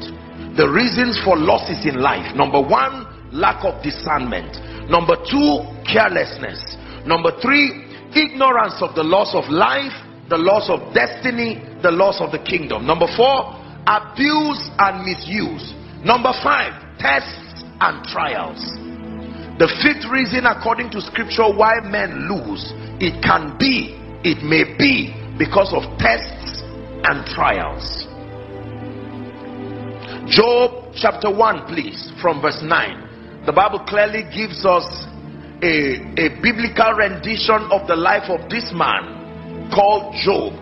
The Bible testifies that he was a man who feared God and eschewed evil. Please give us verse 9. Follow carefully as I read. Then Satan answered the Lord and said, Doth Job fear God for nothing? Hast thou not made a hedge about him and about his house and about all that he had on every side? Hast thou not blessed the work of his hands, my God? So Satan can give this kind of testimony about a man. Satan is testifying before God that I came close to a man and I found that man so fortified. Both him, his house, and his endeavor. Next verse. Now put forth your hand and touch all that he had, and he will curse you to the face. The Lord said unto Satan, Behold, all that he hath is in thy power. Only upon himself put not forth your hand. So Satan went forth from the presence of the Lord. Sin 2. Tragedy strikes on earth now. And there was a day, may that day never come to your life.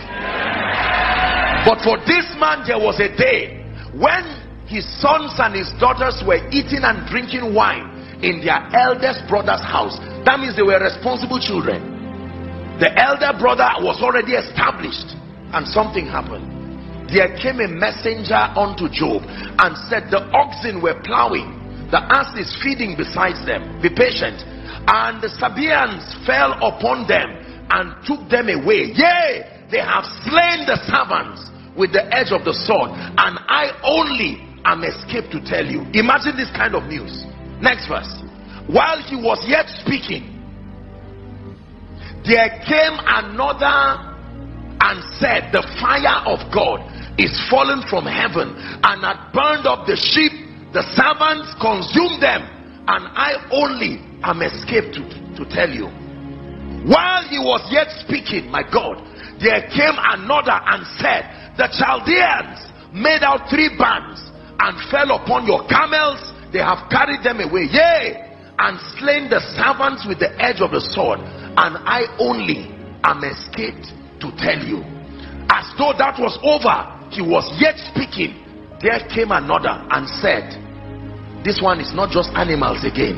Now your sons and your daughters were eating and drinking wine in their eldest brother's house. And behold, there came a great wind from the wilderness and smote the four corners of the house and it fell upon the young men and they are dead. And I am escaped alone to tell you. Two more verses. Then Job arose and rent his mantle and shaved his head and fell down upon the ground and worshipped. And worshipped after such a news? Next verse please. We're finishing at 22 and said naked came i out of my mother's womb and naked shall i return thither. The lord gave and the lord had taken away. Blessed be the name of the lord. 22 hallelujah. And in all this job sinned not nor charged god foolishly. Listen to me. There are times in your life and my life i know this is not a popular message but there are times that events can happen around your life to the end that the worship of things and your connection to things be broken God's obsession is not to take away things from us. He desires that we prosper. But there is a problem when those, you see, the thing with things is that they also want to be lords. So when they come to your life, they don't remain where you kept them. They also begin their manifesto in your life to ascend to a point where they take God's throne. There is a system for managing those things. God enthrones himself in your life by withdrawing from your life everything that tries to be him. So if it is your intelligence if it is your uncle your connection there are people who come to church and while they are saying understand faith they are laughing but they don't really care because there is an uncle who are giving them assurance. Whenever you are ready you come and just when you are ready the uncle relocates to canada. Let me tell you what happens to you when you come for service under that condition. Whether there's praise worship or not you will lie down on the ground. That's the real day you will start learning faith. Because at that point now you are being forced. The human spirit is stubborn. It does not easily bow to the lordship of christ. Not in the presence of things not in the presence of many the Bible says it this way. Apostle John was teaching us in his epistles. He says, Love not the world, neither the things that are in the world. The word love there is the Greek word eros, is an affinity, an ungodly affinity that can affect your relationship with God. There is a jealousy dimension of God that will not share accommodation with every other thing he created. It's an exclusive position so whilst he blesses you with prosperity, increase, fame, anointing, whatever it is, he doesn't have a problem with you having those things. But there is a side effect to men who have not been walked upon by God. It does not mean you are bad. It's a weakness in humans. You must pass through a season in the spirit where God steps back and allow those things that have attempted to be Savior and Lord and El Shaddai. You see the futility of them outside of the influence of God. The end is not to destroy you.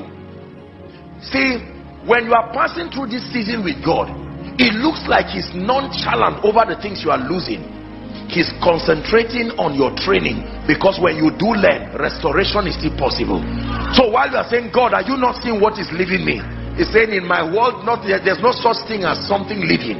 I am working on you. There are people who stand and brag based on their certificates, based on their uncles, their aunties. Did your Bible not say some will trust in horses? It says some trust in chariots. But we, we who have been cultured to understand, we trust in the name. That anything minus the name of the Lord is a disaster. It's only a matter of time. A man can vow and say, Come and meet me tomorrow and get a contract. And between that night till the next day.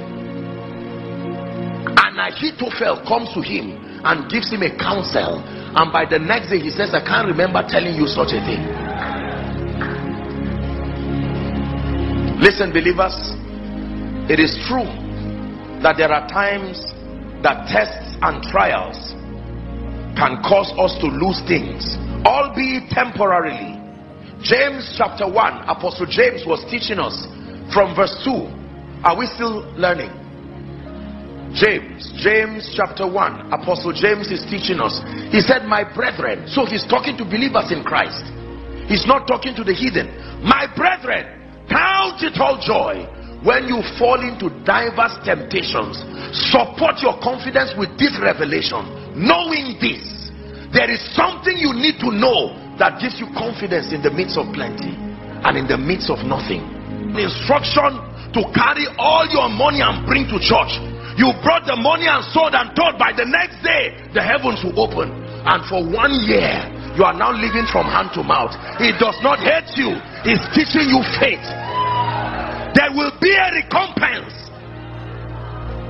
so that you can stand holding an account with one billion and yet it's not in your heart. Jesus is still Lord. That is the morale of the training. Can I tell you this?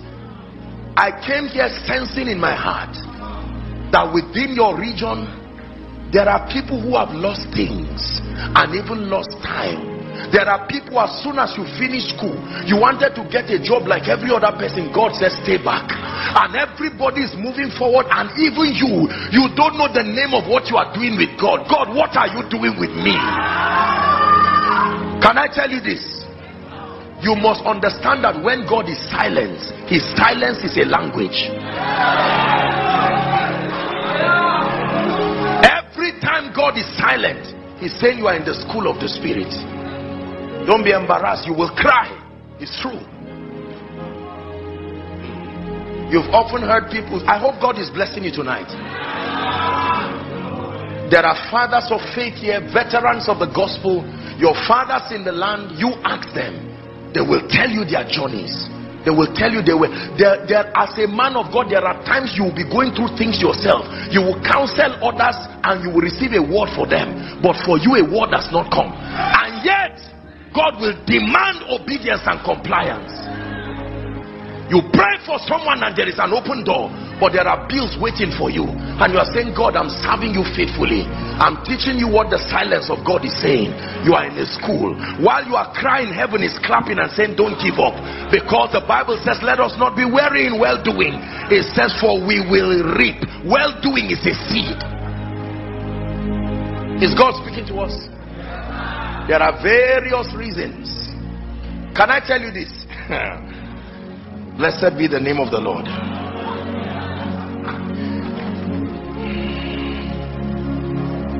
In Genesis chapter 40, don't turn there, just write it for reference. The Bible talks of a prison. Look up, please.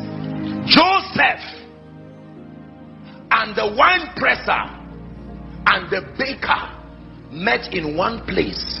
The name of that place is the prison. The prison is where both good and bad people meet. Don't judge everybody in the prison. They are there for various reasons. There are some who are there because they defaulted but there are some who are there because they are being made to become saviors. The prison is where both good and bad meet. The cross is where both jesus and the thieves meet. Be careful when you judge people while they are going through seasons. You do not know the reason why they are going through it are we together? In that same prison there was joseph the righteous. There was the wine presser the butler the defaulters. They were all there. The way to the throne is the cross. The way to sit over egypt is to pass through the prison. Let me speak to you. Many of you admire greatness. You admire great people I want to tell you there is a mystery that not many of them will tell you sincerely. Look beyond the crowns and the glamour. There are scars that are testaments of endurance. They lost to gain. If you want to gain in this kingdom you must be prepared to lose. Losing is how we gain. Are we together?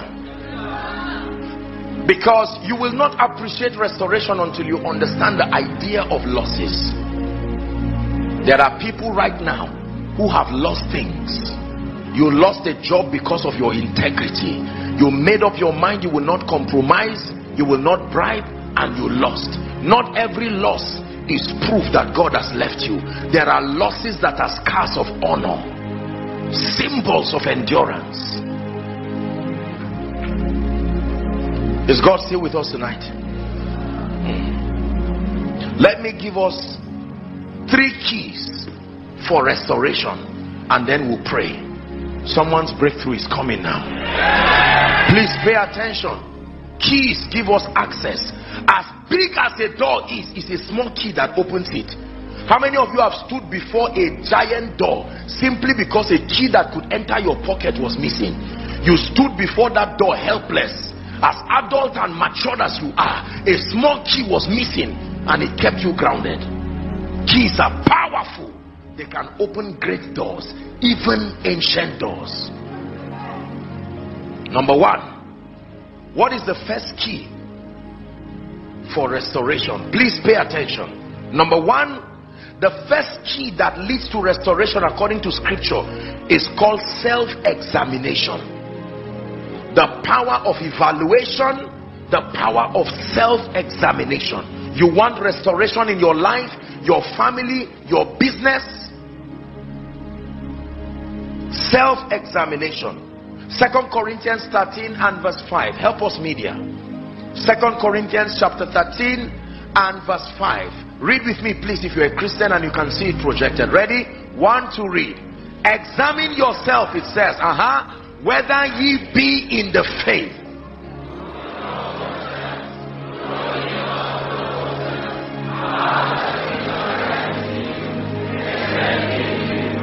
The instruction is examine yourselves. To examine yourself means to find a place and sit down and engage in deep contemplation there are many people who pray but they do not think. Thinking is a miracle. The bible says god is able to do more than what we ask or think. You've heard me say it in my teachings that both your prayer and your thinking are warriors. There is a prayer warrior. There is a thinking warrior. God answers all the requests they bring to him. You can pray well but if you do not think well you may never come out of certain tragedies. The psalmist would write a song and he would write under Selah, pause and think deeply. Is that true? The Bible encourages believers to think, to sustain times of deep contemplation. For instance, in Philippians chapter 4 and verse 8, it says, Finally, brethren, whatsoever things are true, honest, just, pure, lovely, are of good report if there be any virtue if there be any praise it says think on these things. Self-examination. Luke chapter 15 popular story. We'll read three verses from verse 17 luke 15 from verse 14 this was the story of the prodigal son. Please keep the scripture there. Just as a background let's go to verse 17 okay well keep it from verse 14 Remember the young man who had access to his father's wealth, but he wanted ownership. Is that true? And the father gave him. He did not think well. If he thought well, he would know that access is better than ownership. Because access you have, you have the abundance to you minus the responsibility of maintenance. But ownership, you have both access and the responsibility of maintenance. In this kingdom we don't own anything. Owners are rebels. We are stewards. My car my house my children. Then you maintain it. In this kingdom we have access from genesis. You may freely eat but it's not your own. But the the carnal man wants it in his name ownership. The young boy had access but he wanted ownership. Father I'm of age. Let it be in my name. Lack started when access switched to ownership. And the young man went as a result of his careless thinking. His life deteriorated. He lost everything. Are we still together? To a point where someone who was in a place of royalty was now feeding with the swine. 14, please. And when he had spent all, there arose a mighty famine in the land and he began to be in want. We're reading to 20 and he went and joined himself to a citizen of that country and he sent him into the fields to feed swine. What a what a decline. And he would not fain and he would not fain have filled his belly with the husks that the swine did eat. And no man gave unto him. And when he came to himself the bible did not say the holy ghost spoke to him the Bible did not say a counselor advised him. It is within the power of the human spirit to sit down and say, Why is my life like this? listen let me tell you. There there is for many of you here this is already a word for you. Don't allow yourself to just keep growing old and things are just happening. You need to sustain the power of contemplation. As a father why am i always in lack? Why am i always fighting the seed for an answer is a question you do not deserve an answer until you have a question is that true for someone here, you need to sit down and think, why am I failing in this business? Lord, you gave me a ministry. Influence zero, doctrine zero, salvation zero. Something is wrong. The Bible says, be still and you will know. There is a level of knowledge that comes when you are still. Our generation sadly is a busy generation Thank God for technology, but if not managed, it can be the demon that distracts you out of advancement. Is that true? All kinds of things clamoring for your attention. No. Champions and great people, those who make advancement in life, are people who understand the power of deep contemplation they lock themselves. You are a visionary leader. Millions are depending on the ideas and the decisions that come out of that contemplation. You cannot be careless you cannot be rash. Obtain grace in jesus name to sit down quietly. Some of you after this conference you may just need to go excuse everybody out of your house or your room or your office and just sit down quietly. No television no radio no internet Holy Ghost, I'm here. There has to be a way out of this. Speak to me. Go and ask inventors, as champions, as visionary leaders. Ideas are birthed in the place of contemplation where they sit quietly. There has to be a way to this business. There has to be a way to raise this capital. There has to be a way to ministry Spirit of the living God, I open up my faculties to your influence. And whilst you are there, suddenly from heaven, something comes and graduates you to victory for the next 10 years. Are we blessed? The power of self examination, the power of contemplation. This is the first key to restoration. Number two, the second key that leads to restoration is brokenness. Psalm 51 verse 17, brokenness. Because there are times you notice out of the five reasons I gave you, five reasons for losses, four of them are reasons that authorize Satan to come and destroy your life. So when you want restoration, Psalm 51, please, and verse 17, there are times you need to be broken. Brokenness suggests taking responsibility. Brokenness suggests saying look the way things have gone around my life there may be need for repentance. There may be need for openness of heart. Lord i repent you spoke to me in a dream.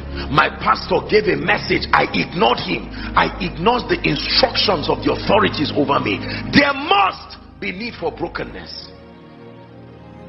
The young man when he came to himself here's what he said.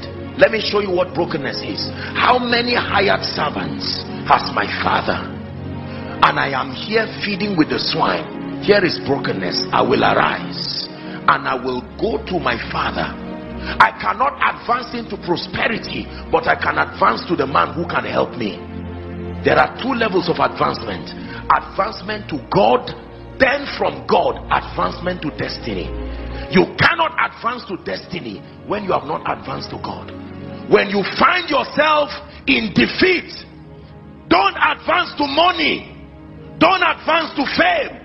Don't advance to a blind restoration. There is only one person who deserves your advancement. I cannot go back to my wealth. I cannot go back to my reputation, but I can go back to my father. God is speaking to someone here you were once on fire you once loved God now it looks like you have lost everything you were once a visionary businessman until you joined some so-called club or association that just derailed your values it may not be easy to get that business back overnight but there is a father who is waiting for you. Notice the bible never said the prodigal son met the father at home. The father already started moving too. He will not meet you at your mess but you will not meet him at home too. You will meet him somewhere at the point of your obedience. I will arise he says and i will go to my father. When i see my father i will not just shake him and say hi dad. Mm -mm. i will say father i have sinned against you and against heaven. I am not worthy to be called your son he says but take me as one of your servants. When the father saw that there was brokenness already he didn't even talk to him about the issue again. He held him and embraced him and restored the signet ring a symbol of royalty. You are now back to my fold. Listen to me. Every time you lose in life businessmen hear this when your business crashes and everything goes down don't say i'm looking for money to go back. Uh -uh there is only one person you go back to. Father abba the source the sustainer. Until you sort it out with god you cannot go back anywhere. You used to be a man of god on fire. Now you've backslidden prayer life zero word life zero. You're not even sure you are saved. You don't go back to ministry. You go back to father it is from father. He reallocates you to your inheritance. Is somebody learning now? We're dealing with restoration. Genuine biblical pathway that leads to restoration. It cannot be in the absence of brokenness. From self-examination to brokenness. Lord i'm sorry. I was not a faithful tither. I was not a giver. I did not support your house you gave me two billion naira. I misused it jumped around with psychophants who promised to be there. Now everything has gone bad. Don't say the ideas are still in my head. It's just to get a loan. I assure you you will recycle that pain again. Life is a patient teacher. It can repeat the lessons for as long as it will take for you to learn.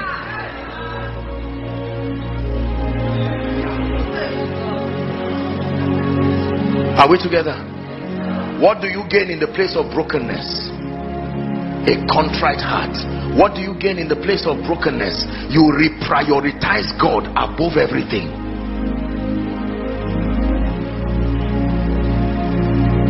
I love you forever.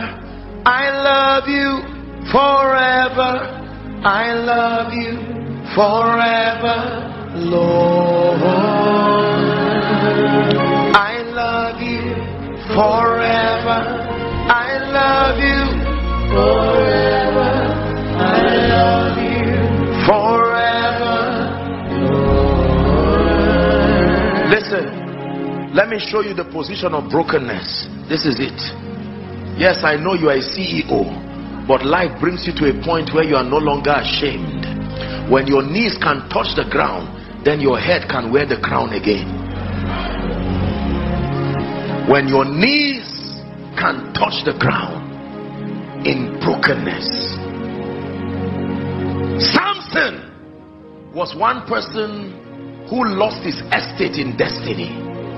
Let me show you how that restoration happened. His eyes his symbol of light had been taken away. And while they put him between two pillars to mock his god he prayed one prayer I may not have the opportunity to live again, but oh God, even in death, give me the honor and the privilege of valiance. Let me do much for you. And they did not realize that while they were laughing at him, his hair was coming back. Can I tell you this? rejoice not over me my enemies no matter what happened to your yesterday i bring you a word of hope Jesus died, but he only died for three days. Let me encourage someone here. Yes, your prayer life has gone down. Yes, I know things may have gone down. It may have been your fault, your carelessness, wrong associations, mistakes. But let me bring you a word of hope. At the scent of water, at the scent of water, while you are laughing at Jesus who died, there is an angel leaving heaven to come and open the grave. While you are laughing at the dead jesus he did not die forever. He only died for three days. He only died for three days. And while they were laughing at the one who died an angel came. The hymn writer says, Up from the grave he arose. With the mighty triumph o'er his foes. He arose the victor from the dark domain and he lives forever with his saints to reign. If Christ arose, you can arise. Did you hear what I said? Businessman, hear me. Man of God, hear me. Those following from whatever nation watching, hear me. There is hope. In this kingdom, one of the systems of advantage is that no matter what goes wrong once there is brokenness you have planted the seed for continuity of your destiny can i give you an advice great leaders no matter how bad people are. If you find genuine brokenness i show you people who are still usable. But no matter how good people are if you do not find brokenness that is a disaster only waiting for time. Of all that Saul was he was broken. When he fell before that light who art thou Lord he said I am Jesus whom thou persecutest. You cannot kick against the pricks. And his heart was open. When Peter denied Jesus he was broken. Even the judas you talk about judas was so broken he did not spend the money. Brokenness is powerful. It vetoes your fasting. It vetoes your prayer. You can fast you can pray you can walk in church if there is no brokenness you cannot go far with god I think we should turn this into a prayer in one minute. Whilst you are seated, cry to the God of heaven, Lord, grant me a broken spirit. The pride and the arrogance that is rebellious towards God. Give me the malleability to repent, the ability to not be ashamed.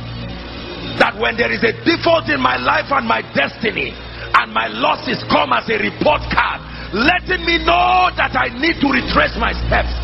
Pain is a letter from your future to your present warning you that you need to make adjustments in your life. Is someone praying?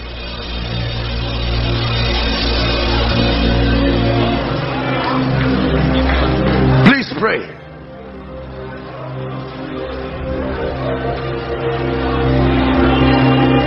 that prodigal son tonight for some of you hallelujah now listen to me. Listen to me. I still have two more points and then we're going to pray. But at this juncture, my spirit is fired up and I want to make an altar call. You are here and you've heard me speak. And whilst you heard me speak, the Holy Ghost began to tell you, it's time to win this war of destiny tonight. There is nothing to be ashamed of. Running to Jesus is like running to receive an award, not running to a funeral. Hear me. There are people up the balcony, across the aisles, and maybe even outside, online following. You know that the first restoration you need is Jesus Christ. Nobody will force you but I believe with all my heart there are people who need to make it right.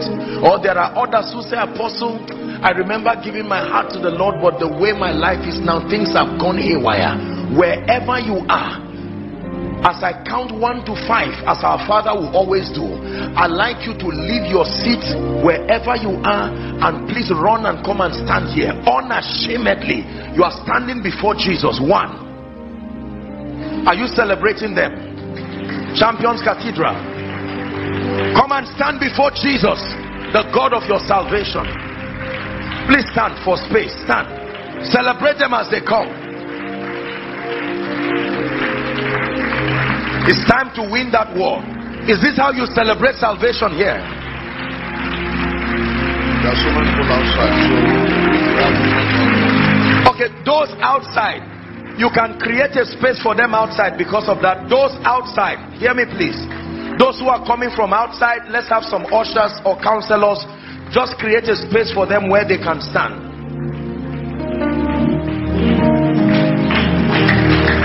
Keep coming. Come to jesus. Come to jesus. Come to jesus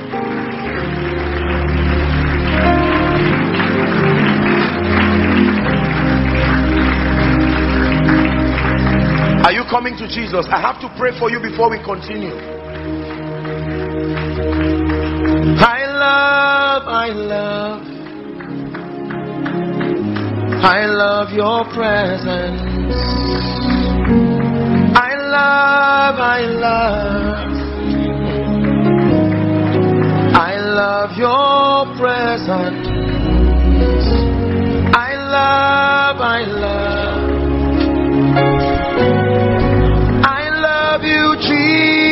Jesus. I love, I love, I love your presence. I love, I love, I love your presence. Listen. Look at me. My brothers and my sisters, some of you are crying. Don't be ashamed of your tears. Rebels don't come to Jesus. Rebels run away from him. So that you have come to Jesus who is the Lord of your salvation. I like you to know that you are not a rebel. Young and old. For some of you, you've been having dreams. The Holy Spirit has been speaking to you. For some of you, he carried you and brought you here. Do you know why? More than just making heaven, there are destinies that are connected to your obedience. He brought you here to make you. If Billy Graham never got born again in that crusade ground, there are millions today who would not make it because of him. If Reinhard Bonnke never made it to Jesus, can I tell you this? Many of you are here like the prodigal son tonight. It is within your power to come to yourself and make up your mind. I'm tired of this kind of thing. I cannot waste the sacrifice of Jesus on the cross. Can I tell you this? Every one of us, including myself, had to stand before the Lord of our salvation to make this decision. This is not a funeral. You are standing before Jesus.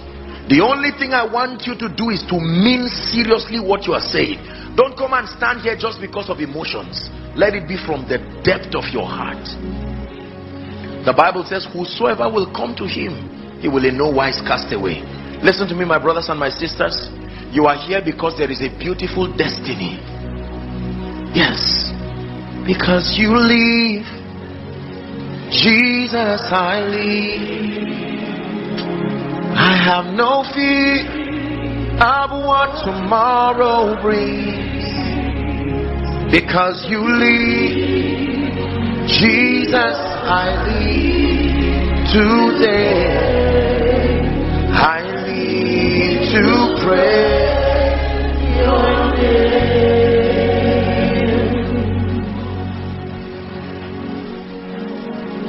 Take my body, my soul, my spirit, breathe on me. Take my body, my soul, my spirit, breathe on me. You are the Holy Ghost, the Holy Ghost. You are the Holy Ghost, the Holy Ghost. Take your place, take your place, take your place.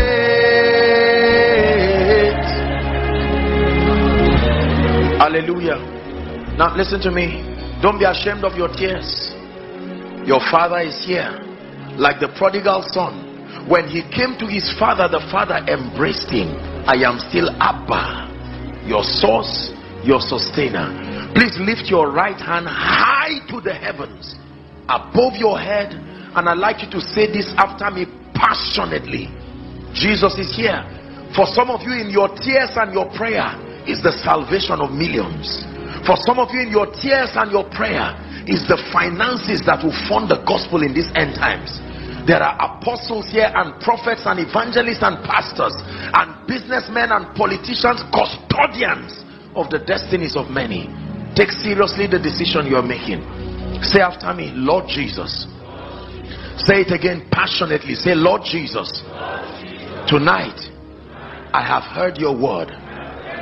Like the prodigal child, I have come to you just as I am, unable to help myself, but I believe in your love. I believe you died for me. I believe you shed your blood for me. I believe you resurrected for me. Tonight, I make Jesus my Savior, my Lord, and my King. I receive eternal life into my spirit. I also receive the abundance of grace, even the gift of righteousness. And I declare that from today and forever, I go forward ever and backward never. Amen. Keep your hands lifted. Father, I present to you the ones Jesus died for. Jesus, when you hung upon that cross, these ones together with all of us were worth your death, your blood. Like trophies we bring to you. Abba, these ones who have come back home. According to the authority of scripture, I declare your sins forgiven. And I declare that the power of sin, of Satan, of hell, and of the grave is broken over your life. I commend you, therefore, to the ministry of the word and the ministry of the Holy Spirit that is able to make you and mature you and to make you a useful battle axe in the hands of the Lord. Every guilt, every shame, every past leaves you now and leaves you forever. In the name of Jesus Christ. Amen and amen. Now, very quickly before uh, I, they're returning back to their seats. Okay, now this is what I want you to do. All of you, the teaching is still on, so even whilst you are there, please lend your attention. But there is a, a counselor waving the placard. Just turn to the back and you will see him. What I want all of you to do is just follow him together in concert as we clap for them. There will be a group of people very briefly, very briefly, they will attend to you and you'll be back to your seat. Let's celebrate them. Champions Cathedral, is this the best you can do?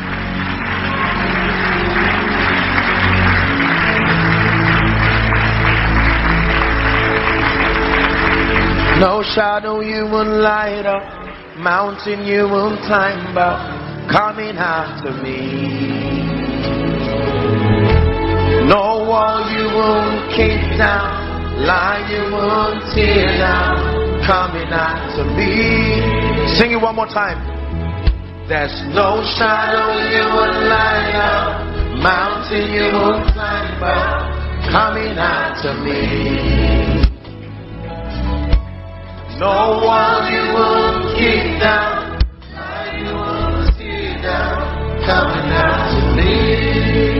Hallelujah. Can we take the third key? Just help those who are crying. Can we take the third key? Whilst you're taking them, counselors, just help them. Let's make it snappy so that they can be back because we're soon to pray now. The third key is knowledge. The third key that controls restoration. Are we still together? Shout hallelujah. So, number one, the power of self-examination, self-evaluation. Number two, the power of brokenness. The third key that controls restoration in this kingdom is knowledge. Proverbs chapter 11, please, and verse 9. Help us, media. Proverbs chapter 11 and verse 9. The Bible says, An hypocrite with his mouth destroyeth his neighbor. The B part says, But through knowledge shall the just be delivered. Through knowledge shall the just be delivered. This is a kingdom that operates, like I stated earlier, operates by light. Is it possible? Is it possible to have, excuse me, is it possible to give the new converts the forms and then they can fill it on their seat and then when I'm done praying, I can still request that all of them get back. Will that be fine? Will that be fine, sir? or well anyway just i just thought so that it doesn't bring any distraction. Praise the lord. Let's continue. Knowledge. Everyone say through knowledge shall the just be delivered. One more time. Through knowledge shall the just be delivered. There is a relationship between knowledge and victory. There is a relationship between knowledge and deliverance. There is a relationship between knowledge and restoration. The same way ignorance leads to losses knowledge can lead to restoration. Isaiah chapter 60 and verse 1 a scripture i love to quote so much. Here's what it says. Arise shine. Why for your light is come not that your light is available, it's always been there. But when it comes to you, it sustains the power to make you arise and to shine. For your light is come and the glory of the Lord is risen upon you. I wish we can have the amplified rendition. The amplified says, let me quote it for time. It says, arise from the depression and the prostration in which circumstances have kept you. It says, rise to a new life. Arise from the prostration, the depression that circumstances have kept you. Rise to a new life. Oh, beautiful. We have it here. It says, Be radiant with the glory of the Lord. Why? For your light has come. Everyone say, My light has come. Prophesy it over your destiny. My light has come. Prophesy it over your family. My light has come. Light is powerful. Is it not light that turns night into day? What did your Bible say about the night? That weeping is related to the night time. It endures for the night. It says, but joy, it ties light to joy. For as long as there is night in your life, weeping continues. But the moment illumination, light comes to you, then you arise in joy. You need to pant after knowledge. Knowledge of the ways of God. Knowledge of the mysteries of the kingdom. You must access wisdom by light. Scripture says talking of wisdom by me kings reign and princes decree justice. It says it says with me are riches wealth and honor yea durable riches and righteousness. Job 29 the exploits of job Job was recounting the basis for his victory. What was responsible for him being the greatest man in the east. Please give us Job 29, the first four verses. Are we still together tonight? Moreover, Job continued his parable and said, Oh, that I were in the months past, he says, as in the days when God preserved me, when his candle, everybody say light, when his light shined upon my head, and when by his light I walk through darkness. There are two kinds of light you need to advance. The one that shines on your head and the one that shines on your path. The one that shines on your head is for knowledge. The one that shines on your path is for direction. Job said this light was on my head and was on my path. Four. He says as I was in the days of my youth when the secrets of the Lord were upon my tabernacle. In fact, let's extend a bit. Go ahead and read. When the Almighty was yet with me and my children were about me, when I wash my steps, look at the fringe benefits of access to light. I wash my steps with butter, the rock poured out oil, rivers of oil. Uh-huh. It says, I went out to the gate through the city when I prepared my seat in the street. What happened? The young men, by reason of this light, they hid themselves and the aged ones stood up. The princes refrained talking and laid their hands on their mouth. 10. The nobles held their peace and their tongue cleaved to the roof of their mouth. When the ear heard me, it blessed me. And when the eye saw me, it gave witness to me. Just stop there. The exploits of light. You want advancement? And even restoration it is at, it's at the mercy of the lights that you have. This beautiful auditorium is well lit. Both your led screens the tvs and then the auditorium. Why? Because there's sufficient light. If you put a candle here it's not light enough to turn the night into day. You need high level spiritual illumination. Are we together? The last key that controls restoration is the prophetic. Hmm. Isaiah 42 and verse 22. The prophetic was given by God as an instrument of restoration. Isaiah 42. Please pay attention. We're about to pray. We're about to pray. Isaiah 42 and verse 22. Media help us. Let's read together. Can we read? Ready? One to read. But this is a people robbed and spoiled. Uh-huh. They are all of them snared in holes. They are hid in prison houses. They are taken for a prey, and none saith delivereth. For a spoil, and none saith restore.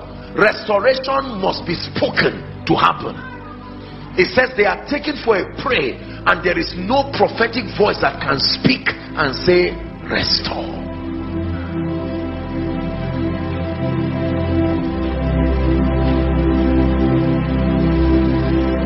Restoration. Second Kings chapter 6 and verse 1 a classic expression of restoration. Hallelujah. Someone's life is about to change. And the sons of the prophet said to elisha watch this now. Behold now the place where we dwell with thee is too straight or small for us. Let us go. So this was an intention to go forward but something happened. Are we together?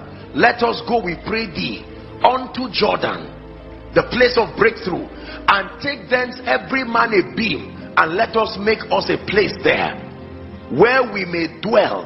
And he said go ye. When he gave that instruction one said be content i pray thee to go with thy servants. And he answered i will go. So he went with them.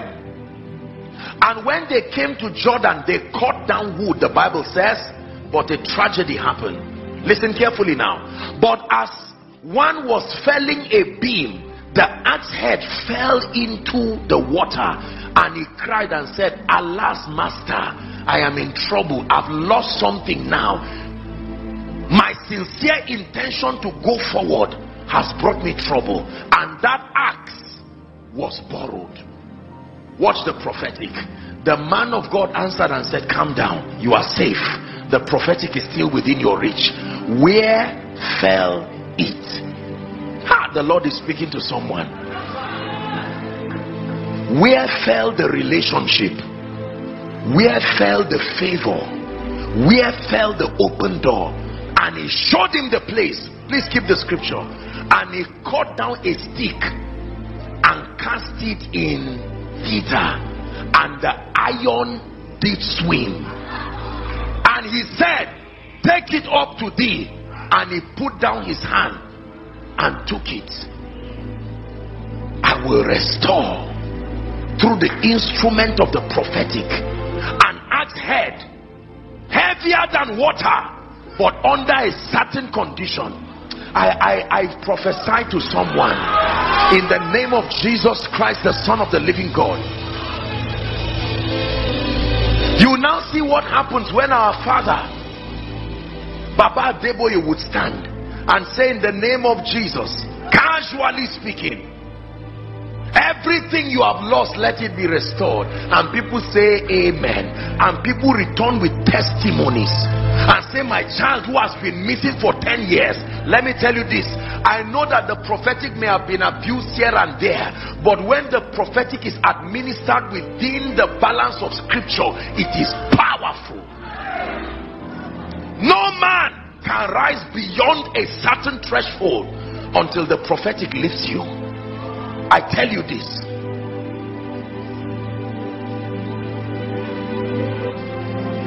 I had the honor and the privilege of meeting our father again not too long. And when he was praying and speaking over my life, I knew it was coming from the depth of his heart. He sent everybody out of the room and began to speak from the depth of his heart. I knew he was not just advising, he was programming realities. Can I tell you this? As powerful as Jesus is, he walked under a closed heaven for 30 years until a prophet opened his heavens. Your Jesus was under a closed heaven for 30 years until he met a prophet called John the Baptist. Even if you are a midwife, when you are pregnant and you are about to give birth, another midwife will have to help you. Hear me? This is where the arrogance of our generation has pegged men. You can respect yourself, but you cannot honor yourself. Honor is conferred by another. Fire is about to fall in this place. Listen to me. Many of you have lost. Please take it hard for me. Listen carefully. There is a prophetic word that I want to bring and then we'll pray. I will not take too long. We'll be done shortly. Please be sensitive now. I just sense angelic activities in this place. Nehemiah chapter 5 and verse 11. Elatalas kebratisia. Shegelebaratusiata.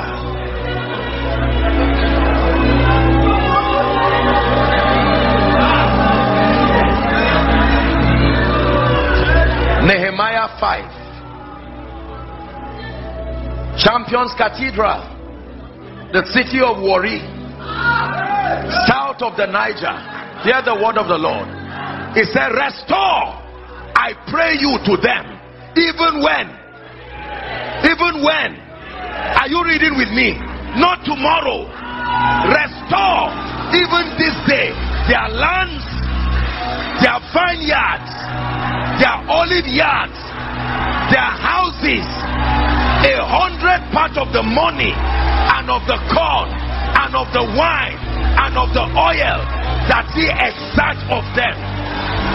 Listen please look up every time many of you are businessmen many of you read economists there is always whenever there is a taking it leaves someone and goes to the hand of another. Is that true? Who did your breakthrough when it left you? Where did it go? Because the bible says when you catch a thief he doesn't only restore he restores tenfold. Ezekiel 37 i was taken we're still buttressing on this prophecy. This is the prophetic word the lord gave me tonight nehemiah. But hear me the hand of the lord was upon me. We're reading ezekiel 37 he carried me out in the spirit and set me down. And he showed me a valley full of bones. Bones means they were once an army but something happened he caused me to pass by them. They were very many and they were very dry. That means they had been there a long time. Verse 3 he said unto me son of man champions cathedral can this business live can this family live can this anointing be restored? The prophet was honest he said lord with this situation i'm seeing only thou knowest. And then he spoke to him and he said to me prophesy. He said to me prophesy. He said to me prophesy. Verse 5 cause breath to enter you so that you will live. Verse 6 beautiful and I will lay sinews and I will do all of these things. Go to verse 7. That's what I'm looking for. He said, prophesy. And this verse says, so I. He said, deliver. So I. I'm here today because God sent me. If he says prophesy, then we must prophesy. If he says restoration, then we must decree it. Are you ready to pray? Father, I step into everything I have lost, everything that has left me, left my family. Lift your voice and pray spiritually, financially, in ministry, in business, in career. Are you praying? Are you praying? Inside, outside.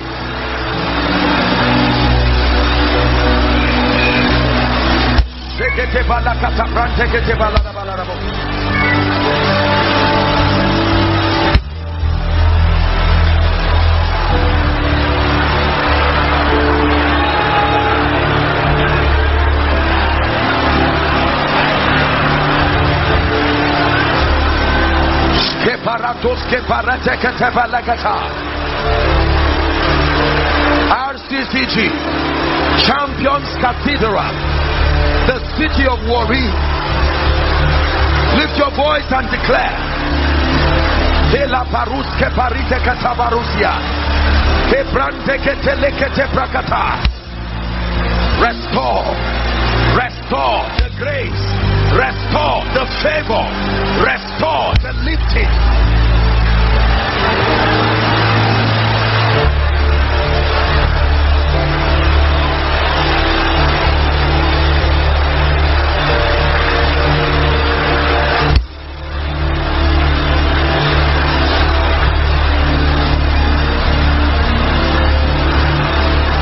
Someone is praying.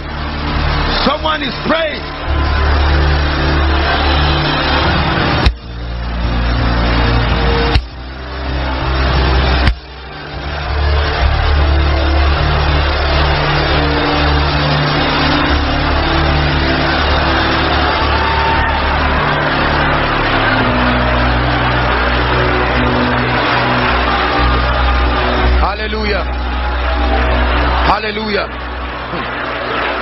Hallelujah. Hallelujah. My God. My God. But thou, O Lord, art a shield for me. My glory, you lift my head. But thou, O Lord, art a shield for me. My glory, the of my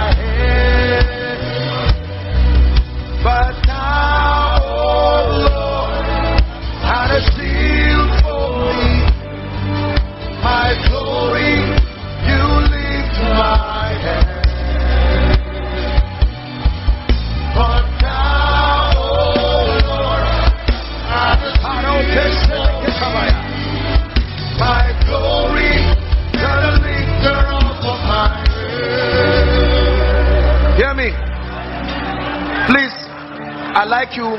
Please listen. Listen. There are few, we have a few minutes. I don't intend to delay us, especially because of our fathers. But the hand of God is upon me now. Praise the name of the Lord. Hear me. There are people here, and I'm seen by the Spirit. There are people here. There are yokes that have tied and kept individuals. Listen to me. And families. The Bible declares that now the Lord is that spirit. And that where the spirit of the Lord is, there is liberty. There are individuals here. The only thing growing in your life is your age. Nothing else is growing. I want to pray for you right now. Listen. As I pray for you, the power of God is going to come upon you. We may not be able to do that for everybody, but I want you to bring them out here. Let's just have a few ushers, whether you're an usher or not, just join them. There's a reason I want to pray for them. We ca- because this night, except God is not God, that whatever has held you down, in the name of Jesus, it must give way. Are we together? I stretch my hands right now. At the count of three, I declare that anyone here under the sound of my voice who has been tied down by witchcraft, tied down by all kinds of yokes, I join my faith with the fathers of faith. And in the name of Jesus, at the count of three, I want you to shout that name, Jesus. Don't come out at random. Don't come out at random. The power of God will bring you out. In the name of Jesus, just bring those under the anointing. One, two, you shout Jesus. Three, be delivered right now by the power of the Holy Spirit. I decree and declare, those under the anointing.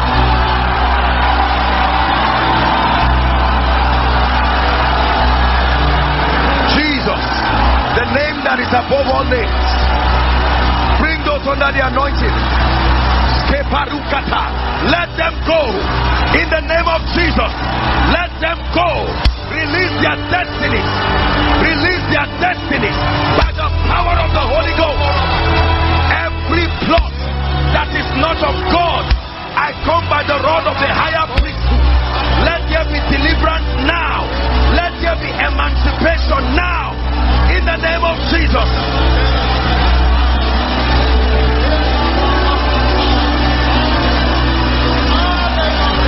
Hallelujah. Listen, I'm praying for you. There are families. Zechariah chapter 1 from verse 18. It says, Son of man, what seest thou? And he said, I saw four horns. 19. He said, These are the horns that have scattered Judah, your praise, scattered Israel, your covenant, scattered Jerusalem, your peace. There are horns that fight families. I'm praying again that every power sitting on anyone's destiny, you're going to shout that name again. In the name of Jesus, be delivered now. Be delivered now. Be delivered now. Be delivered now. Release families. Release destinies. Release families. Release destinies. Release families. Release destinies. We cost you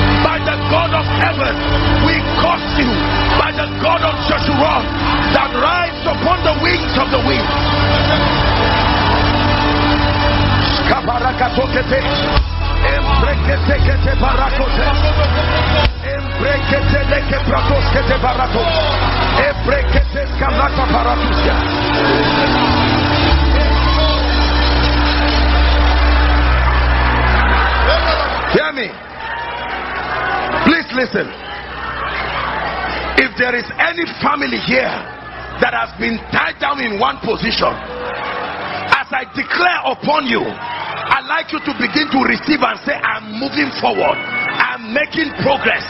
Declare right now, every family that has been tied down, in the name of Jesus, go forward, go forward, go forward, go forward, go forward, go forward, no delay, go forward, restoration. In the name of Jesus.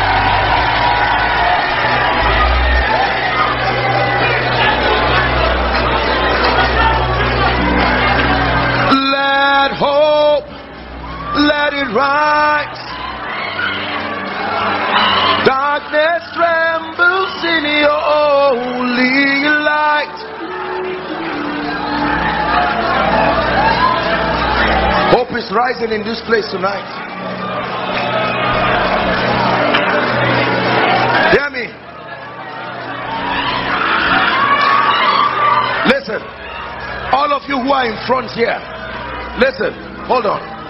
Everyone in front here, I declare that everything that has tied you by the God of heaven, I command it to leave you now.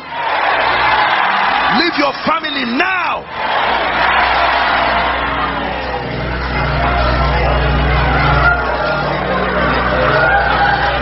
If you are in business here, lift your hands. I want to pray for you.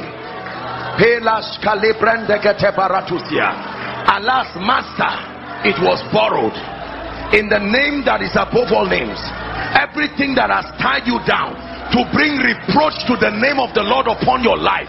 I stand here upon this exalted altar and I declare to you come out of every debt now, come out of every loss now, come out of every debt now, come out of every loss now.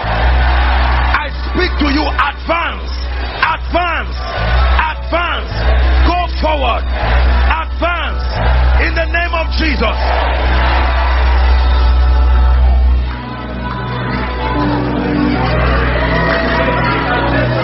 Hallelujah. Now, listen to me, please. Just two, three minutes, and I'm done.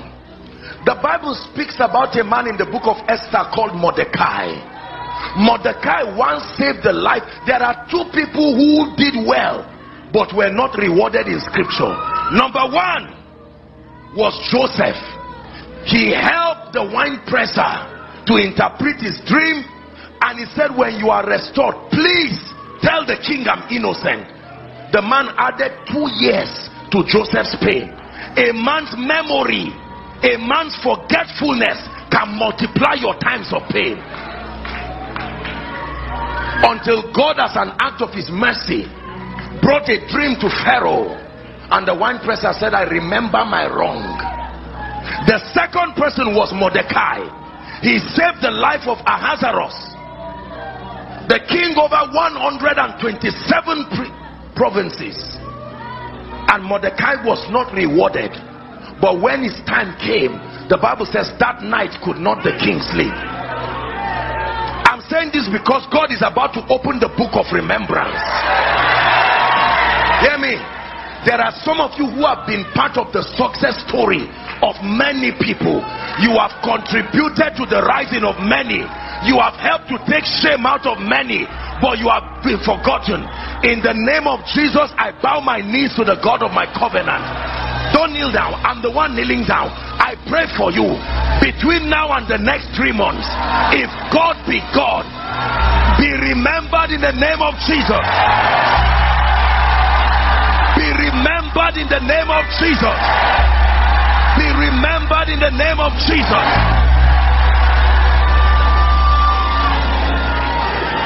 That night could not Ahasuerus sleep. And he said bring me the chronicles. When they brought him the chronicles he saw where Mordecai saved his life and yet was not rewarded. And he said who is in the chamber? Haman was there and he said what shall be done to the man who does this Haman thought he was the one and so out of the abundance of his selfishness he gave a recommendation he said do that immediately can I speak to you? There are some of you who as at this conference, it looks like you are nobody's ignored. But I stand by the grace of God and I declare, may what happened to Mordecai happen to you.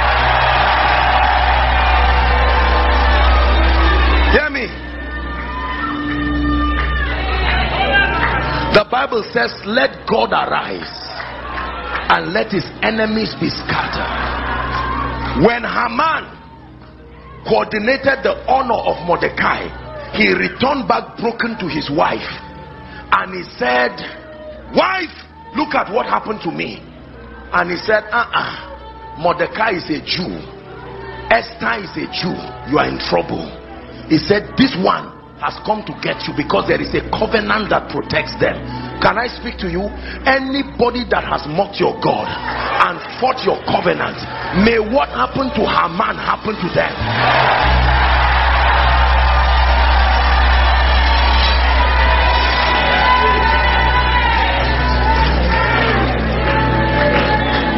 In the name of Jesus Christ I want you to go back home today with this consciousness that the Lord has restored to me both things and years. You are barren here trusting God for the fruit of the womb. I want you to not just expect one child expect twins expect triplets in the name of Jesus Christ. And may I lend my voice with the pastor and the leaders to encourage you please do not miss tomorrow morning session for anything. It's a conference. It takes a sacrifice but every session is worth your while and worth you're coming. Open up your heart and ensure that you are around and invite as many. If there is no space if you have to climb the roof climb and sit there.